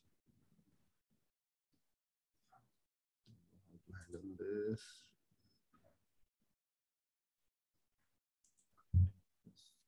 Okay, now we are in the third number. This is what we were discussing, right? Yeah. Uh, so defects are cheap to fix. If this is the case, if you find any defects in the static testing, it is cheap to fix because we are finding it early, right? So if you find defects early, they are cheap to fix. Here, if you find yeah, I had got question from here. Like static testing, we find cause of failure, and dynamic testing, we find the failure themselves. This was a question. Okay, this was a question. So yeah, this is what is mentioned here then. Yeah. You have noted down the questions also or what? no, no, no. I it's there in my mind. I gave it on this 8th of April only, so I still remember them oh, partially. Oh, Feb. Okay, okay. Yeah, actually, that's what I mean. I can share this uh, PPT with you because if you see the PPT, you know, direct questions are coming from it. The way they have used. So there, as I mentioned, the the PPT is made from the ISTQB syllabus plus from the question answers.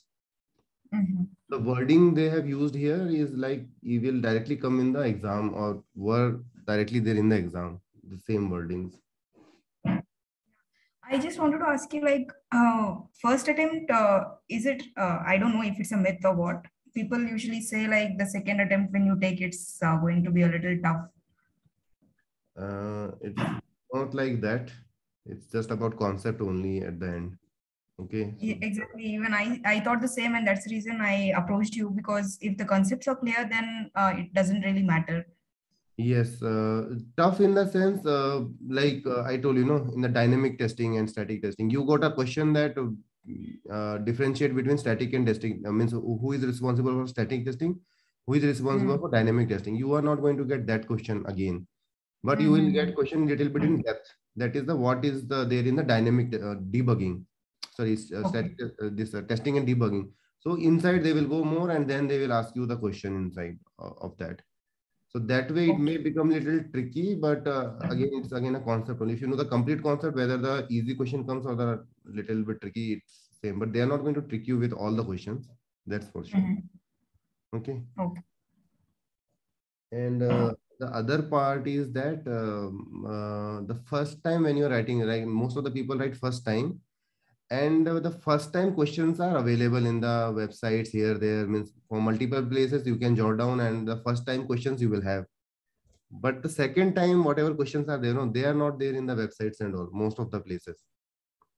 Okay. the second question paper. So that's that is another thing that sometime uh, when you go through all the question answers everything um, uh, like 30 percentage you will get in the exam itself. But in the when you go for second attempt maybe all the questions will be new or something which you have not seen But if you know the concept, you can answer them. I mean, that way it would be tricky if people are telling.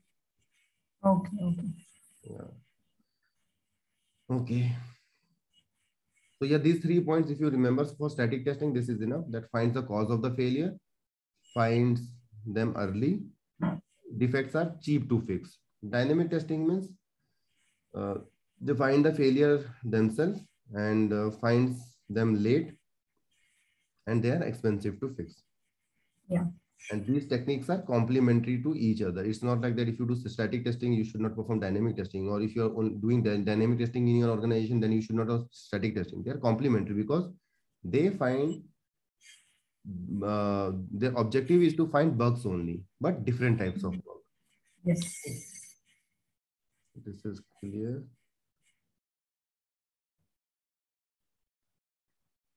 Benefits of static testing also important benefits uh, uh, here that if you use static testing it is very clear that you can do the testing early. So early defect and detection and correction technique it is defect detection and correction.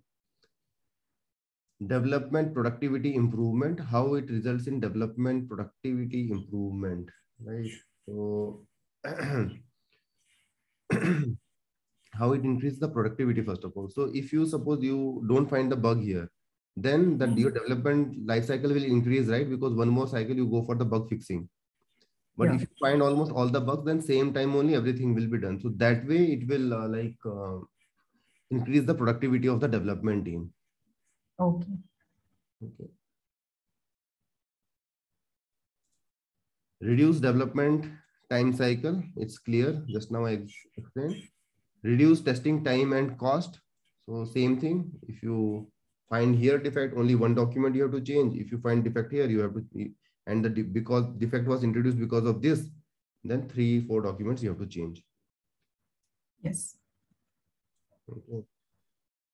Lifetime cost reduction. So similar way, each cycle, if you reduce the time, the overall cycle time will reduce or all the development time will reduce if you do it properly and then towards the end you will have fewer defects. Mm-hmm. and then improved communication because you are discussing with the complete team member. So normally when everything is going right we don't learn more. But when something goes wrong to identify what go went wrong we have to explore a lot of things. So that is the time we actually learn. And uh, it also helps us in improve, uh, improving the communication with the team members and all right so this is one point and identify defects not easily found dynamically. This is also a right statement. Sometimes when we see this statement in the exam, we think that this is a random statement. It is not right. For an example, like if you have a dead code or suppose you have a pointer which is defined but not released. Such type of thing, you cannot find it in dynamic testing. Okay.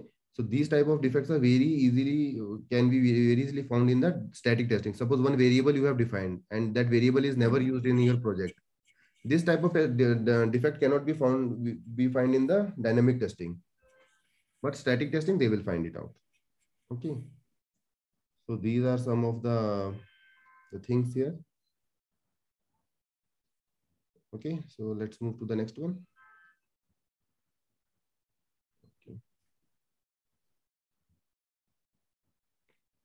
This is also a very important topic. The type of defects we find in the static testing. Yes. So requirement here also. Here also. Yeah. Mm -hmm. You remember the question, the, like any format, like how? I think uh, design defects, insufficient algorithms or database structures, high coupling, low cohesion. If there was any other option like all of the above. In that i'm not sure but uh, no, no sorry. Uh, this coding defects i uh, which one can cannot be found you uh, during dynamic testing but it can be found using static testing. That was uh. it is matching with the c. So mm-hmm. variables defined values undefined variables that are declared but never yeah i remember this third one. Third one right Yes, so this is the page and uh, if you remember this one question for sure you will get from this part. Okay, again also okay. not mm, may not be from this one again, but mm. maybe from something different. Okay, so the, because they will take your data and they will see that which question paper you got and uh, mm-hmm. they will make sure that you don't get the same question paper. So they will make sure that, so that's fine. So you will not get this one. And yeah, so requirement related defects like inconsistencies, ambiguities, contradictions, omissions, inaccuracies, and redundancies. For example, mm -hmm. inconsistency means somewhere you have written something and other place you are writing means timing. Some place you're telling that within 10 seconds it should come. In other place you're writing within 20 seconds the same thing should happen. So it's the inconsistencies as well as contradictory, right? Yeah. Ambiguity means you are reading some requirement, but you are actually not getting the sense of it, what we have to test there. So mm -hmm. that is the ambiguity. Om omission means some line is there, but the timing itself is not mentioned. So something is missing in your requirement. Redundancy means in one place the requirement is written, again it is written in another, another place, same requirement. So that is a part of redundancy. So all these type of things you can definitely, so anything which you can see it in document, right? Or an editor are part of static testing. Now design related defects. So anyway, if you remember this one, you can very easily know that, okay, all these things are part of your static testing only, whatever it's coming there. Then uh, design defects like insufficient algorithm or database structure. Okay, high coupling and low cohesion. Yeah, this is one point I will explain you. Uh, right now, I'm not getting what is that. Uh, it's something related to like how how your functions are coupled together okay so they should not be highly coupled. Means one function is that second function is that third function is there then uh, means how they're coupled together uh, it's like can we easily uh, uh, uh like um, divide them or it is very complex structure something like that. So i will give you this explanation but uh, anyway what you need to know is that high coupling and low cohesion is also part of the static testing. How your components are interacting with each other actually that's the thing here Okay. Then uh, coding defects, they are variable related, anything unreachable code, duplicate code, declaration. So these type of defects you can find in static testing because you cannot see the variable in uh, dynamic testing. So you cannot also find them, right? You want me to explain these things like uh, variable? No, no, I, I get it. Yeah. So deviations from the standards. Okay, deviation from the standards means uh, when you use C, you will have this MISRA guidelines, right? If you know. So normally we have, yeah, there is a guideline called MISRA guideline. Just giving you an example that they will tell inside one function, you cannot have more than 10 lines of code in one function. Or they will tell in one function, you cannot have more than 15 lines of code. Or they tell that the variable length, the length of the variable cannot be more than 32 characters so these are like coding related deviations where we can find this using a static testing. No, with dynamic testing, we cannot find that how many lines of code was written for that function that we cannot know. Yeah. So this is like a lack of adherence to coding standard. What I see you know, in exam, they will not ask you this one. They ask you the things in the brackets. Okay. Yeah. Yes. So normally we normally we leave the things which are in bracket and that's what they ask. That's what I have also noticed. So maybe we have to focus. That's why I was focusing here. The high coupling and low cohesion, uh, if it comes, it is a design defect and can be found by static testing. Okay. Then interface related, like different units of measurement used by the calling system than by the called system. Uh, units mm -hmm in one function it is giving the values in the form of suppose kilometer okay and the other function is accepting in the form of a meter.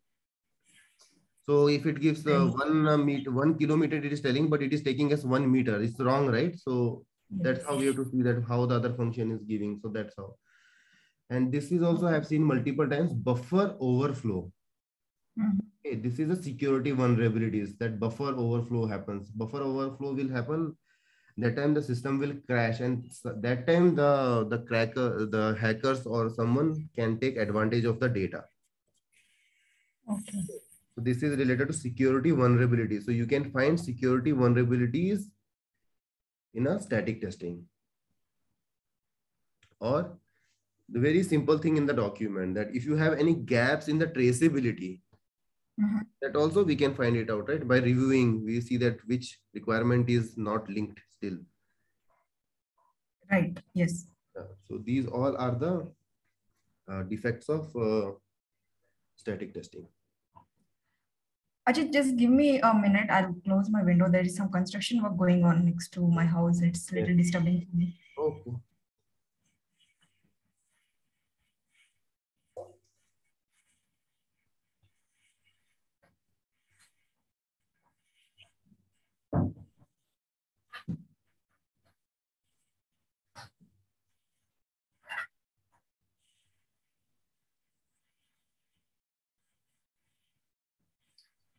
Yeah, I'm back.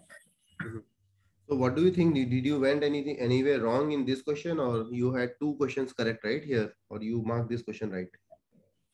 Oh, one minute. But oh, I out of five, I just got two. So I don't know. Did I go wrong in this or was it right? Not sure. Okay.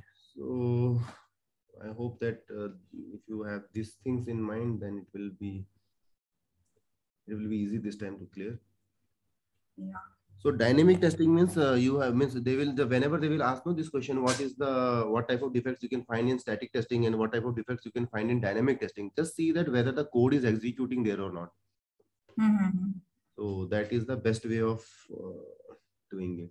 Normally people think that buffer overflow will happen when the code is running that time.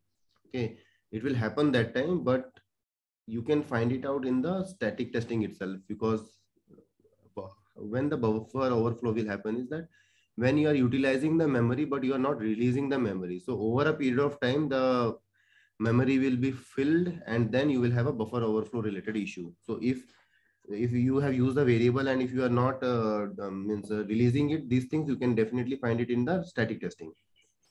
Okay. So now another important question is from this topic Oh, I had three, four questions from here. Yeah, so the, the this we need to know very carefully, and I also have one screenshot for that. The problem is not able to uh, open that. Okay, there is one page. I think in that from yesterday also I saw uh, one person got two questions from that one page itself. Mm. Okay. So that is how it is. Uh, one minute, I have just turn on my fan here.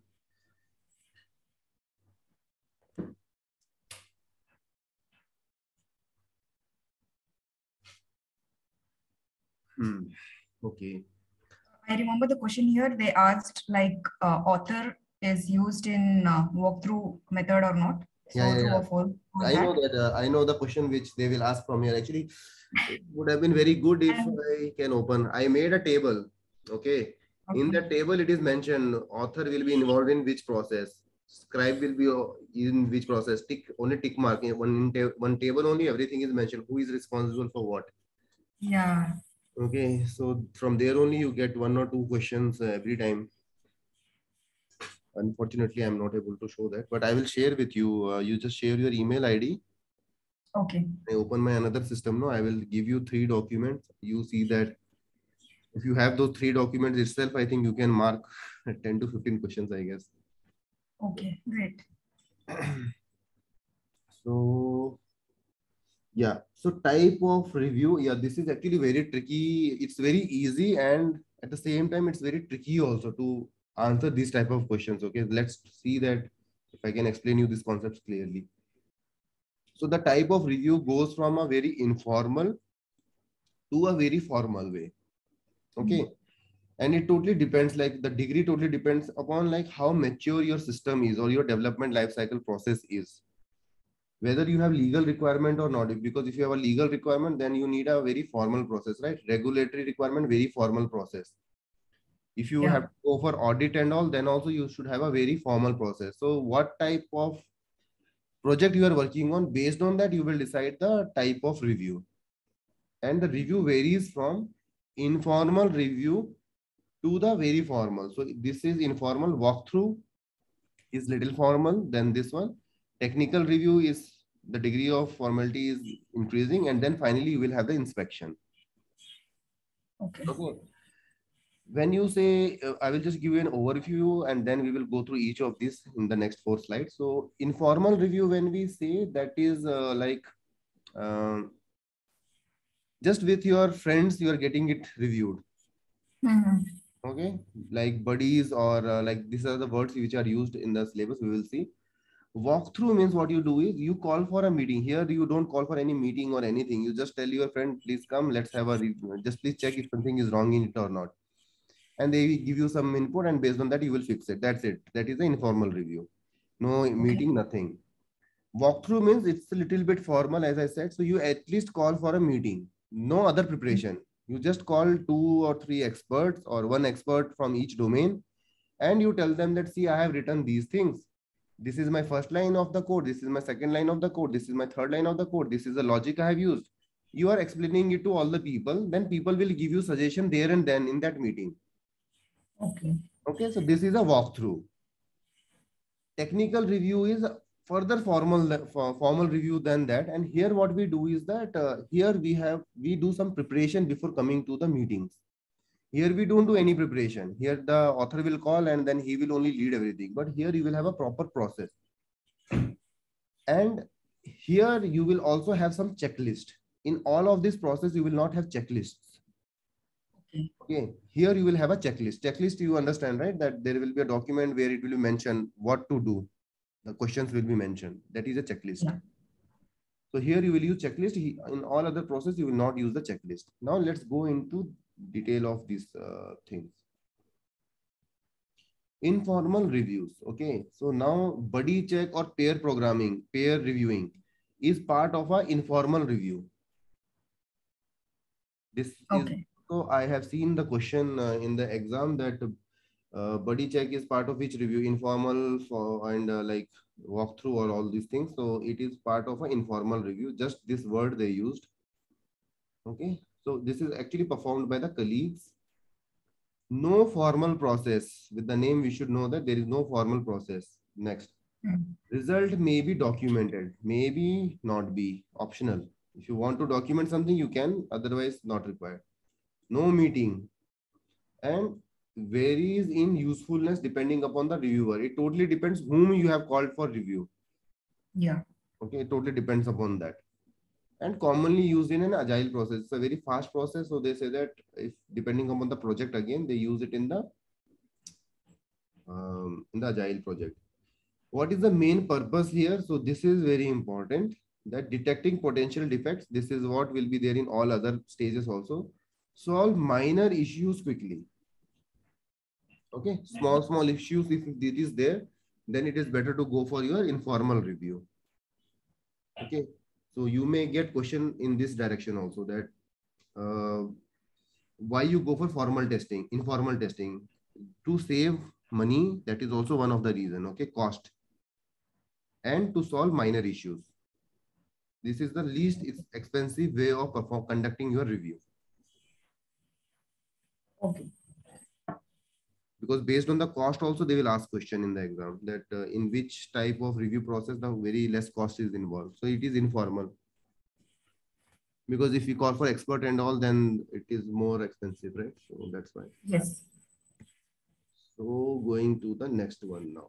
So types of review next part that is walkthrough here so previously you know that there was no meeting. Now obviously it is a little bit formal so meeting will be introduced but it is led by the author himself. May take form of dry run or scenarios. As i told you know that the author will come and he will represent that dry run. He will just go through. This is what i did this is what i did like this i did or some scenario he will give this is is my logic like that. And people will correct if necessary. So this is but it is led by the author itself Okay. Author Again, here would be the developer. Uh, developer, we can say that. Uh, yes, yes, developer only. Whoever okay. is producing the document is the author. Okay. Not only developer, uh, it could be tester also. For example, you have written your test case. Hmm. Now you want people to go through your test case. So you will tell that this is how I have written the test case. This is what I'm testing here. This is what I'm testing here. Then someone can tell you, no, no, you can do it in this way, or you can make your test case in this way. So like that, it's not necessary developer it's just an author it could be developer or tester. But the person who has written this who has built this uh, work product. Okay. May take form of a dry run or scenarios. So this is fine. Then individual preparation is optional. So if you see previous one there there was no uh, preparation. Here also there is no preparation but it is optional. Checklist is also optional okay. Yes. scribe or scribe maybe. Uh, if you go back there was no scribe over there. Here there is a scribe what they do is that they write the issues. Okay. Means the, the developer is the developer or tester they are they are presenting it right? And the technical experts are telling the comments. All these things will be written by the scribe here. Okay so until previously scribe was not there from here onwards scribe will be there in every place like walkthrough and then uh, technical review inspection inspection all the three places you will have him but you will not uh, have them in the uh, informal review informal. okay so you remember that from here it is included. Then potential defect logged and report optional. So reporting is optional here. So may vary from informal to very formal. So it is like one step ahead from informal. It is a little bit formal here. Okay. Okay. Hmm. So main point what is here is that what if you have to just remember that author is leading the meeting here and scribe is mandatory. Only these two things. Okay. Then again, finding defects, improving products, alternative implementation, and evaluate the standards. So people will, while going through it, they will see that if the format is correct, all these things, the people will look into it and provide the comment. So all these things we can correct in this stage. Okay. This is clear, no? This yes. complete part, no, you will get two questions and getting wrong here is very easy. Yeah. Okay because the small small things the scribe so it is there in the it is not there in the previous test from here onwards everywhere they will be there meeting. I think i went wrong in this question. They had asked in which review scribe is not required and i think i chose walkthrough because uh, i thought it is walkthrough but now i understand okay. Yes. it was insp- it was a very first informal review is where we don't have scribe mandatory okay. Yes. so here it is mandatory. Uh, as I told you know all these things whatever you see here no I have it in one table itself so no need to go through all of these slides also. I will share that with you. Uh, yeah okay. okay. Now you go to technical uh, review. So now you always have to compare between the stuff. So here optional meeting ideally led by the trained moderator. So there the meeting was led by the author. But now it is little bit one more one step ahead. So that's why here the meeting is led by the the trained moderator. Moderator is the lead. We can say that. The moderator could be a lead also here. Yes. Okay. Means someone experienced person, not the author. Okay. And if if in option you get that, or in the question if you get that uh, meeting led by the author, then it is walkthrough. Walkthrough. Yeah. Hmm. Because in the first stage there is no meeting so that is the next formal one. So there it is led by the author itself. Now it is more formal. So it is led by a moderator, any experienced person. Okay. Pre-meeting preparation by reviewer. So preparation will be done here. In the previous stage, there is no preparation. For last two stages, there were no preparation. Yes. Technical review, they will come with the preparation only. Okay. okay. But they don't use any checklist here. So until now, there is no checklist. Even for technical review, there is no checklist. In the next stage, they will use the checklist. So for checklist, you should link with formal review. Okay. Sorry, inspection, inspection. Okay. All right, inspection after this inspection. Right? Yes. And also one more point. Until now, the uh, logging of defect was optional, but now in this stage, you have to log the defects. Okay. Yeah, scribe is again mandatory and it includes peers and the technical experts. Okay. So what makes a difference between walkthrough and a review is that that here you you have a meeting which is led by the trained moderator. You have to have a pre a pre preparation or before coming to meeting you should have a preparation. You log the defects. So these are the things which makes it different from the walkthrough. Okay. And main purpose for the discussion and making this decisions. So discussions and you hmm. want to make the decision again alternative implementation if they're finding defects solving technical problem of the team so see until next stage maybe we can solve the technical problem but here because we are involving the technical experts so that is what we expect from them Okay, okay. so now the differences are getting clear right the small small differences Yes. Yes. now if you see here inspection so as i mentioned somewhere you see checklist so some rules or checklist they will definitely use. So again it is the same thing. It is led by the moderator. It is still same. This mandatory scribe is mandatory here. In all the three stages they are mandatory only okay? Hmm. pre-meeting preparation obviously if you are doing in the previous stage obviously you will do here also because it is more formal right? So everything what is making it different is that this checklist Checklist and rules. Yeah. this is just an extra point that author cannot be any of these things he cannot be the leader of meeting he cannot be the scribe here author okay same Hmm. Okay. again this is same peer examination by the experts will be done here all the roles will be defined Okay. this is one thing uh, and again you can go one more step and then again take the like you can gather some data here try to gather some data okay. And yeah this is very important. Entry criteria and exit criteria. So normally in the previous all stages we have never used entry criteria and exit criteria. Entry criteria and exit criteria with respect to uh, review uh, this this thing is that um, what all documents you should get to start your review done. Okay. that is the entry criteria. And when you will stop like checklist based is there no? Suppose you have 10 questions in your checklist once you are done with all the 10 questions you will stop your review process. So that is your exit criteria. Okay. Okay. Hmm? and you will follow a very well defined process no violation here. The complete process has to be followed. Okay and the reader reader i don't know what is the role of reader but until now all the stages reader were not there. But here reader is an optional person. Yeah. So if you see the first process, that is the informal one, there was no scribe. That is an exception. And here, if you see in the inspection, you have a reader here, which is not there in any other places. Okay. Yeah. Yeah. So these are the things. And then main purpose, finding defects and prevent future defects also. Okay. Until now, we never had future defects. Okay. So it comes only with inspection. So because everything is done here, so they want to see that the future defects are also prevented. Okay.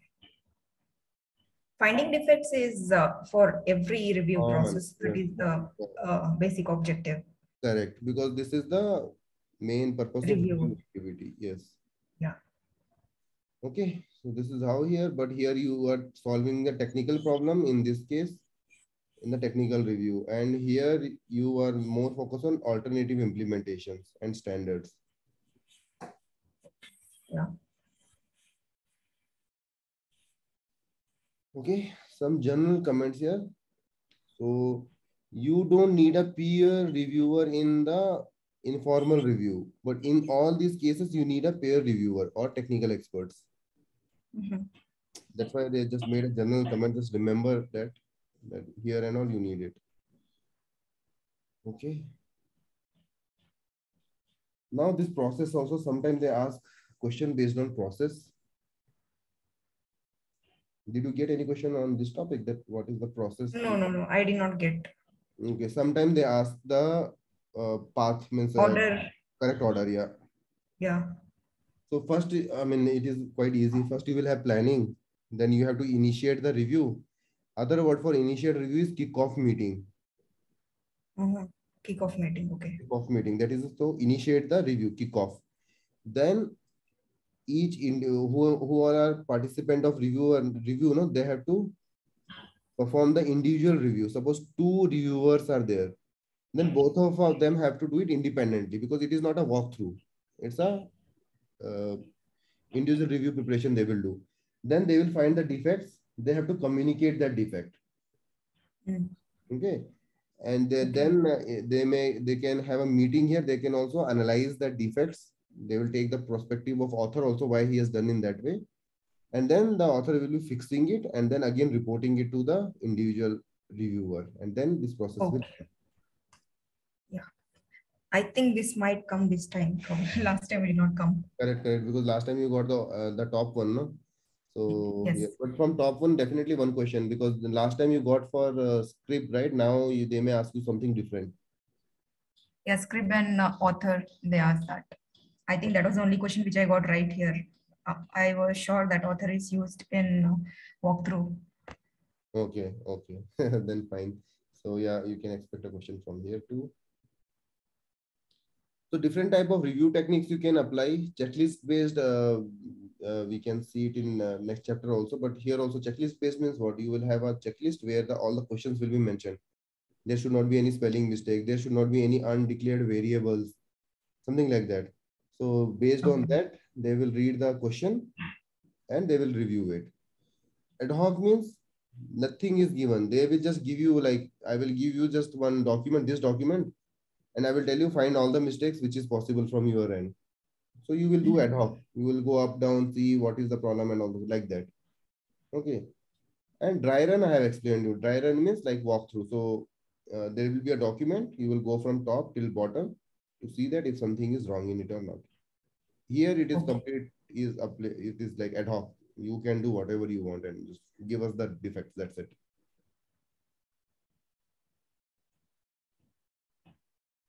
So these are some of the techniques which are applied through individual preparation activity. So we saw right here that we have this individual preparation. So Yeah. when you do this, that time you can apply any of these techniques.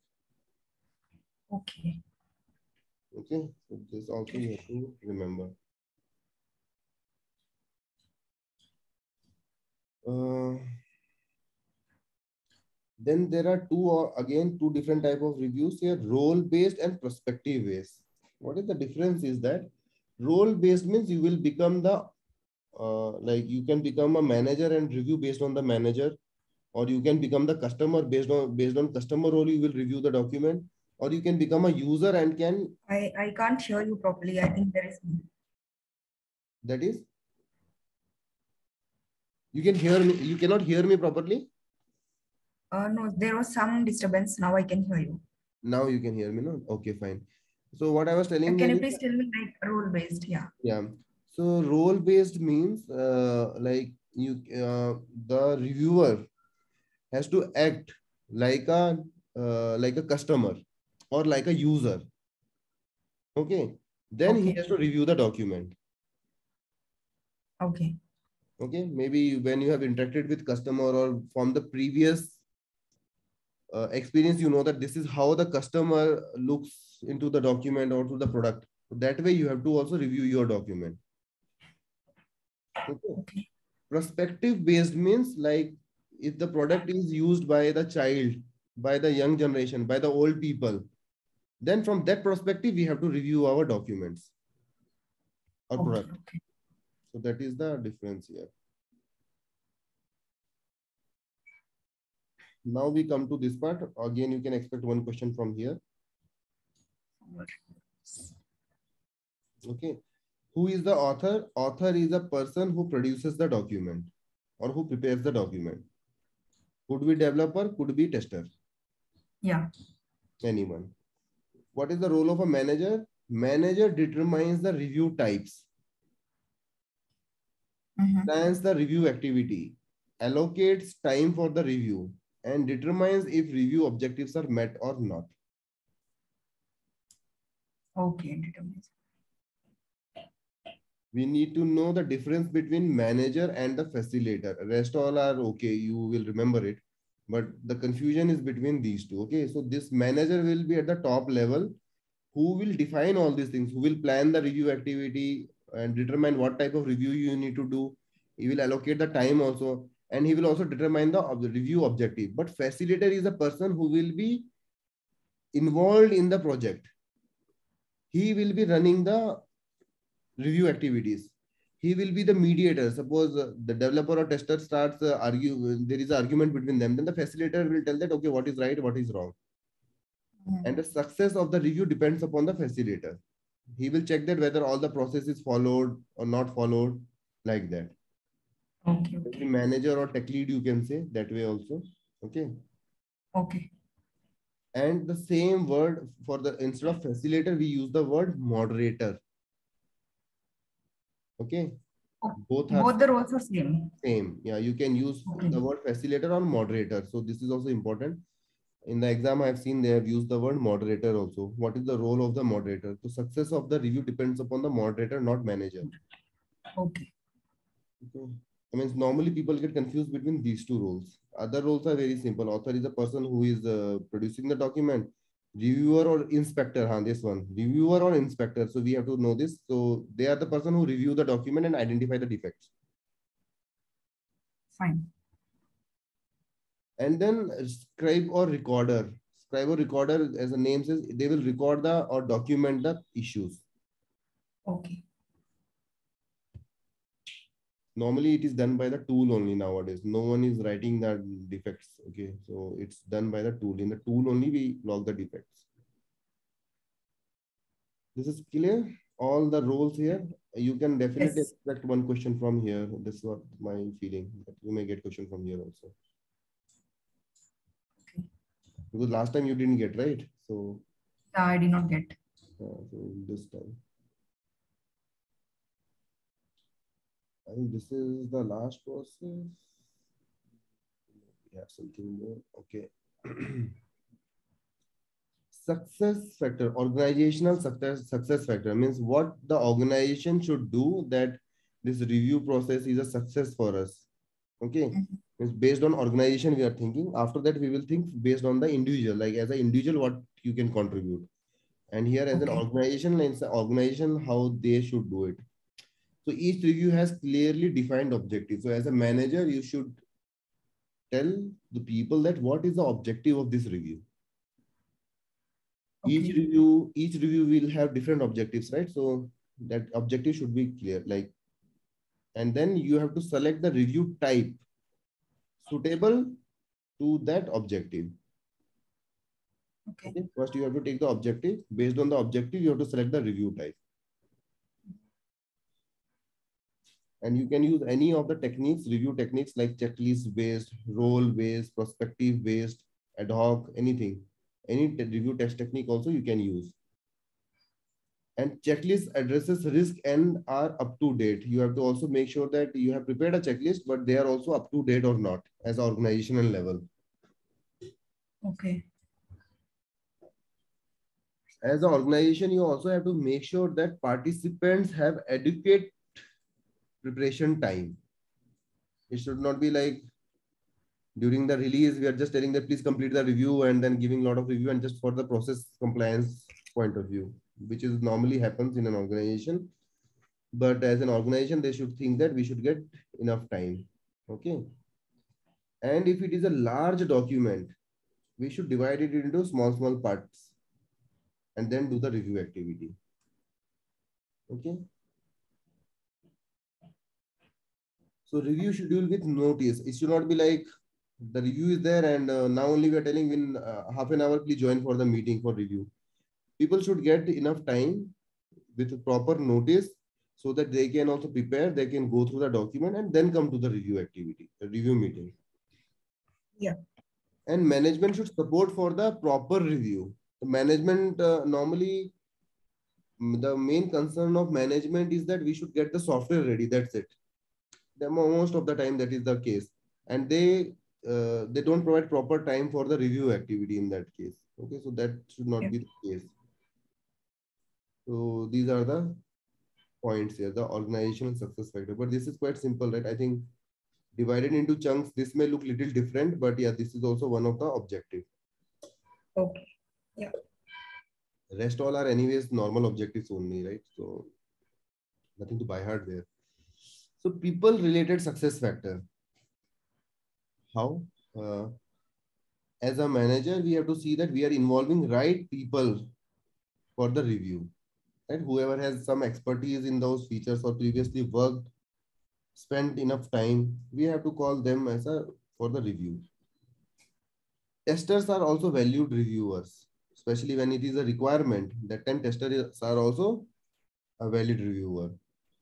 Mm -hmm. and uh, as an individual person we have to pay attention to the means dedicate adequate time and attention so normally what happens is even if uh, management gives one day time So what happens is that during the last one hour only, we try to complete the review activities. That's how is normally it works. But then we have to see that if it is a big document, we divide it into different sections and all, and then see that we utilize the time adequately. Yeah. And when we get the defect, it should be welcomed. It should not be, you should not think, take it as a criticism. It should be welcomed. Sometimes we see a very small mistake someone has found, but they have found, right? So better to fix it instead of thinking why we are finding such a small mistakes in things and all. So that's what it should be welcome People issues and psychological aspects are dealt with. That's what. So it's like a testing only, right? So how the people Yeah. will take and all those stuff should be considered here. Training given in review techniques. So if you have different different type of, uh, especially when you go for inspection, right? Normally, not everyone can go for inspection. So they tell that you can do uh, inspection only if you have a formal training on it. Okay. Okay, that is one thing which I have seen. It's, it's also a practice in my organization. Okay. Small chunk review to add. uh, yeah, so this is one more point. Like to keep the concentration level up, we have to divide the documents into small small chunks. This was also a part of uh, organization related success Yes. factor, I think. As the organization, they also think that they should not give a very big uh, review document. But even if it is given, then as a individual person, we have to see that we are not reviewing all of these things at one stretch itself. Right. So emphasis is on learning and the process improvement. So that means if you even if you find the bug or whatever, the main objective is to improve your process. Okay. So these are the points here. when you use a static analysis tool, these are some of some of the type of defects which you can find. Okay. This is also an important type of question only. Like insufficient use of variables. Insufficient use of variables, then infinite loops. We will see some examples here also. After that, unreachable code, inconsistent component or interface. If like one time it is working, one time it is not working. So that type of inconsistency, stability also overlay complex structures. So as I mentioned, no, one of the standard is that inside a function, you cannot have more than 10 lines of code. Suppose someone Yeah. has written 40 lines of code. It is very complex function then. So we have we that the static analysis tool will detect that how many lines of code you have written in an inside a function. Okay. Programming standard violations. For example, I gave you an example that the variable, the, the name of the variable cannot exceed more than 32 um, letters. Mhm. Okay. So if it is more than 32 letters, then this tool will can find that out. As a human being, it is very difficult, no? Each variable to check if it is crossing 32 letters or not. But tool can find it out easily for us. And any syntax related violation. So you might have seen during your college days when you are doing a compilation for C program, it will give you the syntax violation errors and all. Yeah, yeah. So the compiler can also act as a static analysis tool. Okay. Okay. Compiler use uh, remember that word. Uh, could be a question that the can compiler be used as a static analysis tool? The answer is yes for that. Okay. I actually used to get confused a lot between static testing and static analysis. Static testing has two part. One is manual testing, one is automated testing. Manual testing is your review activities. Yeah. Automated testing is your static analysis tool via Hmm. static analysis tool. So static testing has two divisions. One of the division is this one. Okay. You are right. It is uh, many uh, people get confused because they use the same word, no static analysis, both the place. Only here tool comes into picture. That's why. Yeah. Some examples here. So two examples are here, and with that, the chapter number three will end. Static analysis by tool, infinite loop. So if you read this, like suppose this is a diagram, we are doing a static analysis on it right now. We are not running the code, right? It is static. We are going from top to bottom. So here we have given x is equal to 20 equals to 20. And then we come here, we check that while x is greater than 0. Mm-hmm. That means x is 20 only. And here we have x is greater than 0 only, right? So it will come Yeah. here. Then this loop will continue because now the x is not updating anywhere, na? value of x. Yes. Yeah. So this is a continuous loop. That means you are not executing this part. So this is an infinite loop. Mhm. Now let's see another example of dead code, how a dead code looks like. So here they're telling if you are over 17, Mhm. Then you can drive, fine. If you are over 16, so you are in this branch because you are over 17, right? That means you are always, you are anyways over 16 also. Yeah. Then you cannot go to this else part, you will go to the true part only. So this part will never execute if you go inside, if you come inside this. Mhm. Okay. And this is a dead code because you cannot go from this one. Yeah. Okay. In exam, I don't know, they can give you sometime these flowcharts and they can ask you like, uh, what is the problem here? Like static analysis, what is the problem here? So dead code is a problem. In advanced level, they do that. Mhm. Okay, yeah, this level they will not do, but in advanced level they will give you a code and then they will ask you that what is the problem here with with respect to static analysis, like infinite loop, dead code, variable not defined, something like that. They will uh, make questions over there. Okay. So this is the example. That's it. Next is the chapter number four. But I think for today it is uh, good, right? I mean, you have still enough time that you can go through the document for first three chapters, right? Yes. So yeah, and then what I will do is that after this session, uh, yeah, if you see that it is all going good, maybe you can make a payment also, and uh, you may need my phone number, right? If you to make PhonePe or something. Uh, yes. You can WhatsApp me your contact number. Uh, same number. It's the same number. I think we are all Okay, already in. WhatsApp. No, it's the same number. So there you can make the payment, and then uh, I will also share you these documents. This PPT I will share with you, and uh, uh, below this PPT only all the questions are also there. You can make Yeah, yeah. you can go through these questions also. So everything is this is one document where everything is available. Okay, PPT and question answers everything. Apart from that, I will just give you uh, this uh, summary sheets Okay. for that. So this is what we can do. I think we can wind up today, right? Yeah. Yeah. So tomorrow, what we'll do because with fresh mind, we will start chapter four because I think there we need a lot of concentration and attention to solve the. Yes. So it's better to start tomorrow, ten o'clock. Okay. Okay. So Tomorrow will, we are going to cover how many chapters? Like, uh, let's see because chapter four is also very big. Chapter five is also very big. Okay. okay. So chapter four, usually I means whenever I'm taking it, it goes like three hours to four hours with breaks and everything. No, mostly four hours we will take for chapter four only. Okay.